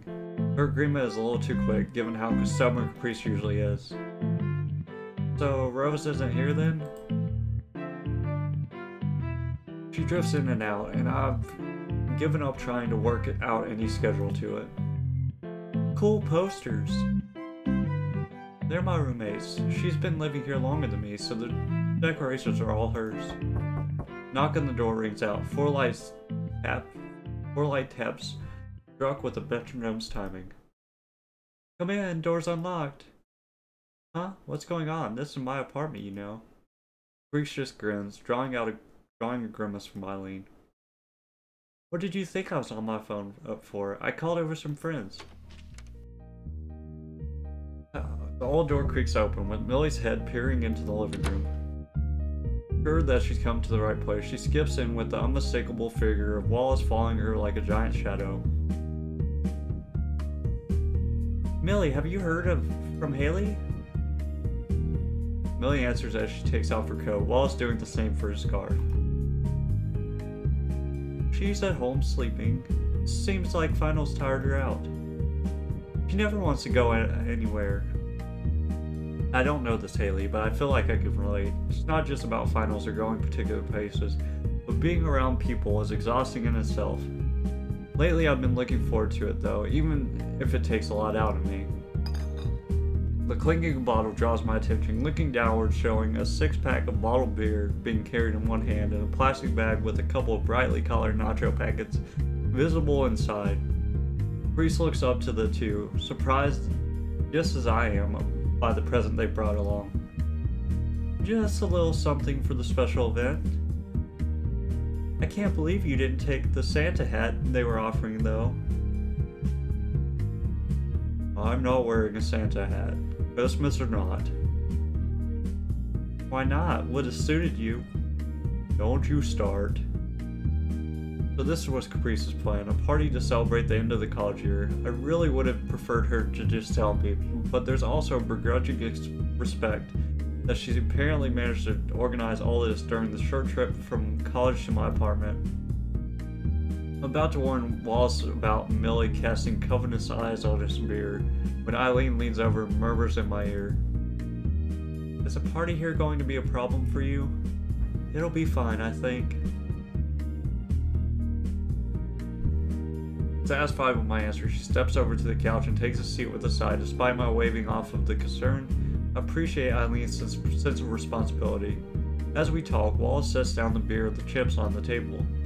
Caprice wastes no time in scooting over and ripping over the, open the bag. Millie soon following and taking a seat across from her. In fact, she steals one of the beer bottles that does not go unnoticed. Millie, just the one. It won't hurt, right? Hey, stop hogging all the chips. But I'm hungry. Wallace just sighs, defeated as a two bicker of the food. I feel a little sorry for him, but then he did bring them. Given he did bring them. Make yourselves at home.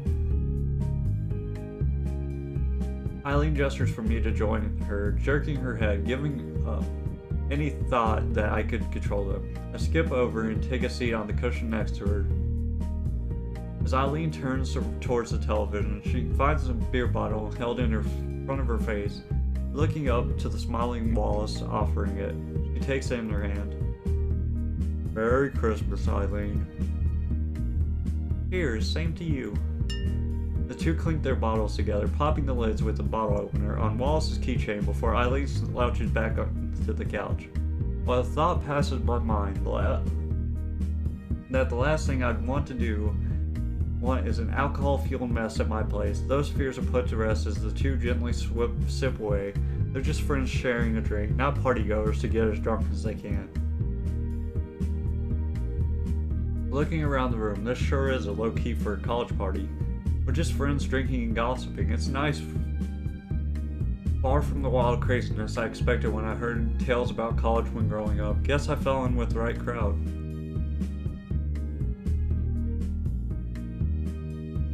What are you doing hanging out with us losers anyways, Millie? Riding Club is not doing anything special? They're doing this and that. Most of them seem to have plans. The leader and his friends are graduating, so it's up to me to keep the ship sailing. Sounds like you're gonna have your hands full next semester then. Always up for a challenge.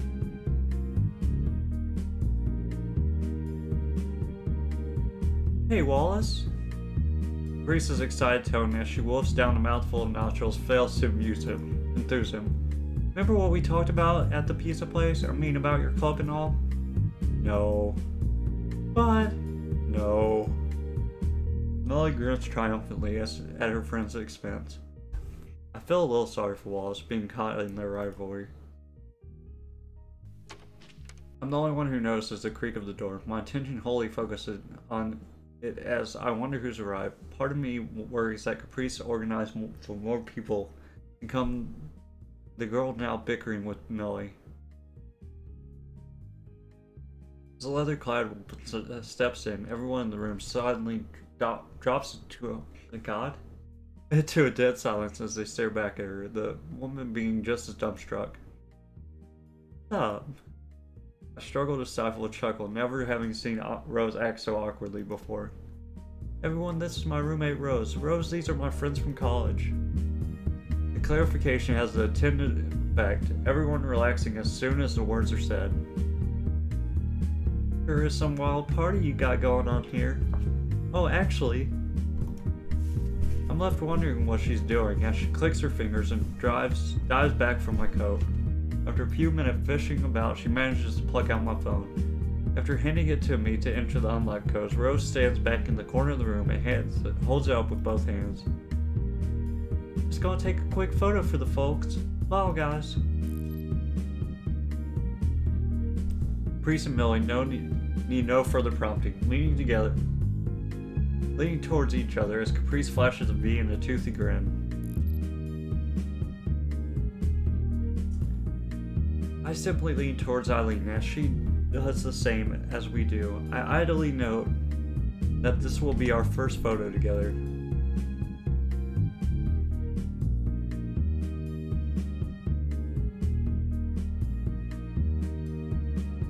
Rose brings the camera to city, I can't stop myself from smiling. I spent so much, so long stressing about how, about being away from my family, but before I knew it, I found myself surrounded by a new one. We might all be a bit odd, but we get along. I found someone to hold dear, and who cares for me? We're all in this together, celebrating life in my little slice of city. I finally made a life that I can call my own. Thank you, everyone. Rose, Caprice, Wallace, even Millie. And especially Eileen.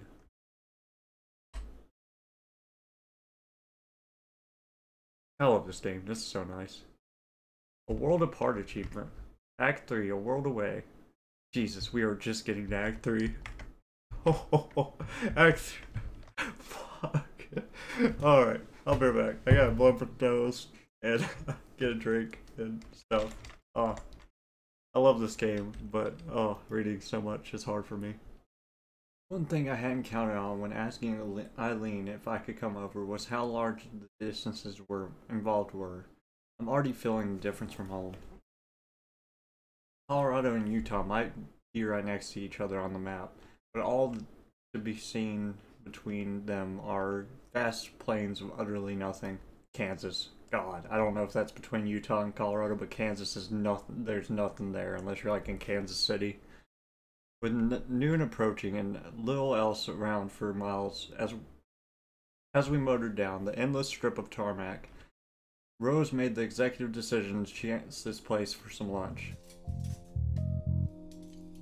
a little chancy for my taste. The faux 50s interior, faux 50s interior, decorated with a mishmash of cheap Americana, but Rose is in her element as she stuffs down another hunk of meat.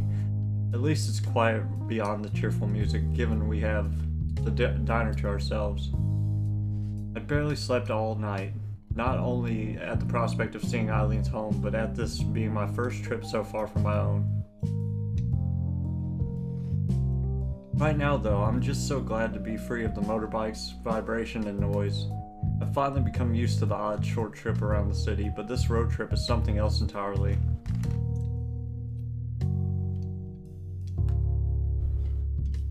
Ooh. Still getting your bike legs, huh? It's been four hours. Give me a break. Three more to go. He digs in once more as I groan and try to swing my legs back to life. Man, the steaks here are amazing. You're missing out. I think I'll be fine. Take a sip of my milkshake while ga gouging how gauging how best to tackle the huge plate of steaming nachos before me, buried in cheese, sauce, and sour cream. Jalapenos are carefully picked off and sitting to the side. Ah, it's snowing again. It's snowing everywhere. There's not much to see out here as I glance out the window. Just an endless plain stretching out to the horizon, an enthusiastic welcome sight, sign at the otherwise invisible border being all indicated with we entered a different state. I'm not sure what I expected really. I knew there are no rivers or anything defining the border, but it's a different thing to see that for yourself. It's just so arbitrary. A line on the map, nothing more. Far from being any sort of revelation, it just makes me feel rather silly about being sheltered. This all probably barely registered Eileen as she drove along the lonely highway. Rose picks up her phone to check the address I gave her once again, forcing down the correct chunk of steak, the current chunk of steak. She's eating with a giant gulp. Still have a while to go, huh? If it's as big close to the big city as you said, we shouldn't have a problem finding the place. So she's never told you anything about her home, her family? She mentioned her sister once. Scratches the back of her head as she thinks. I don't mean to pry, but I still don't get why she'd come all the way from outside the state to live in Utah. Not that I have anything against the place, I do like it, but it's not exactly where I'd choose if I were her. But coming here just for a community college, that's the part that gets me.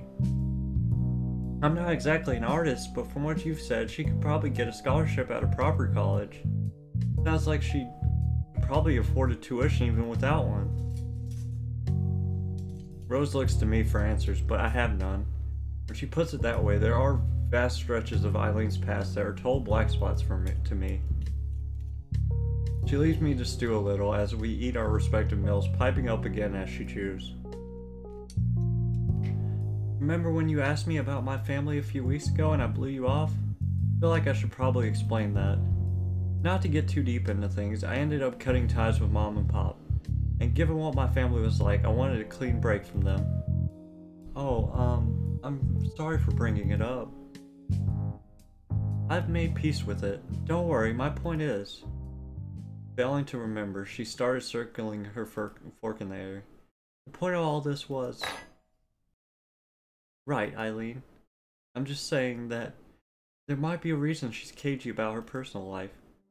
I guess that makes sense. My nod earns a comforting grin. You're a good kid, Allison. I'm sure you'll do fine. In fact, you even taught me a little something. To be honest, I expected I expected to be mothering you around when you first arrived to live with me. That you were some kid I already knew everything about, who I'd be left teaching adult life to. Yeah, I was kinda wrong there. But you've helped me so much. I couldn't have managed without you around. And you've surprised me so much. You made me... Made me rethink how much I know about the world and other folks as an adult. I got a little arrogant without realizing it. You brought me down to earth. I thought adulthood was about knowing everything, but it's actually about admitting how much you don't know. I want to thank you for teaching me that. Satisfied with her explanation, Rose quickly gets back to her precious state. Left in thought, I go get back to my own food. I didn't realize I could have such an impact on another's life, let alone Rose's. I looked up to her so much that I forgot we were both just muddling through life together. Eileen's lived as much of her life in a solitary manner. That maybe opening up to me isn't easy. Maybe she just doesn't want to, given her past experiences.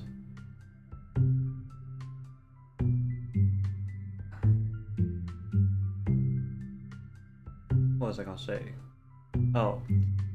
Eileen aside, this trip's probably a good thing. It'll push you out of your own comfort zone a little.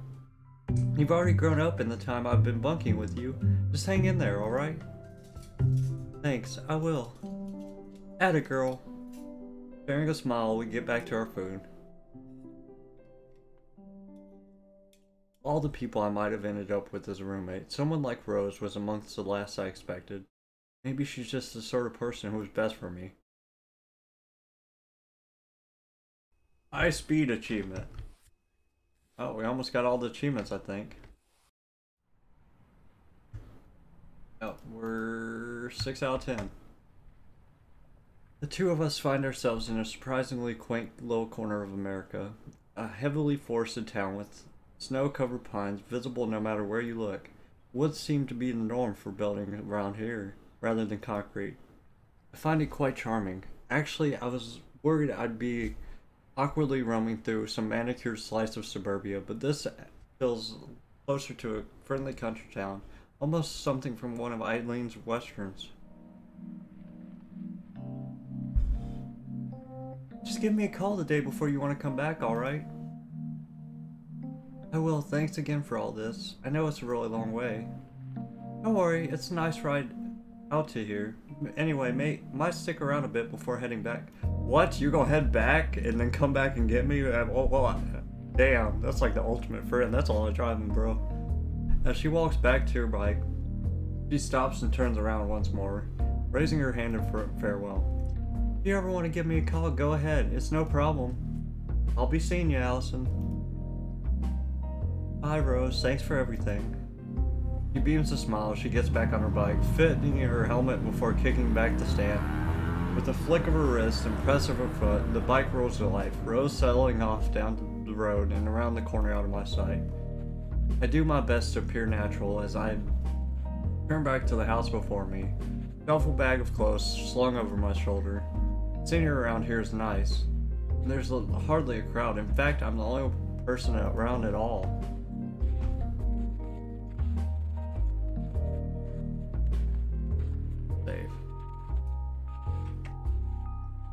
Now that I get a good look at it, Eileen's house sure is big. Give me one moment.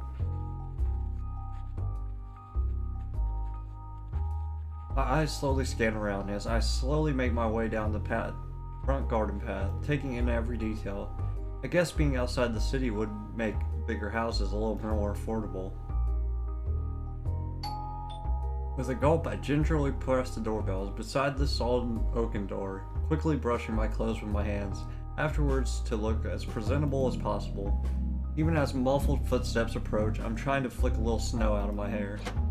As Eileen opens the door, I'm greeted by a warm smile. The reflexive reaction at the sight of make me makes me feel better already. Fancy seeing you here. I made it in the end. Enjoy the bike ride? Yeah, it was great. I don't think I managed to make that very convincing. Looking at each other, I think we both realize we're just making small talk. He leans forward, the two of us sharing a momentary kiss before she nods for me to come in. Strange how much a simple action can feel so nice every time, my heart skipping even from the most gentle peck.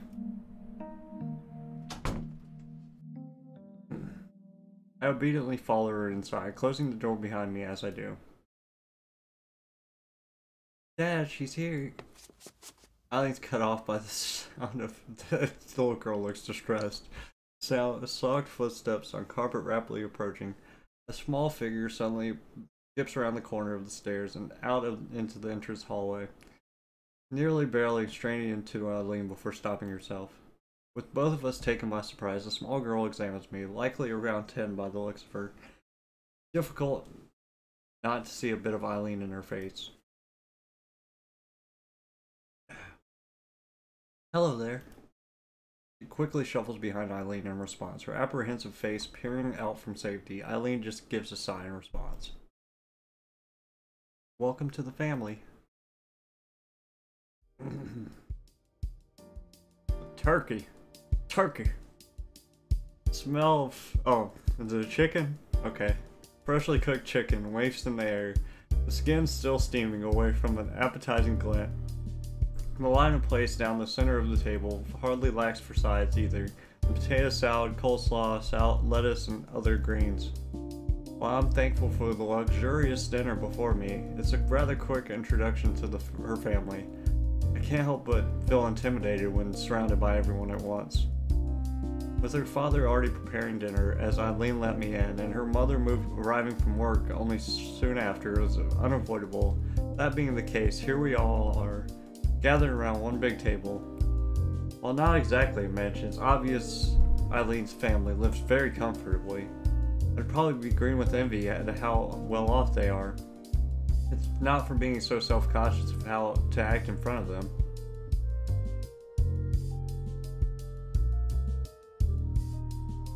I suppose some proper introductions are in order, now that we're all together. I'm Eileen's father, Andrew, and this is my lovely wife, Elizabeth. A pleasure. And you would be Allison? Oh, um, yes, Allison Merlot. My nerves seem to amuse her father as he gives me a reassuring smile. This isn't a job interview, you can relax. Right, yeah, sorry. I let out a long breath to try and relax a little, though it doesn't really work. Well now, let's dig in. I'm no chef, but it hopefully shouldn't give you food poisoning. Smiling politely at an attempt to lighten the mood, I start, start to ladle this and that from the large plates, my mouth already watering at the prospect of such wonderful smelling food. Rose might be many things, but she isn't a cook. Satisfied with my selection of meat and salads, I pile some potato salad onto my fork. Tentatively have a taste. My reaction seems to draw some smiles. I make progress on the meal, so but I'm so enamored with the food I can't help but keep going. It's nice to see Eileen already made friends in college. Brief panic comes over me as I realize we haven't talked this over. She out to to her parents? Are we going to play this as simply friends? As I mull over how to handle this, Eileen's voice cuts through. Allison's my girlfriend. I probably should have mentioned that earlier. oh, well damn. Everything seems to stop for a moment. Yes, you should have. I thought you said having a girlfriend wouldn't be a problem. You know that isn't what I'm talking about. This isn't the first time you've kept us in the dark since moving out. I have to admit that I can sympathize with their mother, which puts me in a delightfully awkward spot. Eileen's father makes no attempt to mediate as he eats, which is probably the best approach. I didn't think I need to report back on everything I did. Don't you think this is important enough to warrant a phone call? Neither Eileen nor her mother raise their voice, even eating their the odd bit of food as they quibble. The argument almost feels routine, which, going by her father's reaction, might well be the case. Even her sister is still eating, albeit with badly hidden glances. I mean, our daughter's first girlfriend. Isn't it nice she's gained something from college? Looks pointedly to her husband with just an edge of snark in her voice, but he perhaps smartly simply acknowledges with a smile, dropping that on them here and now is quite the decision. Uh, I'm beginning to wonder why I thought this was a good idea. I can't read her parents at all, but I can already tell my presence here is uh, increasing attention that usually permeates this household. Well, you know, now. Oh. At least Eileen dating a girl isn't a problem in and of itself. Eileen's father finally pipes up as their argument peters out, taking a swig of his wine to wash down his food. Setting all that aside, it looks like college in Utah is working out well for the both of them. Her father gives a brief chuckle, maybe sensing my tense mood. He seems to down to earth and relaxed, especially compared to her mother. That said, I get a vague feeling of being a foreigner, and not just because I'm in a different city, and as if there's a so certain social etiquette that I'm not quite aware of, but everyone else is following naturally. Quite, so tell us about yourself, Allison. Attention now focused on me, I freeze up. Must have expected this would come up. Judging by their conversation, Eileen probably told them nothing about me. This feels like introductions on the first day of elementary school all over again. Um, let's see. I go to the same college as Eileen. I've lived in the same city my whole life, but I moved a little closer to campus before the semester started, so I'm getting used to that. So you are an, uh, art student like Eileen? Oh no, I'm nowhere near at her level. I'm actually on a science scholarship.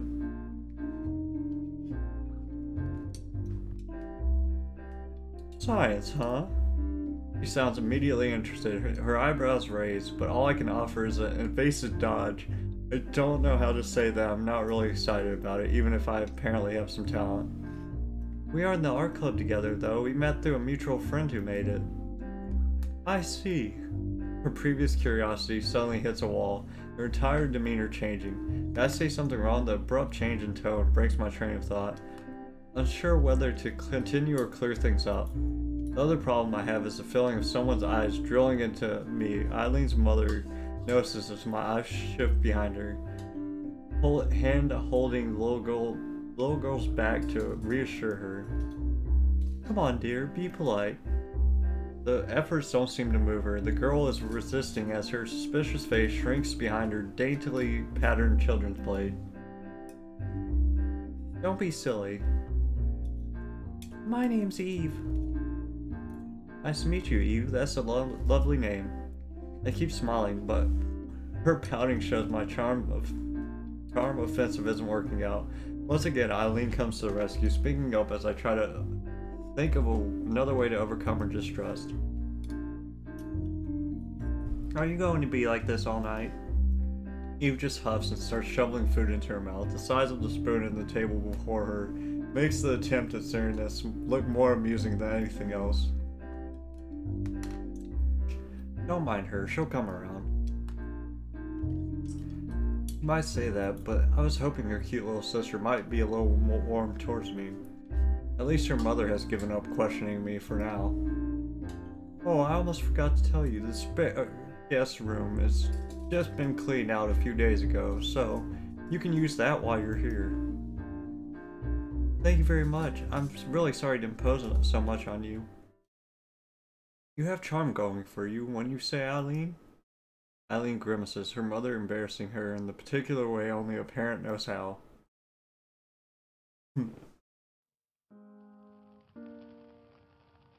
Oh, that's nice. fireplace. I can already feel my eyelids get heavier, getting heavy as I lean back into a wonderfully soft couch. Exhaustion of the trip and meeting Eileen's folks finally catching up to me as I rest in the living room. Excuse me. The fireplace happily crackles away near the Christmas tree, the cozy room all the warmer thanks to the heat of the shower still lingering on my skin. Excuse me, lingering on my skin. All that can be heard are the fire and the faint clanking of dishes as Eileen's parents wash up, recounting the day's events between them. I very nearly succumb to doziness before Eileen walks in, pulling back her still slightly wet hair. Boy, eye level woman. Jesus. The sight of her pajamas wake me up a little, though I quickly try to move my gaze elsewhere. She practically collapses onto the couch beside me, staring up at the ceiling for a while to collect herself. I catch myself staring at her, but if she minds, she doesn't show it. What a day. That goes for both of us. I almost mentioned the argument Eileen had with her mother, but I can't work out how I should want to phrase it. Maybe it's best that Eileen preempts me.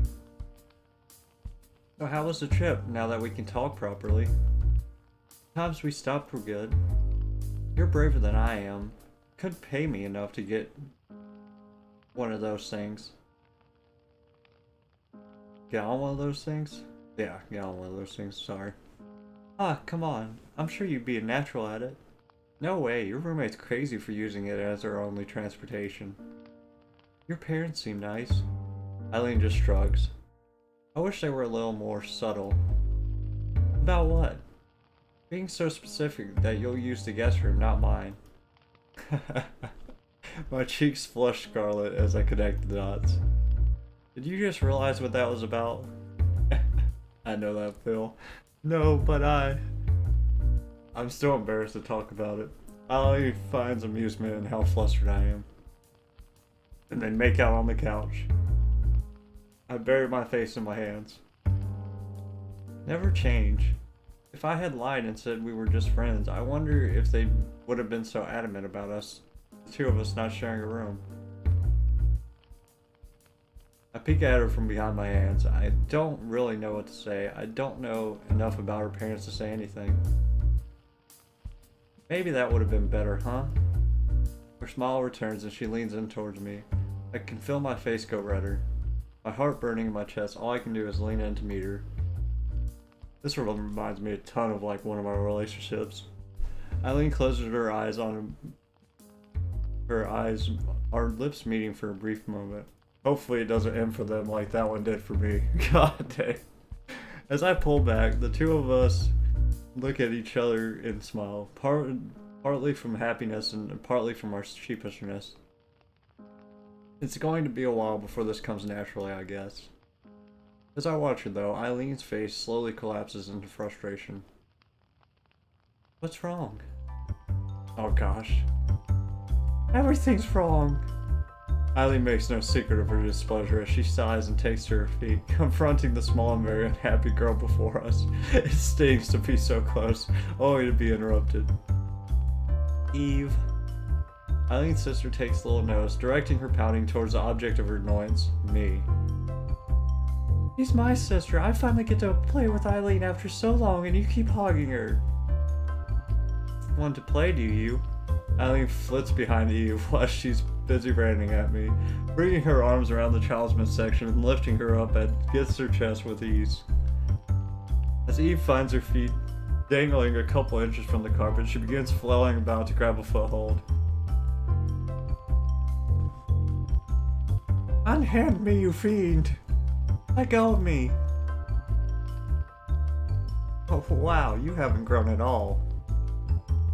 That'll definitely help calm her down. It's no surprise the two of them start fighting. Eve's slight little body joking this way and that as Eileen plants her feet and refuses to let go despite her squirming around. I'll tell mom on you. And what, she'll ground me? Eve fruitlessly continues to struggle, arms and legs flailing about in there.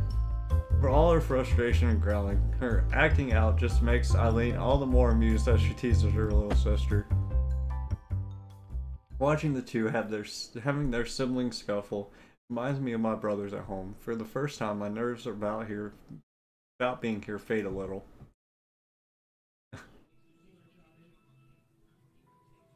Sitting on the side of the bed, I'll be using for a week. I idly watch the news on the small television placed on the cabinet.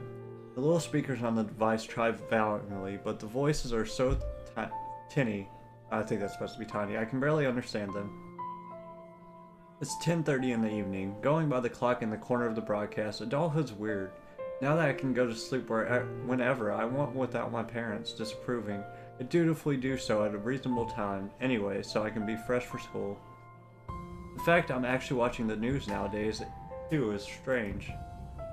Bored of the reports about being trucks being stuck after sliding around the roads, I let myself flop back onto the soft blankets as it drones on. Lacking the energy to do much else, I lazily stare upwards. And then Eileen's gonna sneak into her room. Watch this. Yet another unfamiliar ceiling above me. It feels like everything is constantly charging, changing these days.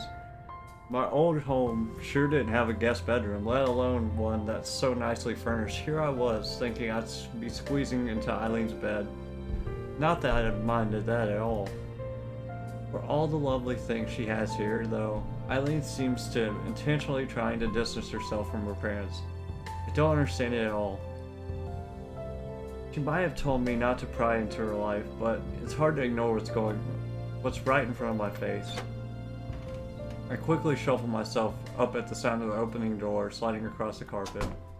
I freaking told you, Roy. I this is so much this is nostalgia right here. Flashback. With a gentle touch, Eileen gingerly closes the door behind her. I thought everyone to be asleep by now, but maybe I should have expected her of all people to still be up. Eileen? Puts a finger over her lips as she turns back. Before walking up, climbing into the bed, and facing me as I twist around, the two of us end up sitting in its center. Can you be sleeping? Same goes for you. He has me there, far from the quiet, quiet feeling awkward. I find myself smiling at our secret rendezvous. Feels like we're kids having a sleepover. Too bad the movie's just news instead of some horror movie we snuck past our parents.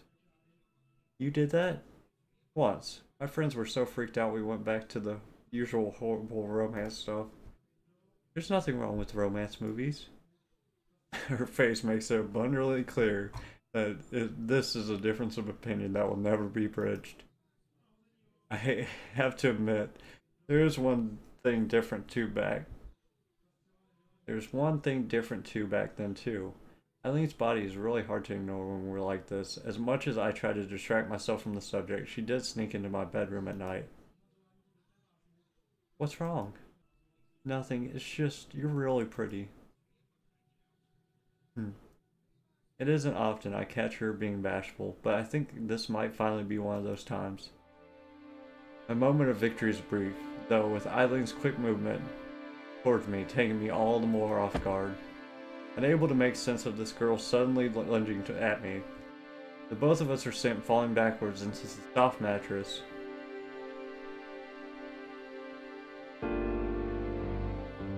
It takes a couple of seconds to collect myself and work out what's happened. Time seeming to stop as I'm left staring upwards as a pair of emerald eyes above me. I'm pinned, I think, a brief attempt to right myself in. Ends in little more than a couple of weak jerks, I leaned holding my hands to the thick sheets with their body weight. Silence reigns, my vision filled with her face looking downwards. I have no idea what to say as my heart beats wildly in my chest, yet she doesn't say a word. Eileen, what are you? I missed you. How am I supposed to respond to that? Were faced any different? I think it was an, an invitation, but there's a sincerity that there that takes me off guard. I wonder how often I've seen her face or anyone's from this close, and for so long, I can't help but stare up, upwards, trying my best to read that face so I so often can't. As I do though, I realize something. She's do doing just the same. Maybe she's scared of forcing me to do something I don't want to do, or afraid of getting too close too fast. Maybe she's simply like I am, unused to being looked at this intently. Either way, she isn't leering over me. Eileen's generally unsure what to do next. Whatever the reason, I can't help but smile a little. Did I say something wrong? I was just thinking how you're still the same as ever. What's that supposed to mean? I answer her confusion by lifting my chin a little in invitation, not that I can move much more. Who the hell stole my memories, bro? like, god dang. Huh. Without any further prompting needed, she passes her lips to mine with a satisfied sigh. It isn't long before our tongues move about, her breath tingling on my face. I squirm about roughly as the atmosphere gets heavier between us. I lean easily keeping me down. It's a little exciting to be playing like this, and she shows no sign of letting up. Shiver runs down my spine as I find her thigh between my legs and my fidgeting about, my heart beginning to race with ideas of this and that.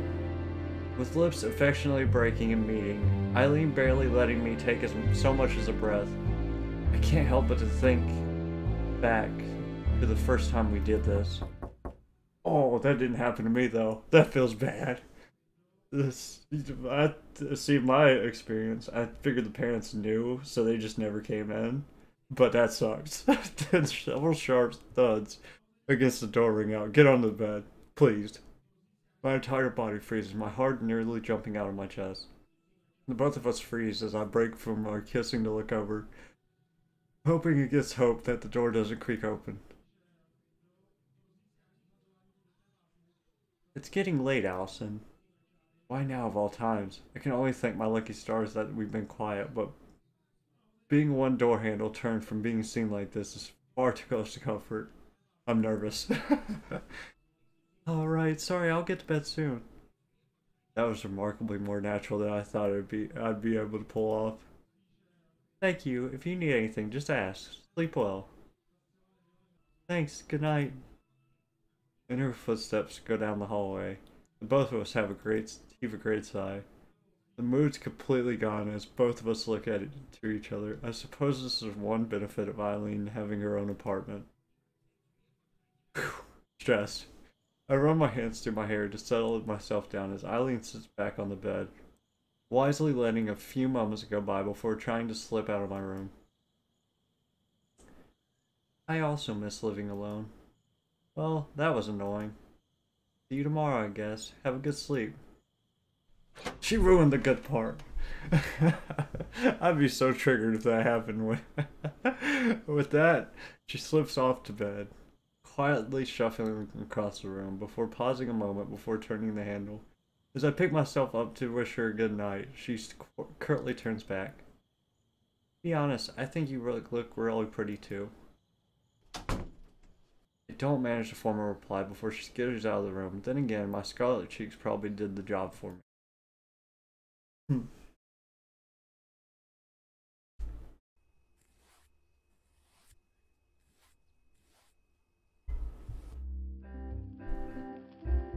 Rubbing sleep from my eyes as I slowly drag myself to the living room, a strained yawn heralds my entrance. I thought I might have trouble getting to sleep in an unfamiliar place, but after everything that happened, I crashed almost immediately. Looks like Eileen's family are early risers. Noises from the kitchen, presumably being from her parents while the TV television blares away just ahead. The fire's crackling would make it quite a cozy scene if not for being inter interspersed with cartoon voices. Eve sits on the couch as I glance down, already bundled up in her weather outfit like a puffy ball of clothing eagerly watching the morning cartoons. Her legs swing away as she happily munches on a bright bowl of brightly colored cereal. I can't help but smile, reminded of my own childhood. The show and the setting might be different, but the innocence is just the same. I forgot what this simple existence felt like. I take a seat beside the oversized hamster. Eve barely acknowledging my existence before Eileen pops in from the kitchen and calls out to me. Looks like the coffee in her hand hasn't kicked in quite yet. Want any food? There's toast and cereal if you want any. I don't usually eat breakfast, thanks though. Shrugging in response, the tired Eileen heads back out. Despite settling down to watch Eve's cartoons with her, I can't help but eavesdrop as the conversation between Eileen and her mother can be heard from the other room. Back. I know you snuck into her room last night. Blah blah blah blah. Oh, no, no, it didn't. Any plans for the day? I was going to study for school. Real studying, not just drawing? Drawing is real studying for you dick. The cartoon's loud exclamation punctuate the short silence that forms Eileen's reply. Should have known. I've seen your marks from high school. I just want you to do well. Maybe you can have Allison's help. She seems to have a good head on her shoulders. She's been helping me with my math already. And here I was worrying about who you might end up with for a girlfriend. You know I can handle myself fine. Why worry? Because I'm your mother, that's why. Eileen doesn't exactly sound buoyed by the comments, but I have to admit that the praise is nice to hear. It is a bit sad to hear her mother doesn't approve of her pursuing art, though. I wonder how tempered this exchange is, thanks to them keeping things together since I'm around. Morning, you two. Going out, dear? Just swinging into town to grab paper and milk. Want to come along? Eve Allison will be heading out for a moment. Okay. We're going by your favorite shop, Eve. I'm coming, I'm coming. she drops her almost finished bowl onto the coffee table so hastily that it nearly spins, spills, skittering over to the, out the door with a faint pitter patter on the carpet. It's amazing how much energy kids have. Eileen's parents give a short farewell as they escort Eve out. The girl racing out straight to the car, to be a child again, filled with excitement for the next car trip or television show. Ah, alone time. This is familiar as well. With her family out the door, Eileen watches them drive off before heading over. I shift over a little as well, drops onto the couch, setting her coffee down with somewhat more care than her sister's cereal. I give a loud stretch, but rather than being out of tiredness, it's more to calm myself as my heart starts beating in anticipation. We're finally alone for the real this time. As I look over to Eileen, it's obvious that she has the same idea as she turns off the television. Want to pick up where we left off last night? I want to, but isn't it kind of early for this nonsense? She has to think that one through. It'll wake us up. I'm not given a chance to respond as she presses her lips to mine. Not that I particularly wanted to argue the fact. This will likely be the last time we can share a moment like this for a good while.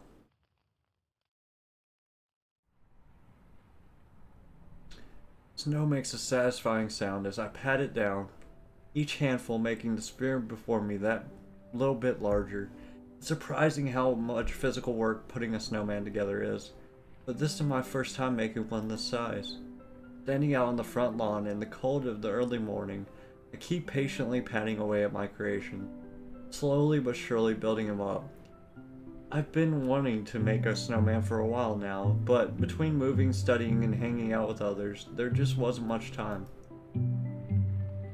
While I might have wanted to keep blazing around with Eileen, her family probably won't take much longer to get back, and she wanted to keep practicing her art, if nothing else. At least we're both a little, a lot more awake now. It's rather nice to, out, be out here, despite the cold, and given so much needed time to unwind. I think I'm living up to the expectations of Eileen's family, but living in another's home under the gauges of strangers is still stressful. I forgot to say I've been enjoying this so much. I don't know why I'm saying there doesn't seem to be answer choices. I know there's achievement to unlock answer choices, but I don't want them. I love how the story's going. Not that I'm alone out there. The odd squirrel flits about in the distance around the trees, and the birds can be heard chirping away from the pines.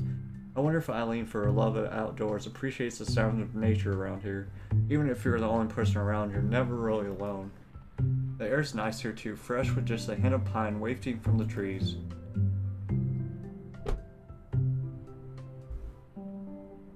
I don't think they have pine trees in Colorado, do they? I don't think so. I think that's no. Do they have? Well, I guess it's not actual pine like needle trees. I guess.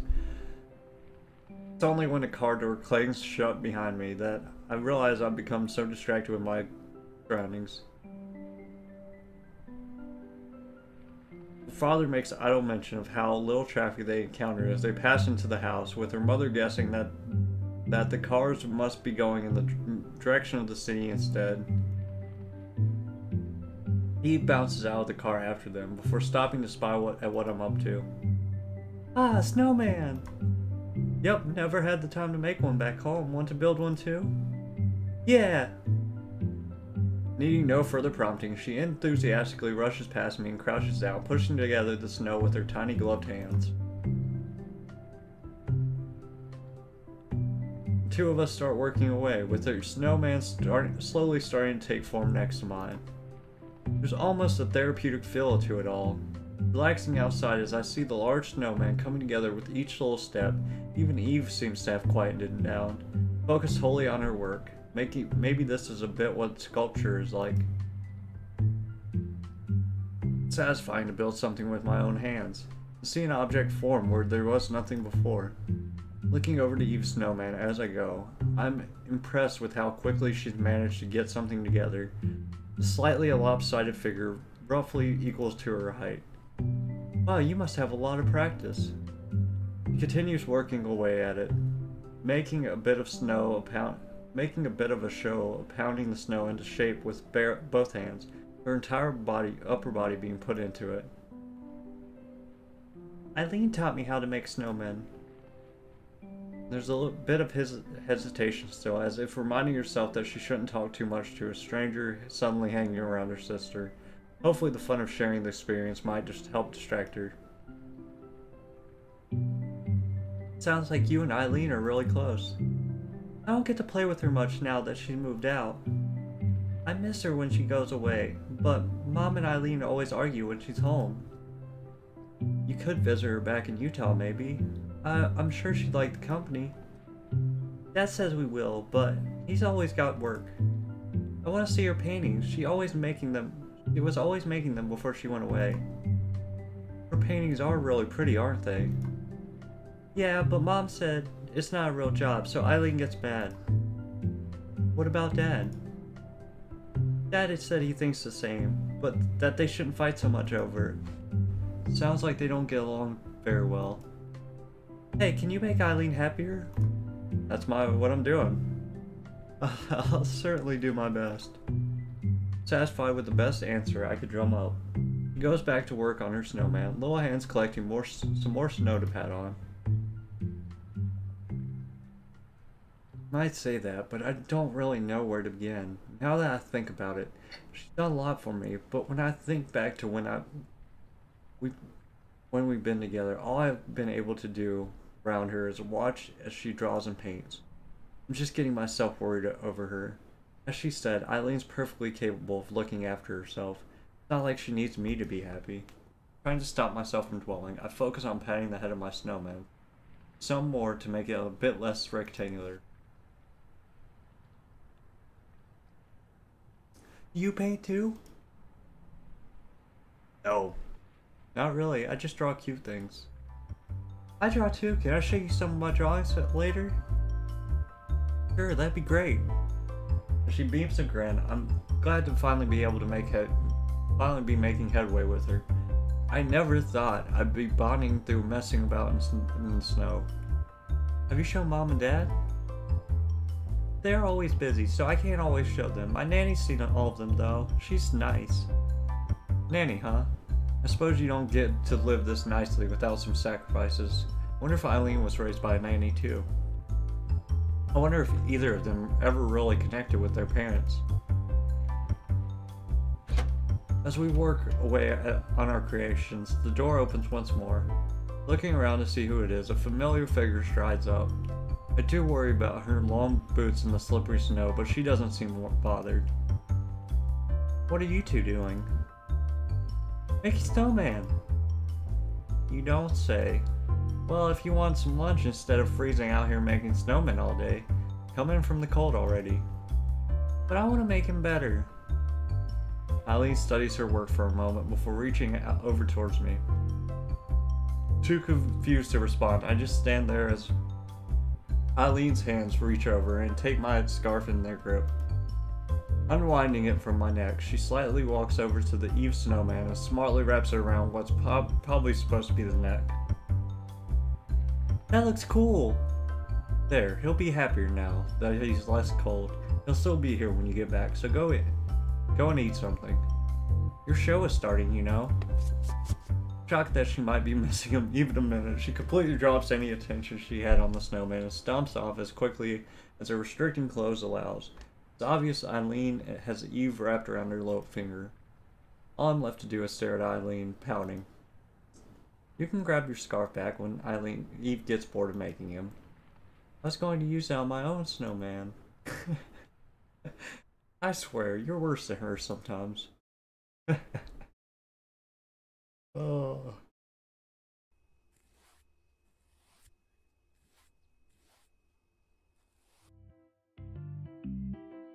The sound of Saturday morning cartoon kids shows. Kid shows fills the living room as I walk back in, each hand carefully balance, balancing a bowl of cereal. Eve sits quietly, fo wholly focused on watching television, while still something of a work in progress. She seems more content to let me hang around now. Even if she doesn't engage much, maybe simply being friendly company is enough for her.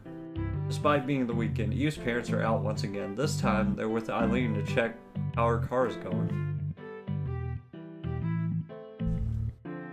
Of all the ways Eileen home was different from my own, it's the sheer quiet that most gets me. With few cars around, no people nearby, there's only the odd boisterous bird outside to make noise. I could get used to small town life like this. My spacing out is interrupted as the main door shuts with a loud thud, familiar figure striding past. Welcome back, how's the car? It's fine. We're headed out once Dad's finished poking at it, by the way. Uh, sure, where are we going? You'll see, finish your breakfast for now. I'll get your clothes out and pack everything. Isn't this a bit of a rush? I still have sleep in my eyes from waking up. She's usually a zombie at this time in the morning.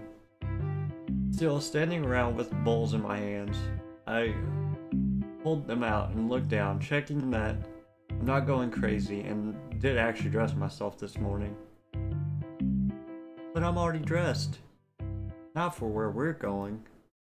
Oh, we're going somewhere fancy, I guess. Oh, it's cold. We're going to get a Christmas tree. Quiet morning is only punctuated by the crunch of snow underfoot, the occasional birds chirping, and the jangle of items from our backpacks. Apart from the woman's plot, from the woman plodding ahead before me and the footprints she leaves behind, all that I can see are pine trees, as much snow on their branches as greenery. Oh, and the puffs of condensation from our breaths. The scenery is nice at least. I'd hardly expected to be spending today hiking through the forest, which dragged me out of the house but so far it's been a pleasant way to spend the day.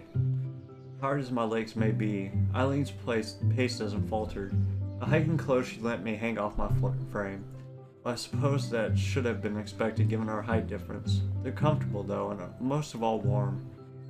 Picked a good day for all this. Not exactly warm, but at least it's not bitterly cold. He says this with all the care that one might give when looking out the window of a morning.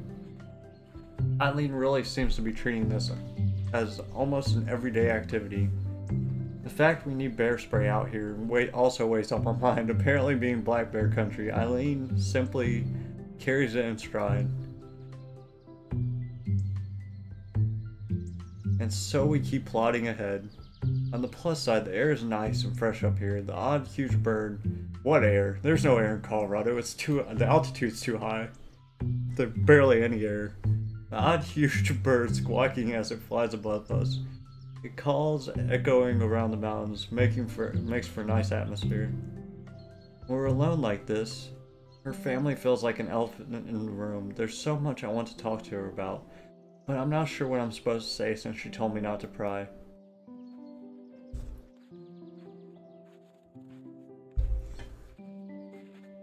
Wanting to fill the air with something, I end up setting for the mildest of small talk. So your experience at this, huh? Yeah, I've been up for a few hikes around here. Played outside a lot as a kid. Ended up adventuring more and more until I started hiking. With your father or no, alone. It's nice to have some time to myself. Without a doubt, Eileen has to be the most solitary person I've ever met. Maybe this explains her abrasiveness towards her parents, but it feels unfair for her to take it out on them. Coming out here has been a real help for my with my art too. But we're running out of breath. Ah, there's the realism. That's what you get. Colorado hurts. I have to stop and take a moment to. She probably would have passed out, honestly. With the altitude not being like super physically fit, anyways, she probably would have already passed out. I have to stop and take a moment to collect myself. My natural pace is slower than Eileen's, making this hike all the more taxing. How is all this related to art? The more life experiences you have, the more inspiration you have. Hard to create anything of worth while stuck in the four walls of my room. You need input to be able to create output. That's how culture works. Thinking on her words as I turn and start moving once more, Eileen's voice calls out, Watch out, there's a stone there. I look at my feet, quickly stepping around the dangerous trip hazard. If it weren't so big, I'd move it out of the way for future people coming up here. I took this route a lot as a kid. It's probably the easiest way to make it through this area, but you still have to keep an eye out. My breathing heavy, I come to the grim realization that Eileen must have been far more fit than when she was young than I am now. Sorry, I'm a total city kid, I guess. You're plenty smart, but you just can't pick but you can't just pick up everything from books and internet, you know? I don't really know how to receive that half compliment, half criticism. Is this where Eileen picked up her independence, hiking in the woods alone?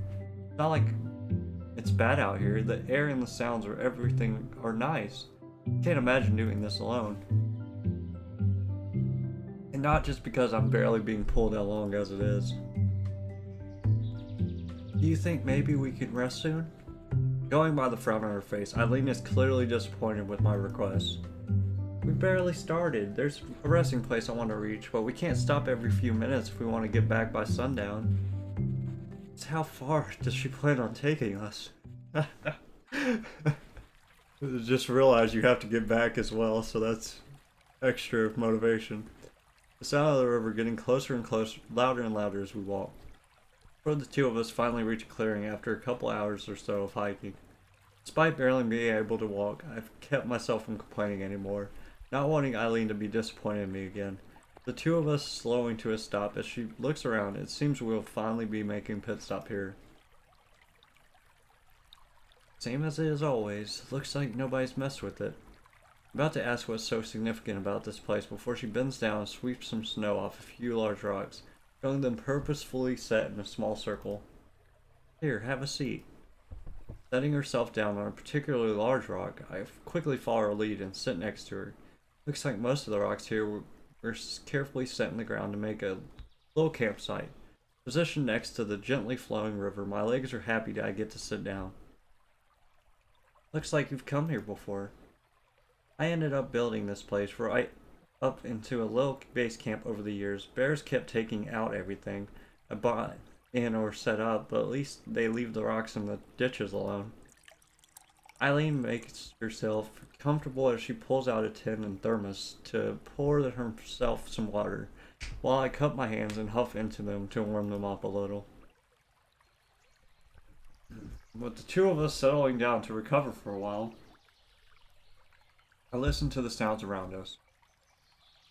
It's so different to my own home, with the sounds of cars and crowds replacing, replaced by the river's slow trickling and various birds and other wildlife. Somehow it isn't a surprise that this is the kind of place Eileen would like. As she sits out here thinking to herself, she looks like part of the scenery, just as she did in her quiet art room. At least until Caprice and I made it decidedly less quiet. Then there's me in my oversized clothes and labored breasts. Don't feel bad. Altitude's hard. It's peaceful. Yeah. Not my apartment was quiet, but it's nothing like this. Your place wasn't quiet at all when I was there. Constant cars, construction, and people walking by. I'm not like you. I've only ever lived in a big city. I was worried about being so far from home, but I think I like it here. Playing with Eve has been fun too. Your family has been really nice to me as well. Eileen's face sours, making me immediately regret adding that last little addendum, or more to the point, that lecturing tone. I want to understand her, but. Excuse me. But she only gives me small pieces to work with, not enough to puzzle things together. I knew my sudden intrusion into her home would be at least a little awkward, but I've begun to realize Eileen's resistance bringing me here was about more than that. Just. I started speaking before even gathering my thoughts. This isn't a great start. Just what is it that makes you want to be away from them so much? To move to a different state? I mean, is it just about your choice of career or. Can we not bring all that up? I came here exactly to get away from my parents being on my case. And then there was silence. Explains her rush in the morning to organize our hiking trip out here especially if she was stuck with her parents while they were gave her a car gave her car a spin around town. So what am I even here for? Something up? I thought you brought me out here because you wanted to share it with me. I was really excited to see the kind of things you did growing up. Her face tells me that she hadn't even considered that reasoning. I feel a little stupid for attaching so much feeling to this now. Well, I mean, it wouldn't be a good Look, if I left you back at the house while I wasted time out here. So this was just stress relief for her. Even now she's not looking at me, probably more busy thinking about things over regarding her over with regards to her family. I open my mouth to try and ask her about it, but I can't work out what to say. You need to realize you're the one that asked to go with her to her parents' house. She didn't ask you to come along with her.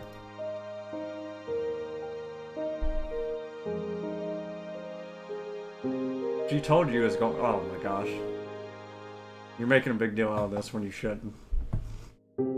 I'm just here because she feels obligated to invite me. I guess I should have realized she did, doesn't want me here. She don't want me here at her home, after all. I'm the invader. I'm in her space. It's no wonder she treated me like a burden this entire walk.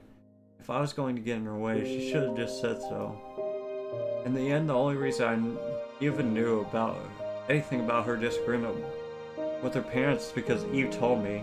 Eileen doesn't want me to know. For now, I'll just have to be content as a spectator, looking into her life without getting too involved. Um, I quickly look at her, but rather than acting contrite, she's pointing to my left side with her gaze focused. An insect seems to be lazily crawling on the top left of my hand. The thing about a fingernail leaf and jet black, oh is this a centipede? I don't recognize it, but it looks harmless enough. To be honest, I couldn't care less about the little beetle right now. You're not worried? Should I be? Well, I mean, most people don't like bugs crawling on them much. Where did the bug come at in winter in Colorado? At least I just shrug, leaning down to press the side of my hand to the cold ground while gently persuading the bug to get off with my other hand. After a bit of effort, the little fellow gets off my glove and onto the soil, scampering off a little faster for the experience. It won't hurt me. What, just another one of your animal friends? I'm not exactly in the mood for being teased. The kind of thing you learn in books or the internet. Oh, retorted, Eileen laughs it off, but I'm sure she can tell I'm being snippy. With that, she stands up, putting her thermos and cup back into her backpack before dusting it off. Ready to keep going then? We still got the afternoon ahead of us. Yeah, sure. I try to put as much enthusiasm into it as I can muster, but I get the distinct feeling that I'm just along for the ride now. And so she pushes forward without even looking back at me. This is always where I am with her. Whether I'm watching Eileen paint or watching her hike, I'm always far behind her with her eyes on my back, on her back. Hmm.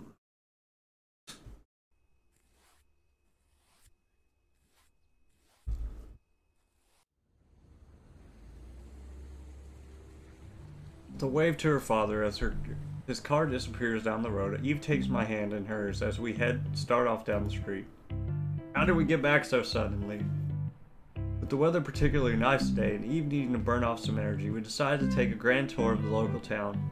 Her pace is sl thankfully slower than her sister's, with my sore legs needing a rest after the excursion yesterday.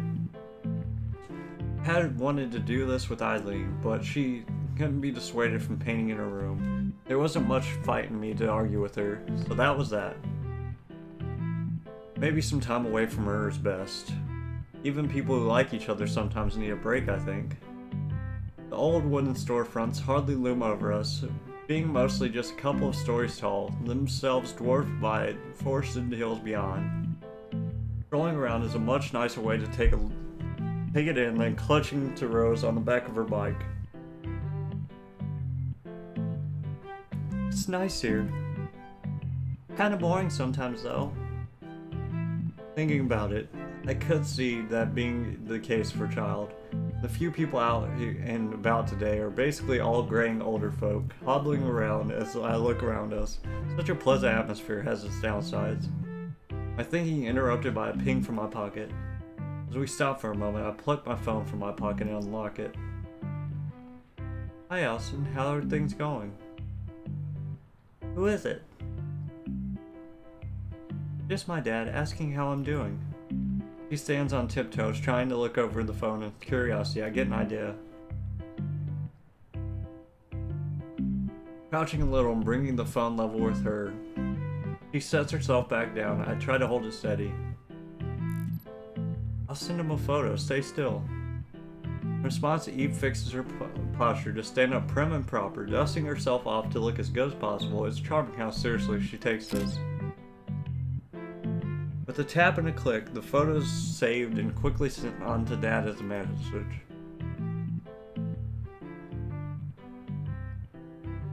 Fred's sister's showing me around. Sounds like you're having fun. Yep. How are things there? Back home, safe and sound.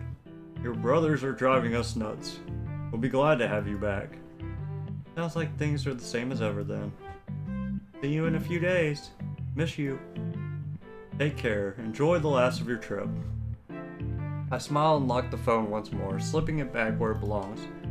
I have to stop myself from counting down the days left here. I don't want to start regretting this trip and once again wishing I was home.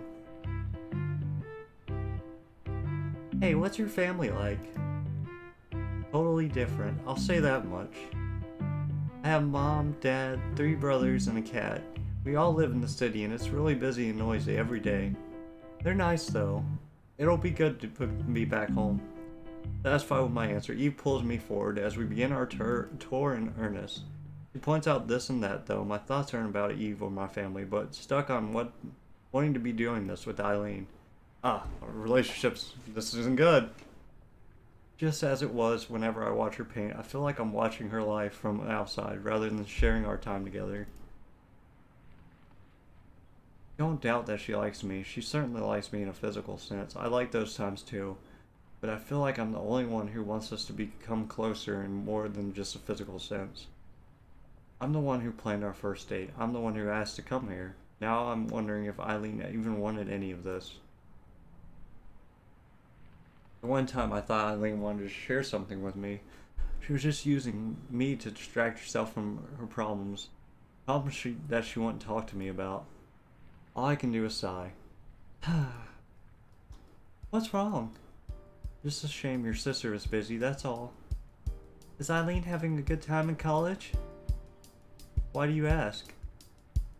Mom says she was worried about Eileen since she worked, moved out, but when Eileen's around, they always argue.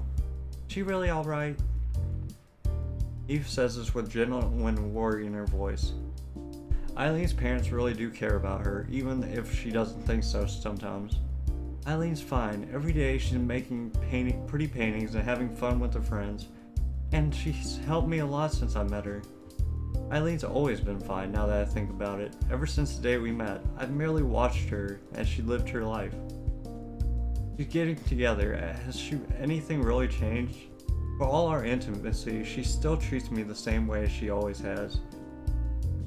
Oh, All while pers relentlessly pursuing her ambition. Ambition. I can't think like that. I'm getting myself wound up. Your parents are nice, aren't they? He gives an enthusiastic nod. They think you're nice too, since you hang out with me. At least they think I'm useful, I suppose. I never realized it before, but having a little sister is really fun. Not that I mind my own siblings, but three older brothers aren't quite the same company. Let's see some um, more of the town before we have to go back then, okay? Yeah! I'll drink again. Gosh dang it.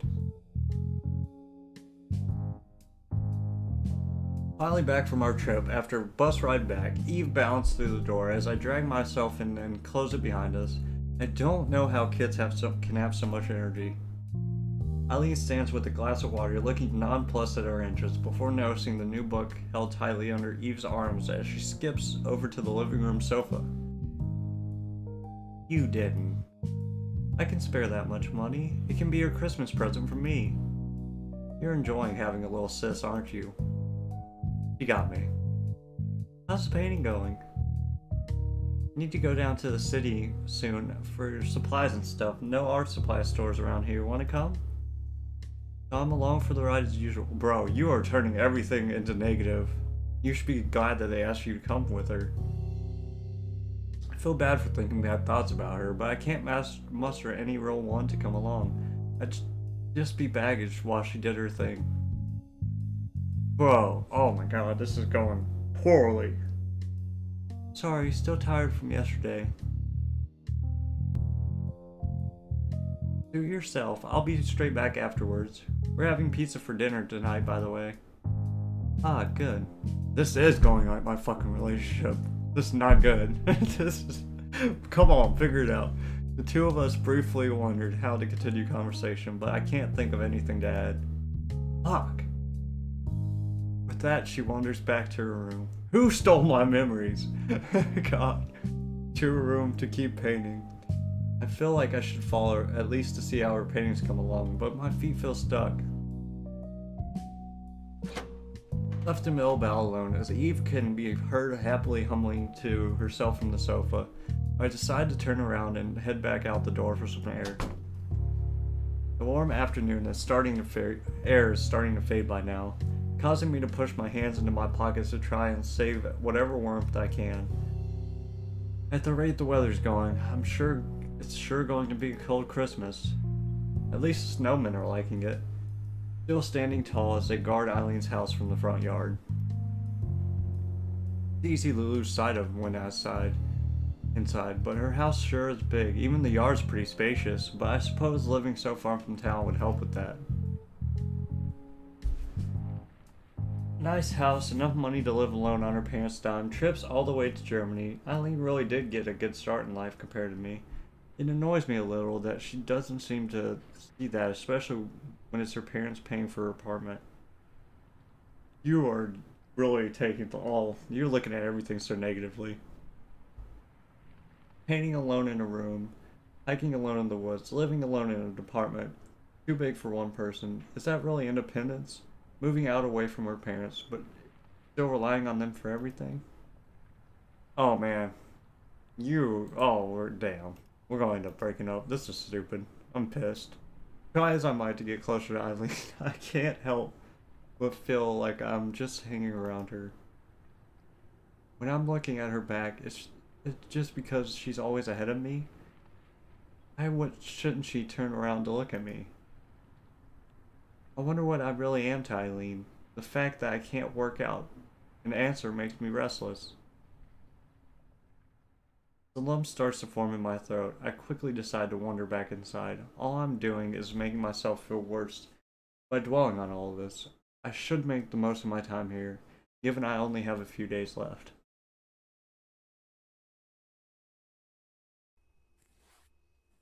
God.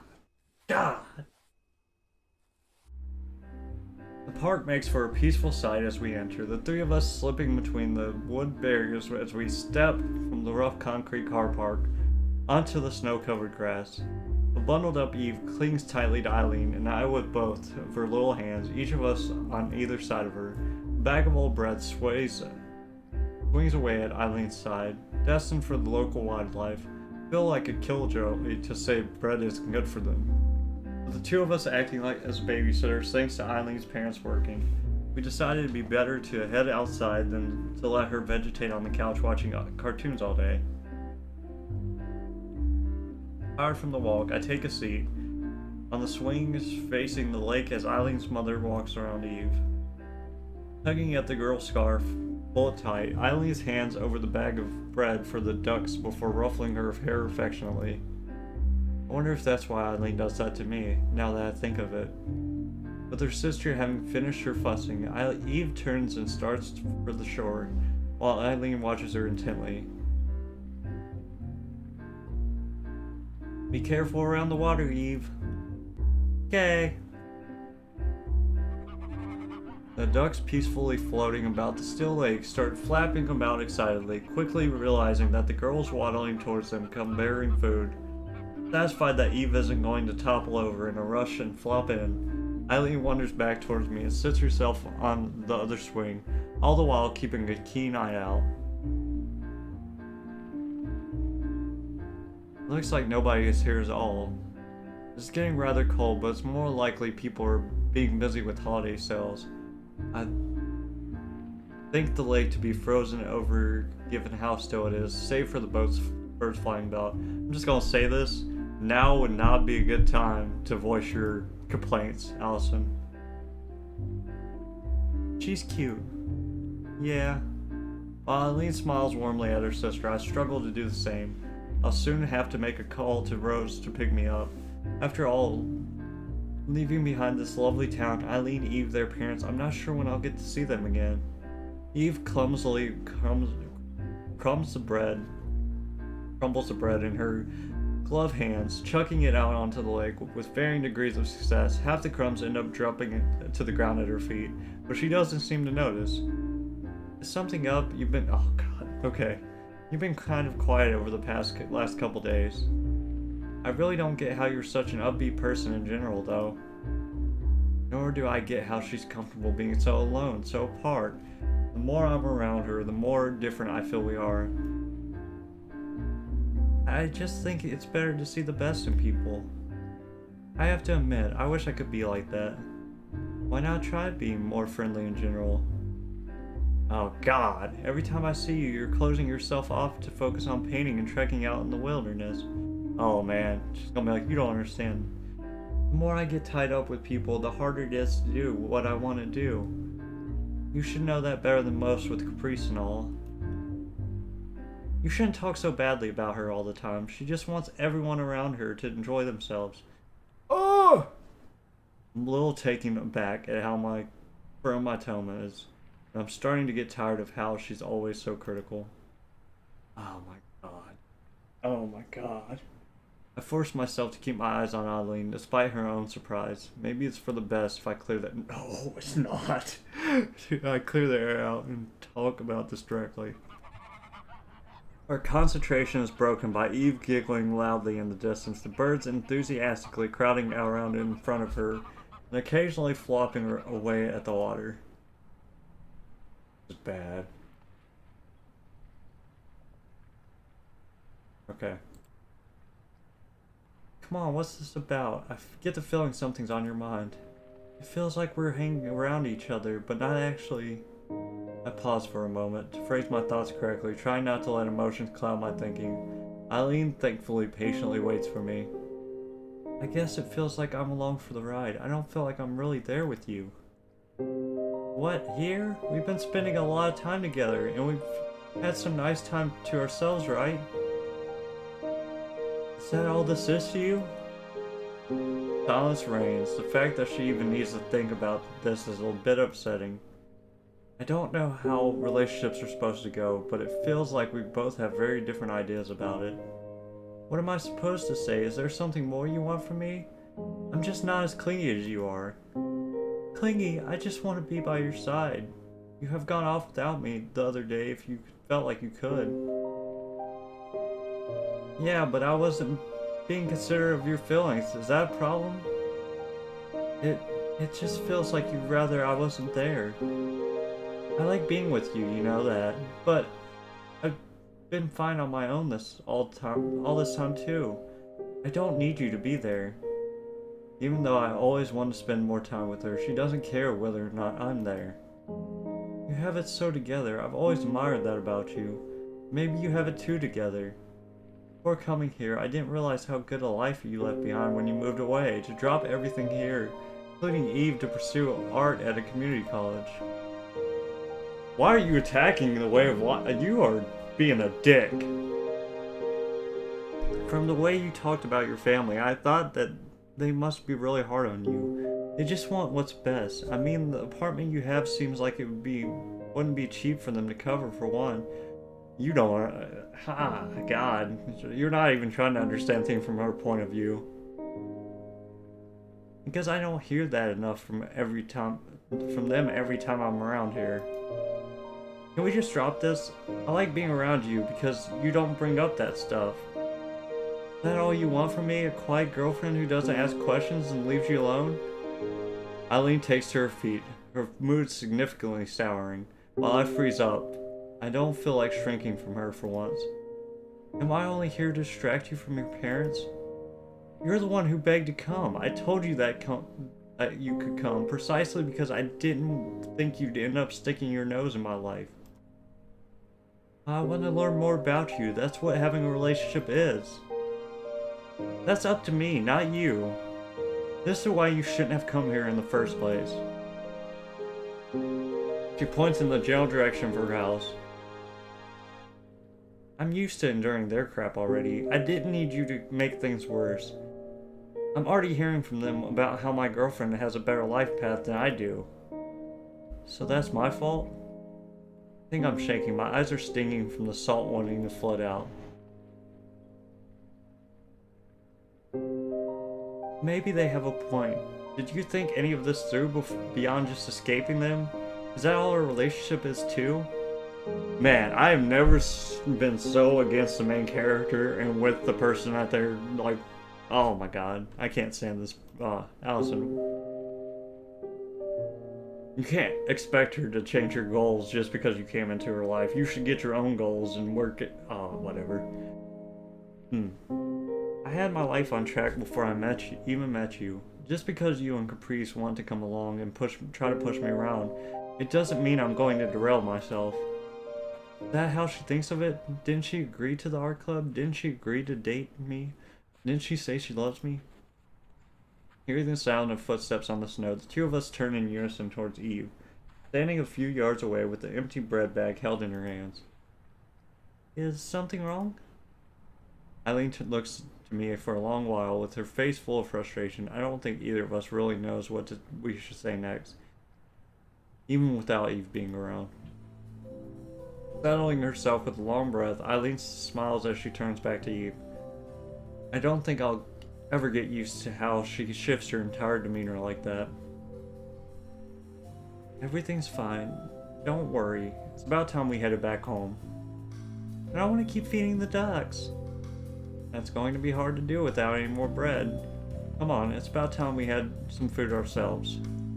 He gives one final glance back before taking Eve's hand in her own and walking on ahead. Thought I was someone important to Eileen, but I feel like more like I'm just being used to make herself feel better while she lives for her work. Oh, you suck. You absolutely suck. God, dang. She let you be part of her life and you're... Hmm. I know I have my faults. I'm not good enough at art to share the hobby with her.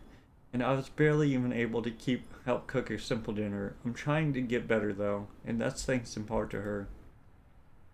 The image I had of her is starting to become difficult to see. Who is the Eileen I admired? The beautiful girl in the apartment with the beautiful paintings? Eileen is someone at, so at odds with her family she decided to only care about herself. As I watch her leave hand in hand with Eve, she looks even farther away from me. Maybe she's only so far away because we aren't walking on the same path.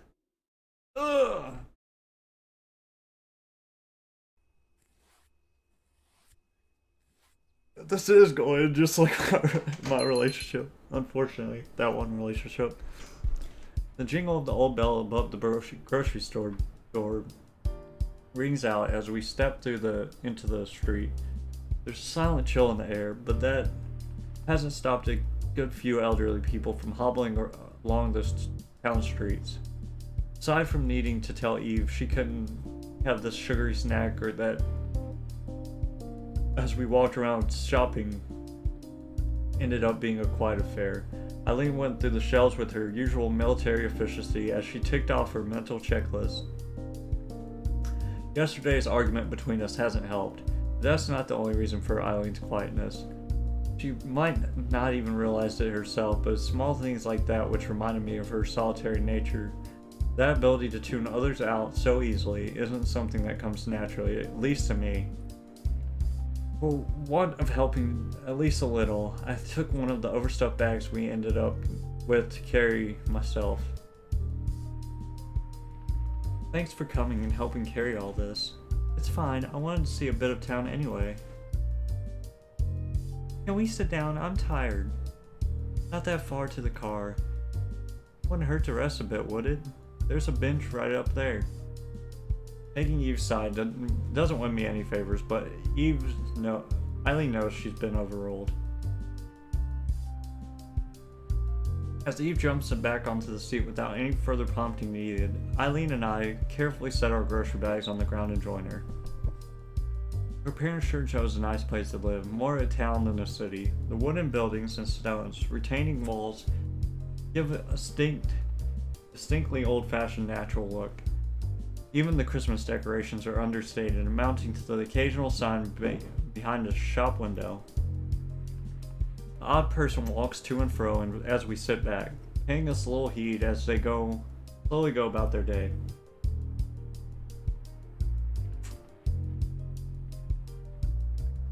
This should be the easiest occasion possible to make idle chatter with Eileen. As time lingers on though, the silence between us does it also. Eve doesn't notice, of course. Her little legs swing up and down as she lazily watches the odd car go past. Uh, she suddenly brightens up and points ahead. Eileen and I are following her gaze. Inside the small ice cream parlor over the, the road, an old man in a pinstripe uniform turns the sign behind the glass door from closed to open.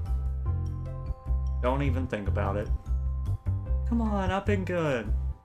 You know what mom said, you can't just have ice cream whenever you want. Besides, why would you even want ice cream? It's when it's already cold. Eileen's answer doesn't exactly satisfy the young girl. After a moment's consideration, I take to my feet and start heading over. Allison? I was just feeling like getting some ice cream for myself. Might as well get her one while I'm already there, right? You need to stop going. It's her sister, it's not yours. What are you doing? Strawberry! Two strawberry ice creams coming right up. And you didn't even ask Eileen what she wanted. With our sweets quickly devoured, we finish off the last of our cones. They sure served them large here, but Eve managed to finish hers off hers quicker than I did.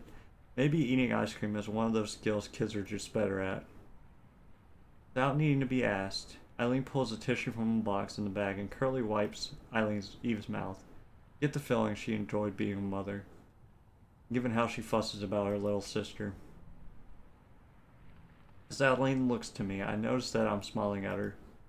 My face collapses as she opens her mouth to speak, but visibly thinks better of it. Much as I want to make amends, I don't want to apologize if I'm not wrong. With neither of us willing to back down, or wanting to fight with each other again, yesterday's argument looms over us as the elephant in the room.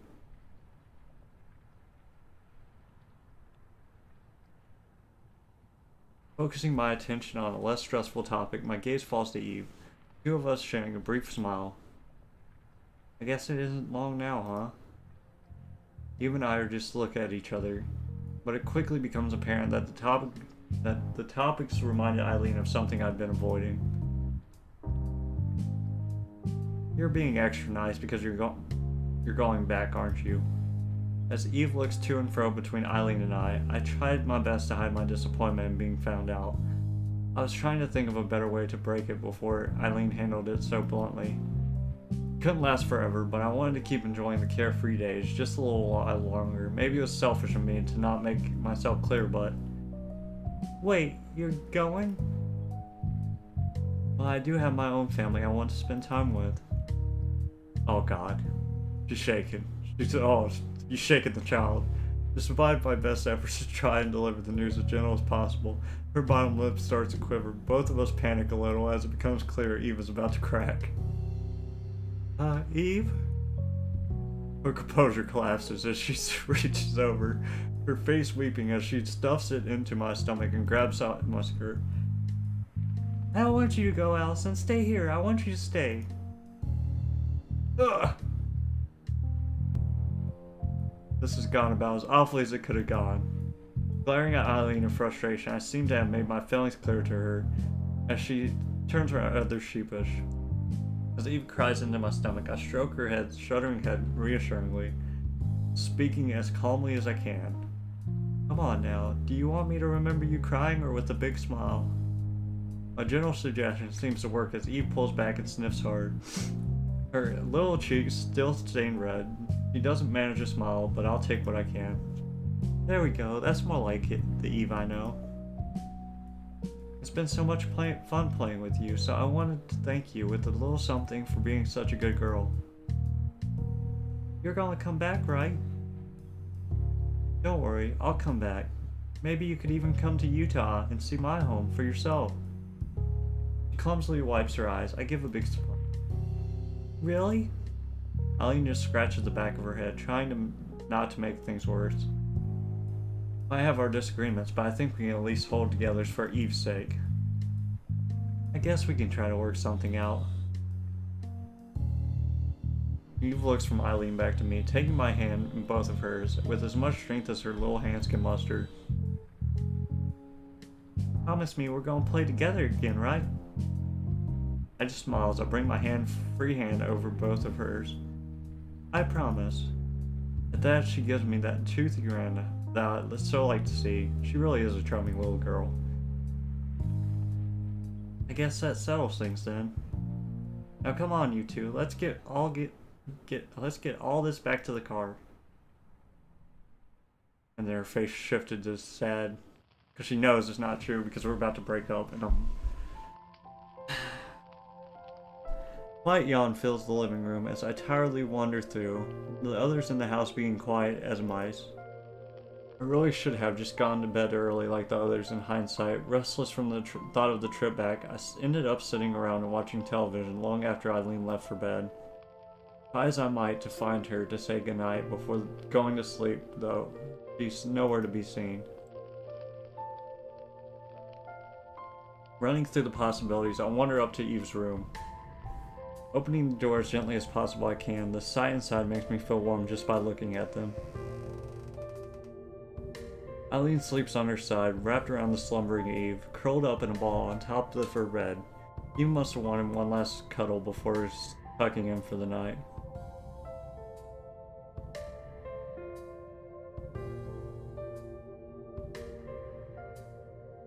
I just smile as I silently look over them, slumbering peacefully together. Even as I look at them, I wonder if I belong in their world. We have briefly pushed it from our minds, but I think both of us know that the closer we become, the further apart we felt. The Eileen's peaceful sleep face, peaceful sleeping face, lingering in my mind, I gently close the bedroom door and head back slow, head slowly back downstairs.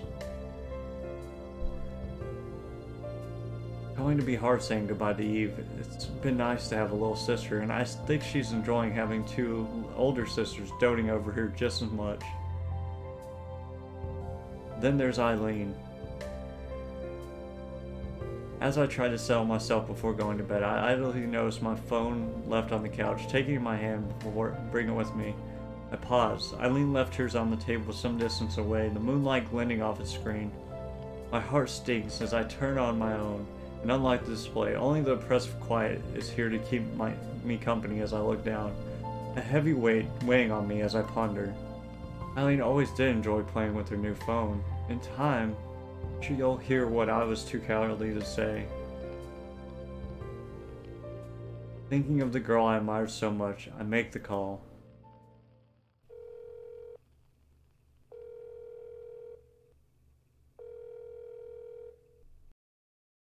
Doesn't go answered. She never changed the default voicemail as uncharacteristically cheerful. Oh my god. Oh my god. Cheerful tone asked me to leave a message, my voice barely a whisper for fear of waking them. When I said that we had a family with our little art club at college, I really did mean it. It might not be much, but it's ours. You were an important part of that. I pause for a moment. My heart is stinging as I think of her. Even if it hurts, I know it needs to be said. Maybe I'm the only one who saw it that way. Maybe it was naive of me to think that way. Maybe I've been having the wrong idea all this time. I think. My throat tightens. I wipe my eyes on my sleeve. I must have looked pretty stupid. I was so excited to be in love and to have a girlfriend that I pushed and pushed to get into your space, but you didn't let me. You didn't want me to, and even now, I can't even muster the courage to tell you this when you're awake. I don't know where things will go from here. I want you to be happy, but I don't know if I can be the person who does that for you. In the end, the anger and frustration I felt at everything is nowhere to be found. There's just an emptiness. I can at least yell and vent to let go of the firmer, but the, nothing can fill that hollow feeling. Good night, Eileen. That I end the call. Bro. Oh my. Bro. it's uh, weird seeing this from the female perspective. God damn. Too reminiscent. This is what. Oh. Wow. Thomas returns to the dark room once more. This is actually a lot like my first relationship. Except I'm watching it from the female side instead of the dude side. Oh, this is awful. I don't understand it. I still don't understand it to this day, so... Yeah, whatever. The snowfall is thankfully light as I walk through the city, bags in hands, from the day's last-minute shopping downtown. People calmly walking to and fro, the occasional passerby of Eileen's, Eileen's country home replaced by the crowds of downtown Utah. Briefly distracted by the huge Christmas tree, completed just in time for Christmas Eve, I think back to yesterday's events. All said and done, leaving Eileen's family ended up being a calm affair. I gave her parents my thanks for taking care of at such of me at such short notice. And both said they're they are that they're they would be more than happy to have me again. Eve had so reluctantly come to terms with my leaving by then.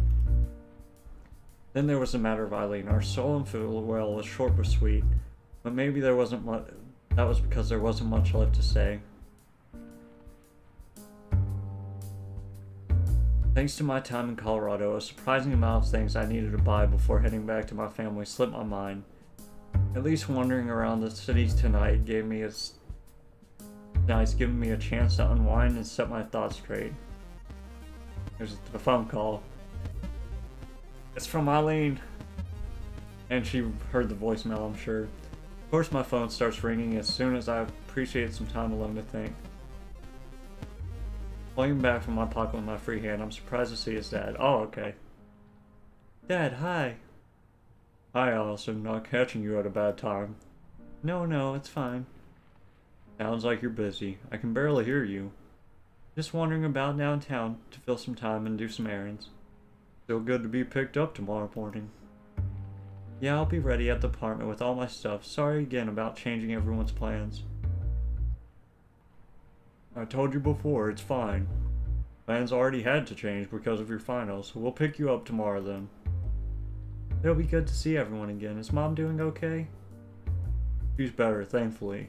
You gave a bit of a shock when you said you weren't coming back for so long. We were all shocked. It seemed like you were having a rough time away from home, so I never expected you to go out of state like that. So they could tell. I feel a little sheepish thinking back. But you had a good trip then? I feel a chill as the last few days rushed in my head. Yeah, I did. Hmm. Once again, Dad can tell just from my voice. It's impossible for me to hide how I'm feeling. Something in me compels me to try anyway. What? I had fun. Well, when you're home, you'll tell us all about it, right? Of course, I'm looking forward to it. I am too. You know you that you can tell me anything. I know. Bye, Dad. See you soon. Love you. With that, the call ends. I stare blankly at the screen of my phone. I'll be happy to see my family again, not to mention the warmth and liveliness of home. I have to take a deep breath, a lump in my throat forming from homesickness. I guess that feeling never goes away completely. Phone already out, I take a moment to glance through the photos I've taken on it. A few from Colorado and more recent, which will be nice to show my parents as I keep going back, though. Stop at a photo taken just before I left for there. Green shines brightly in the darkness of the night. The photo of everyone gathered in my apartment celebrating the end of the semester, making me mull over everything that's happened since I've arrived here. Only been a few months, but my time since starting college has been an adventure already. I've learned so much, found so many friends, and discovered so many kinds of relationship. Such a different way of life I lead now. Smiling faces all gathered for that one moment in time. It's all thanks to those around me, like them. Phone goes dark once more as I lock it. The precious memory slipped into my pocket once more. The only light to be seen is that cast by the Christmas tree, occasionally broken by the passing crowds. A strange sense of calm falls over me. As I stand falls over me, I stand in the snow, falling snow, hands slipping into my pockets for warmth. I was alone and afraid. Eileen was the answer that I thought. It seemed so cool and collected, managing life by herself. That strength of will was what drew me to her, in hindsight. thanks to Eileen, Caprice, and our little club, club that I was able to cope with being alone. The reason that I'm so at peace with myself isn't that I finally learned to live without others, because I know I have others to help. Maybe I was too clingy, as Eileen said. I just wanted to know her more, even if she was brusque at the best times. If she wants to retain her solitude so dearly, though, perhaps it's for the best that things go like this. Swallowing the lump in my throat, as I push the thoughts aside, I begin to walk once more. It's then my phone begins to announce, no, this is Eileen, and she heard the voicemail. I hope this diverts from how it went for me. I hope so bad. It's then that my phone begins to buzz in my pocket. Did Dad forget something? Eileen, why is she calling me now of all time? Should I answer? My phone is shaking in my hand. Pick up the call, but I have no idea what to say. Hello, Allison? Allison, where are you right now? She doesn't allow me to get to allow me to so much as get a word out. Her voice breathless. I'm back home in Utah. No, I mean, I know, so am I. Can we meet somewhere? Where are you exactly? I'm by the Christmas tree in the city square. Okay, stay where you are. As the line goes dead, I'm left dumbfounded. Eileen is coming here. She doesn't want to lose you, fucking asshole. God, I've experienced this from Eileen's point of view so hard, bro. This is gross. God damn. I hope it goes better for her. Uh, within moments, I hear a car door slam loudly. Surely she wasn't looking around for me familiar figure jogs up as quickly as she can in her high boots, her long strides clinking loudly on the concrete. She slowly pulls up to a stop, our eyes finally meet, and so we stand in the city square next to that large tree. Between us, only the falling snow. Eileen, why are you... What, you didn't want to see me? I almost respond, but sheer surprise stops me from finding the right words. I ended up just hanging my head, not knowing how to respond to her snark in such a situation. With my bags weighing down my arms, I set them down. As I look back up, I see Eileen's quip for what it was, a diversion to hide her feelings. Soon realizes I've caught on her her voice turning soft. I found your voice message. I didn't want to leave things as they were. My face flowers into a blush as I grimace from embarrassment. I knew she'd eventually hear it, but still embarrassing to think about. Um, I. As I think back to everything that happened, I feel a pang of regret. Once again, felt myself shrinking away from her. But haven't I been in pain ever since we met? I've only caused you trouble. Yeah, you sure have. There's that sardonic humor again. Can't remember if I ever found it endearing. Why do you do that? Your first response to everything is to try and brush things off with a quip against someone. Only because everyone sticks their nose into my business. Including me, I guess. I follow that up with a dry laugh, yet Eileen's expression doesn't change. I should have expected that, but I feel my chest tighten in response nevertheless. I just. I already had things figured out for myself. The silence reigns, it feels as though we're just skipping the steps we took until now. Nothing's changed. I'm still me, and Eileen is still Eileen. For all I want, I might want to get closer to her. She keeps pushing me away. I'm all the way here to work things out, yet still stuck, awkwardly trading barbs. Everything we did together was it only ever a pain to you? I didn't want to say it, but I still my heart to try and force out the words, tightly holding my arm to try and steady myself. I suppose this is all over then. No! Her shout startles me, the point where she recoils a little from my reaction. I guess we're both getting flustered. I mean, that's not what I meant. Reminding us that we're not alone, a small child goes running by us. As her mother runs after her, the distraction gives Eileen time to reason through all this, while I try my best to ignore the stinging in my heart. Everything is so confusing right now. Every day was the same, living alone in my apartment and working away in the art room. I thought I was fine being alone until you came into my life and messed everything up. When I thought you might really be gone, I realized how lonely I was. I meant what I said earlier. I can't forget all my worries about around you. I don't have to work hard and worry about being my best. I didn't have to prove anything. And I thought I thought you'd understand. I didn't ever expect you to take my parents' side. I didn't think you'd try to tell me I'm making the wrong choices. My heart sinks. Is that how, that's how it was? That's really how it was. Is that how it looked to her? Like I betrayed her? That is what happened. You freaking oh my god. How could I? I've always seen what her parents can't. Be serious about painting. If there's one thing I know about her, it's that why I wouldn't. why would I want to ruin that world of hers that I found so fascinating? But when I thought I might lose you, I realized you were right. For all I talk big about how you should try new things in college, I was the one pushing everyone away and trying to, to stay the same. As I tried to think of how to explain myself, I realized Eileen's eyes had become moist. Such a strange sight that I completely lost track of what I was trying going to say. Eileen, I don't want to lose you, Allison. I want to try again. Moments pass as I think over her words, trying to sift through my emotions. She looks so different now, her proud stature somewhat smaller and more fragile. She's scared. Seeing her in this state puts me on the brink of tears as well. I know my answer already, given how seeing her like this affects me. I only ever wanted to be the closest person to you. Why would I want to ruin that world of yours when it's what brought us together? Let's... let's try again, Eileen. God, it went so much better for her. Thank freaking God. Oh my God. yeah, that last part is where it definitely changed for what happened. Okay, well, I'm glad. Without warning, she pulls me into an embrace. Arms wrapped tightly around me. My brain short circuits as she begins to weep.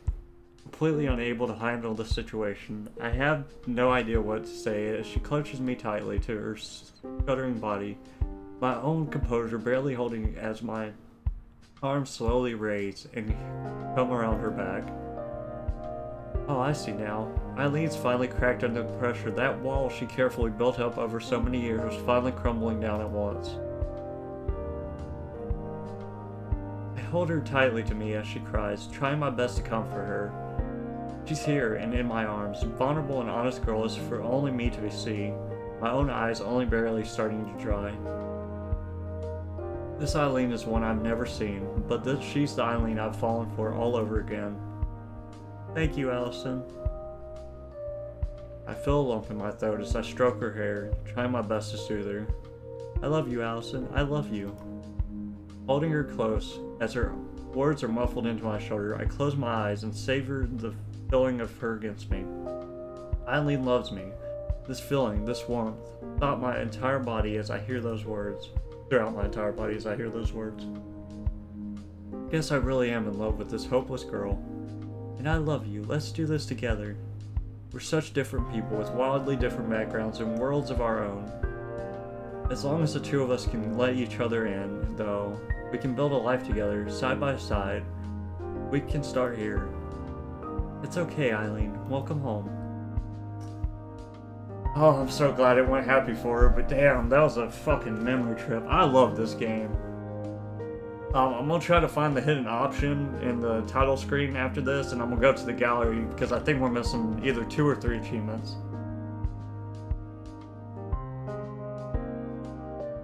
We're missing three. I don't know what the hidden achievement is, so we probably won't get that. Damn. Yeah, that was a real trip down memory lane. It was all pretty like spot on for like my one of my first relationships. Except for the ending. I'm so glad she had a happy ending.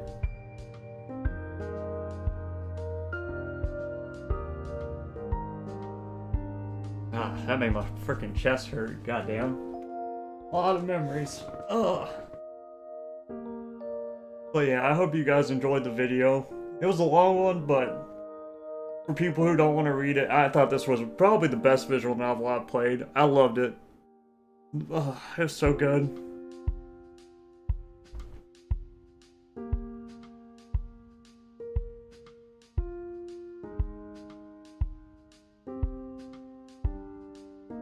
The freaking art style in the game is awesome. I love how the scenes load in and like draw them and then it colors them in.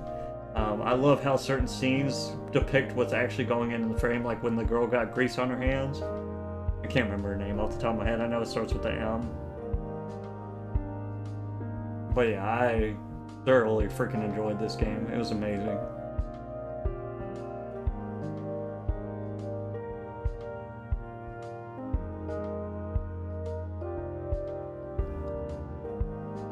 It's our boy George. George is back, baby.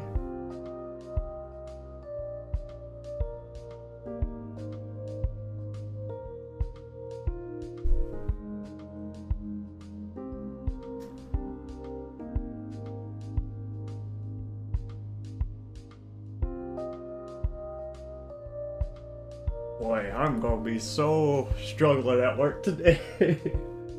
oh, I just, uh, Maybe I'll be able to catch like a nap before work starts and like, what time is it? It is 8 in the morning. So I started this at 2, got done at 8. I gotta be at work by 2. I can maybe get like 4 hours of sleep.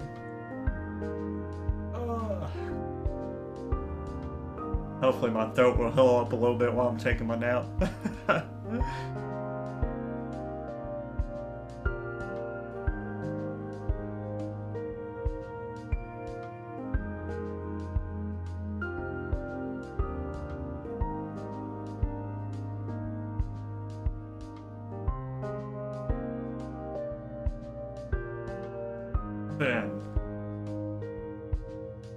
Huckleberry fan. God, I love that game too. This is so exciting, Haley. Oh, there's voice acting now. Uh huh. Oh, we got another achievement. The Haley achievement. That was one of the hidden ones. Was wondering where you were. It's a long time coming too. Do you know if Millie knows yet? Millie, that I was her haven't talked to her since this morning. Ooh, I can't wait to see her reaction. I'm gonna say something as soon as she gets home. Don't you think maybe she should hear it from them? Aw, but I really want to tell her. I get it. But, you know, Millie! Hello. Got some stuff. welcome back. Took a while. There's so many people out there today. Guess it's the post holiday rush. That's not. Millie! Millie, have you heard the news? Hmm? I was at my dad's shop half the day. And. And what? Car trouble again? Unfortunately. Maybe it's time for a new one. That's what Dad said too. He even offered to help pay for it. You don't sound too thrilled. But what would you do with this one? Trash it? Well, sell it, probably. If it still functions. I don't want to, though. Yeah, you can't! Why not? I'd rather not accept something like that from him. He's already given me so much. And you can't just abandon it! Sure you can. Just leave it on the side of the road. That car is like family. As I said, if I was upgrading, I'd at least try to sell it. Hold on. Let's go back to what Caprice said. Yeah! Listen, you've had that car since high school. Think of all the places it's taken us. We have spent quite a bit of time in that car. And besides, It's like family? Dad and I worked on it together a lot. I'm kind of attached to the little thing. Exactly. I know the feeling. But you can't hold on to everything forever. I know. I guess. While we're on the topic, maybe some other people here should think about getting their licenses. Psych! Um. I'm a supporter of public transit, actually. Yes, that! Me too! Me too. Oh, really? Then you won't mind taking the tram from now on? We like riding in your car, though. Family. Fun going together. So much for that.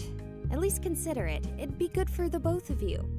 Especially you, Caprice. I know you're getting your new club members to drive you around places now. Hey, they want to go just as much as me. Oh, really? Did they say that? More or less. Plus, I've helped them out too, you know.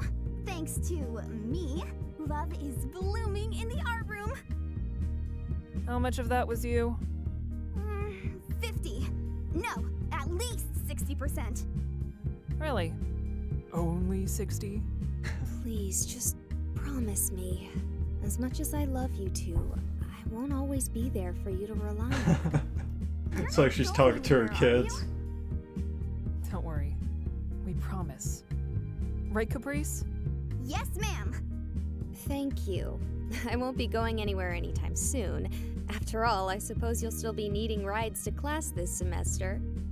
It's almost here. I'm getting excited. I'm not really. Uh, I've got a full slate of classes. Plus, there's a club to run. I'm gonna recruit so many more members.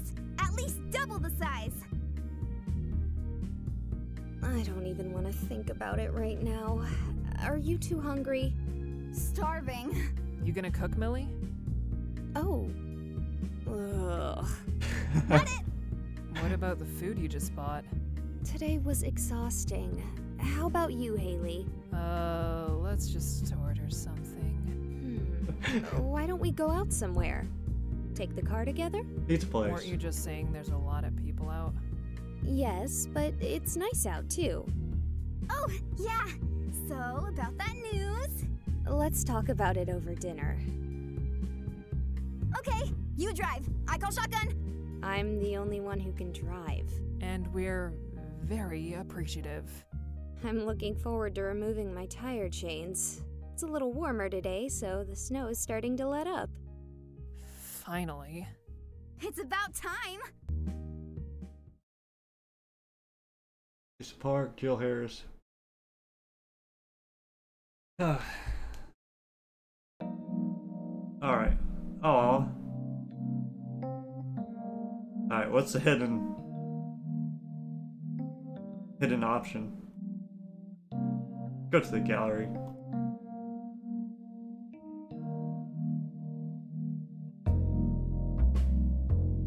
Guest art. Hey, achievement.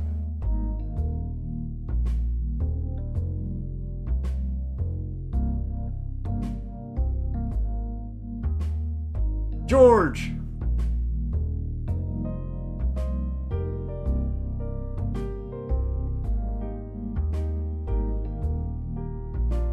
Where's the hidden option? It's the only achievement I'm missing.